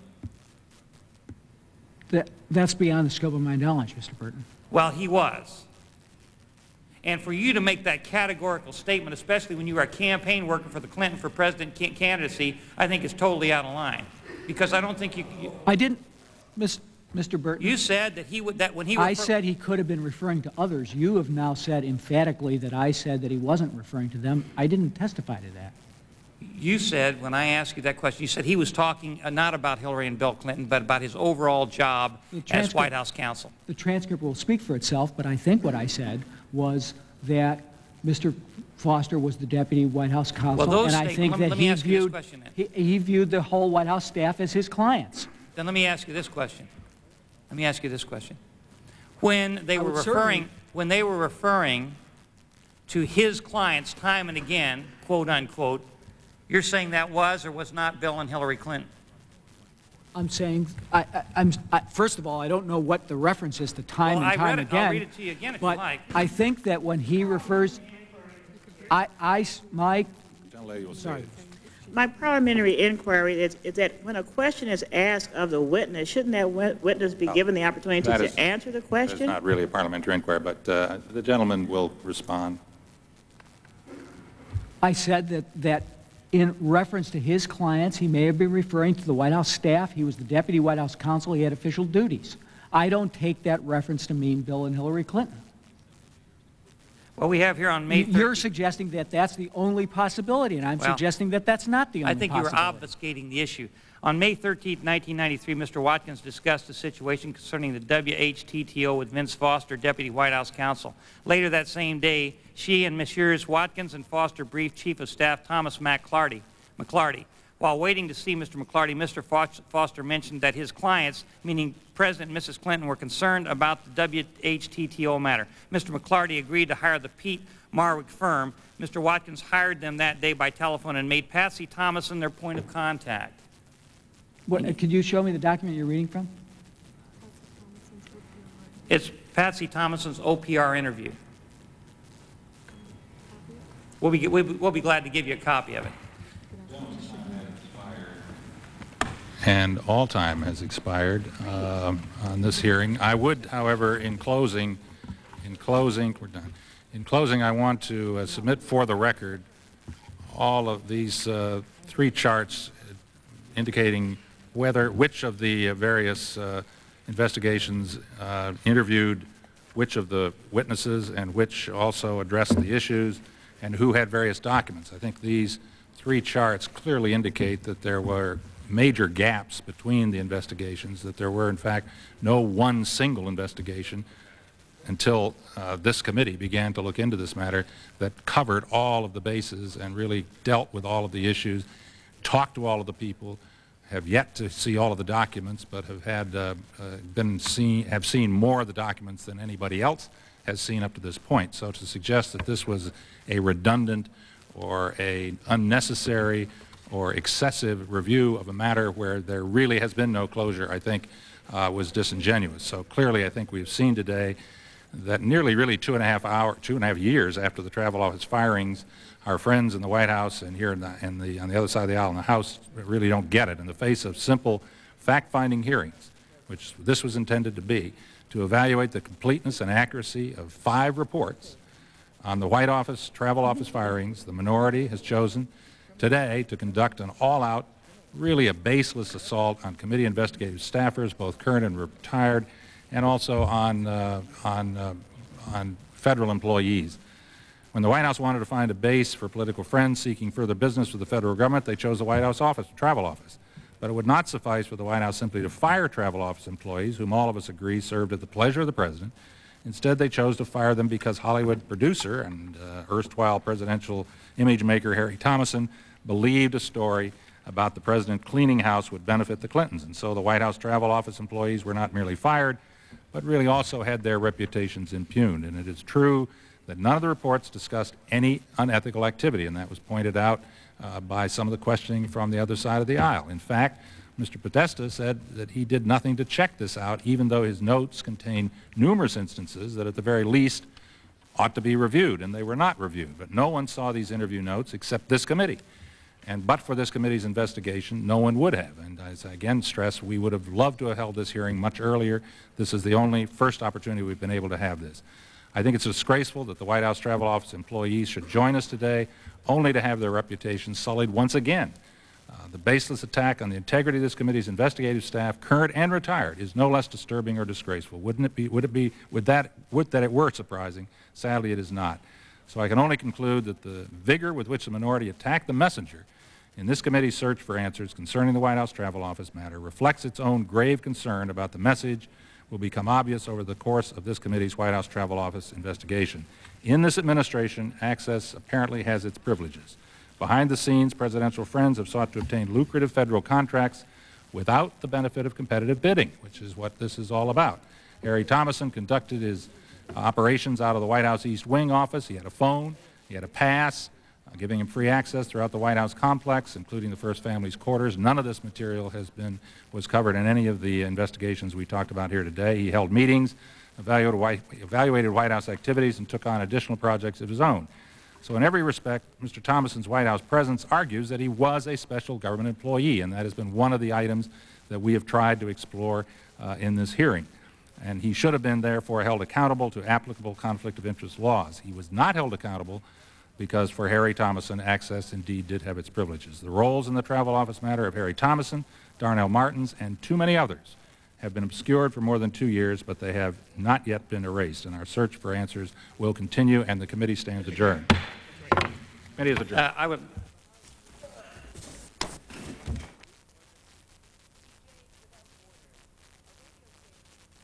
We're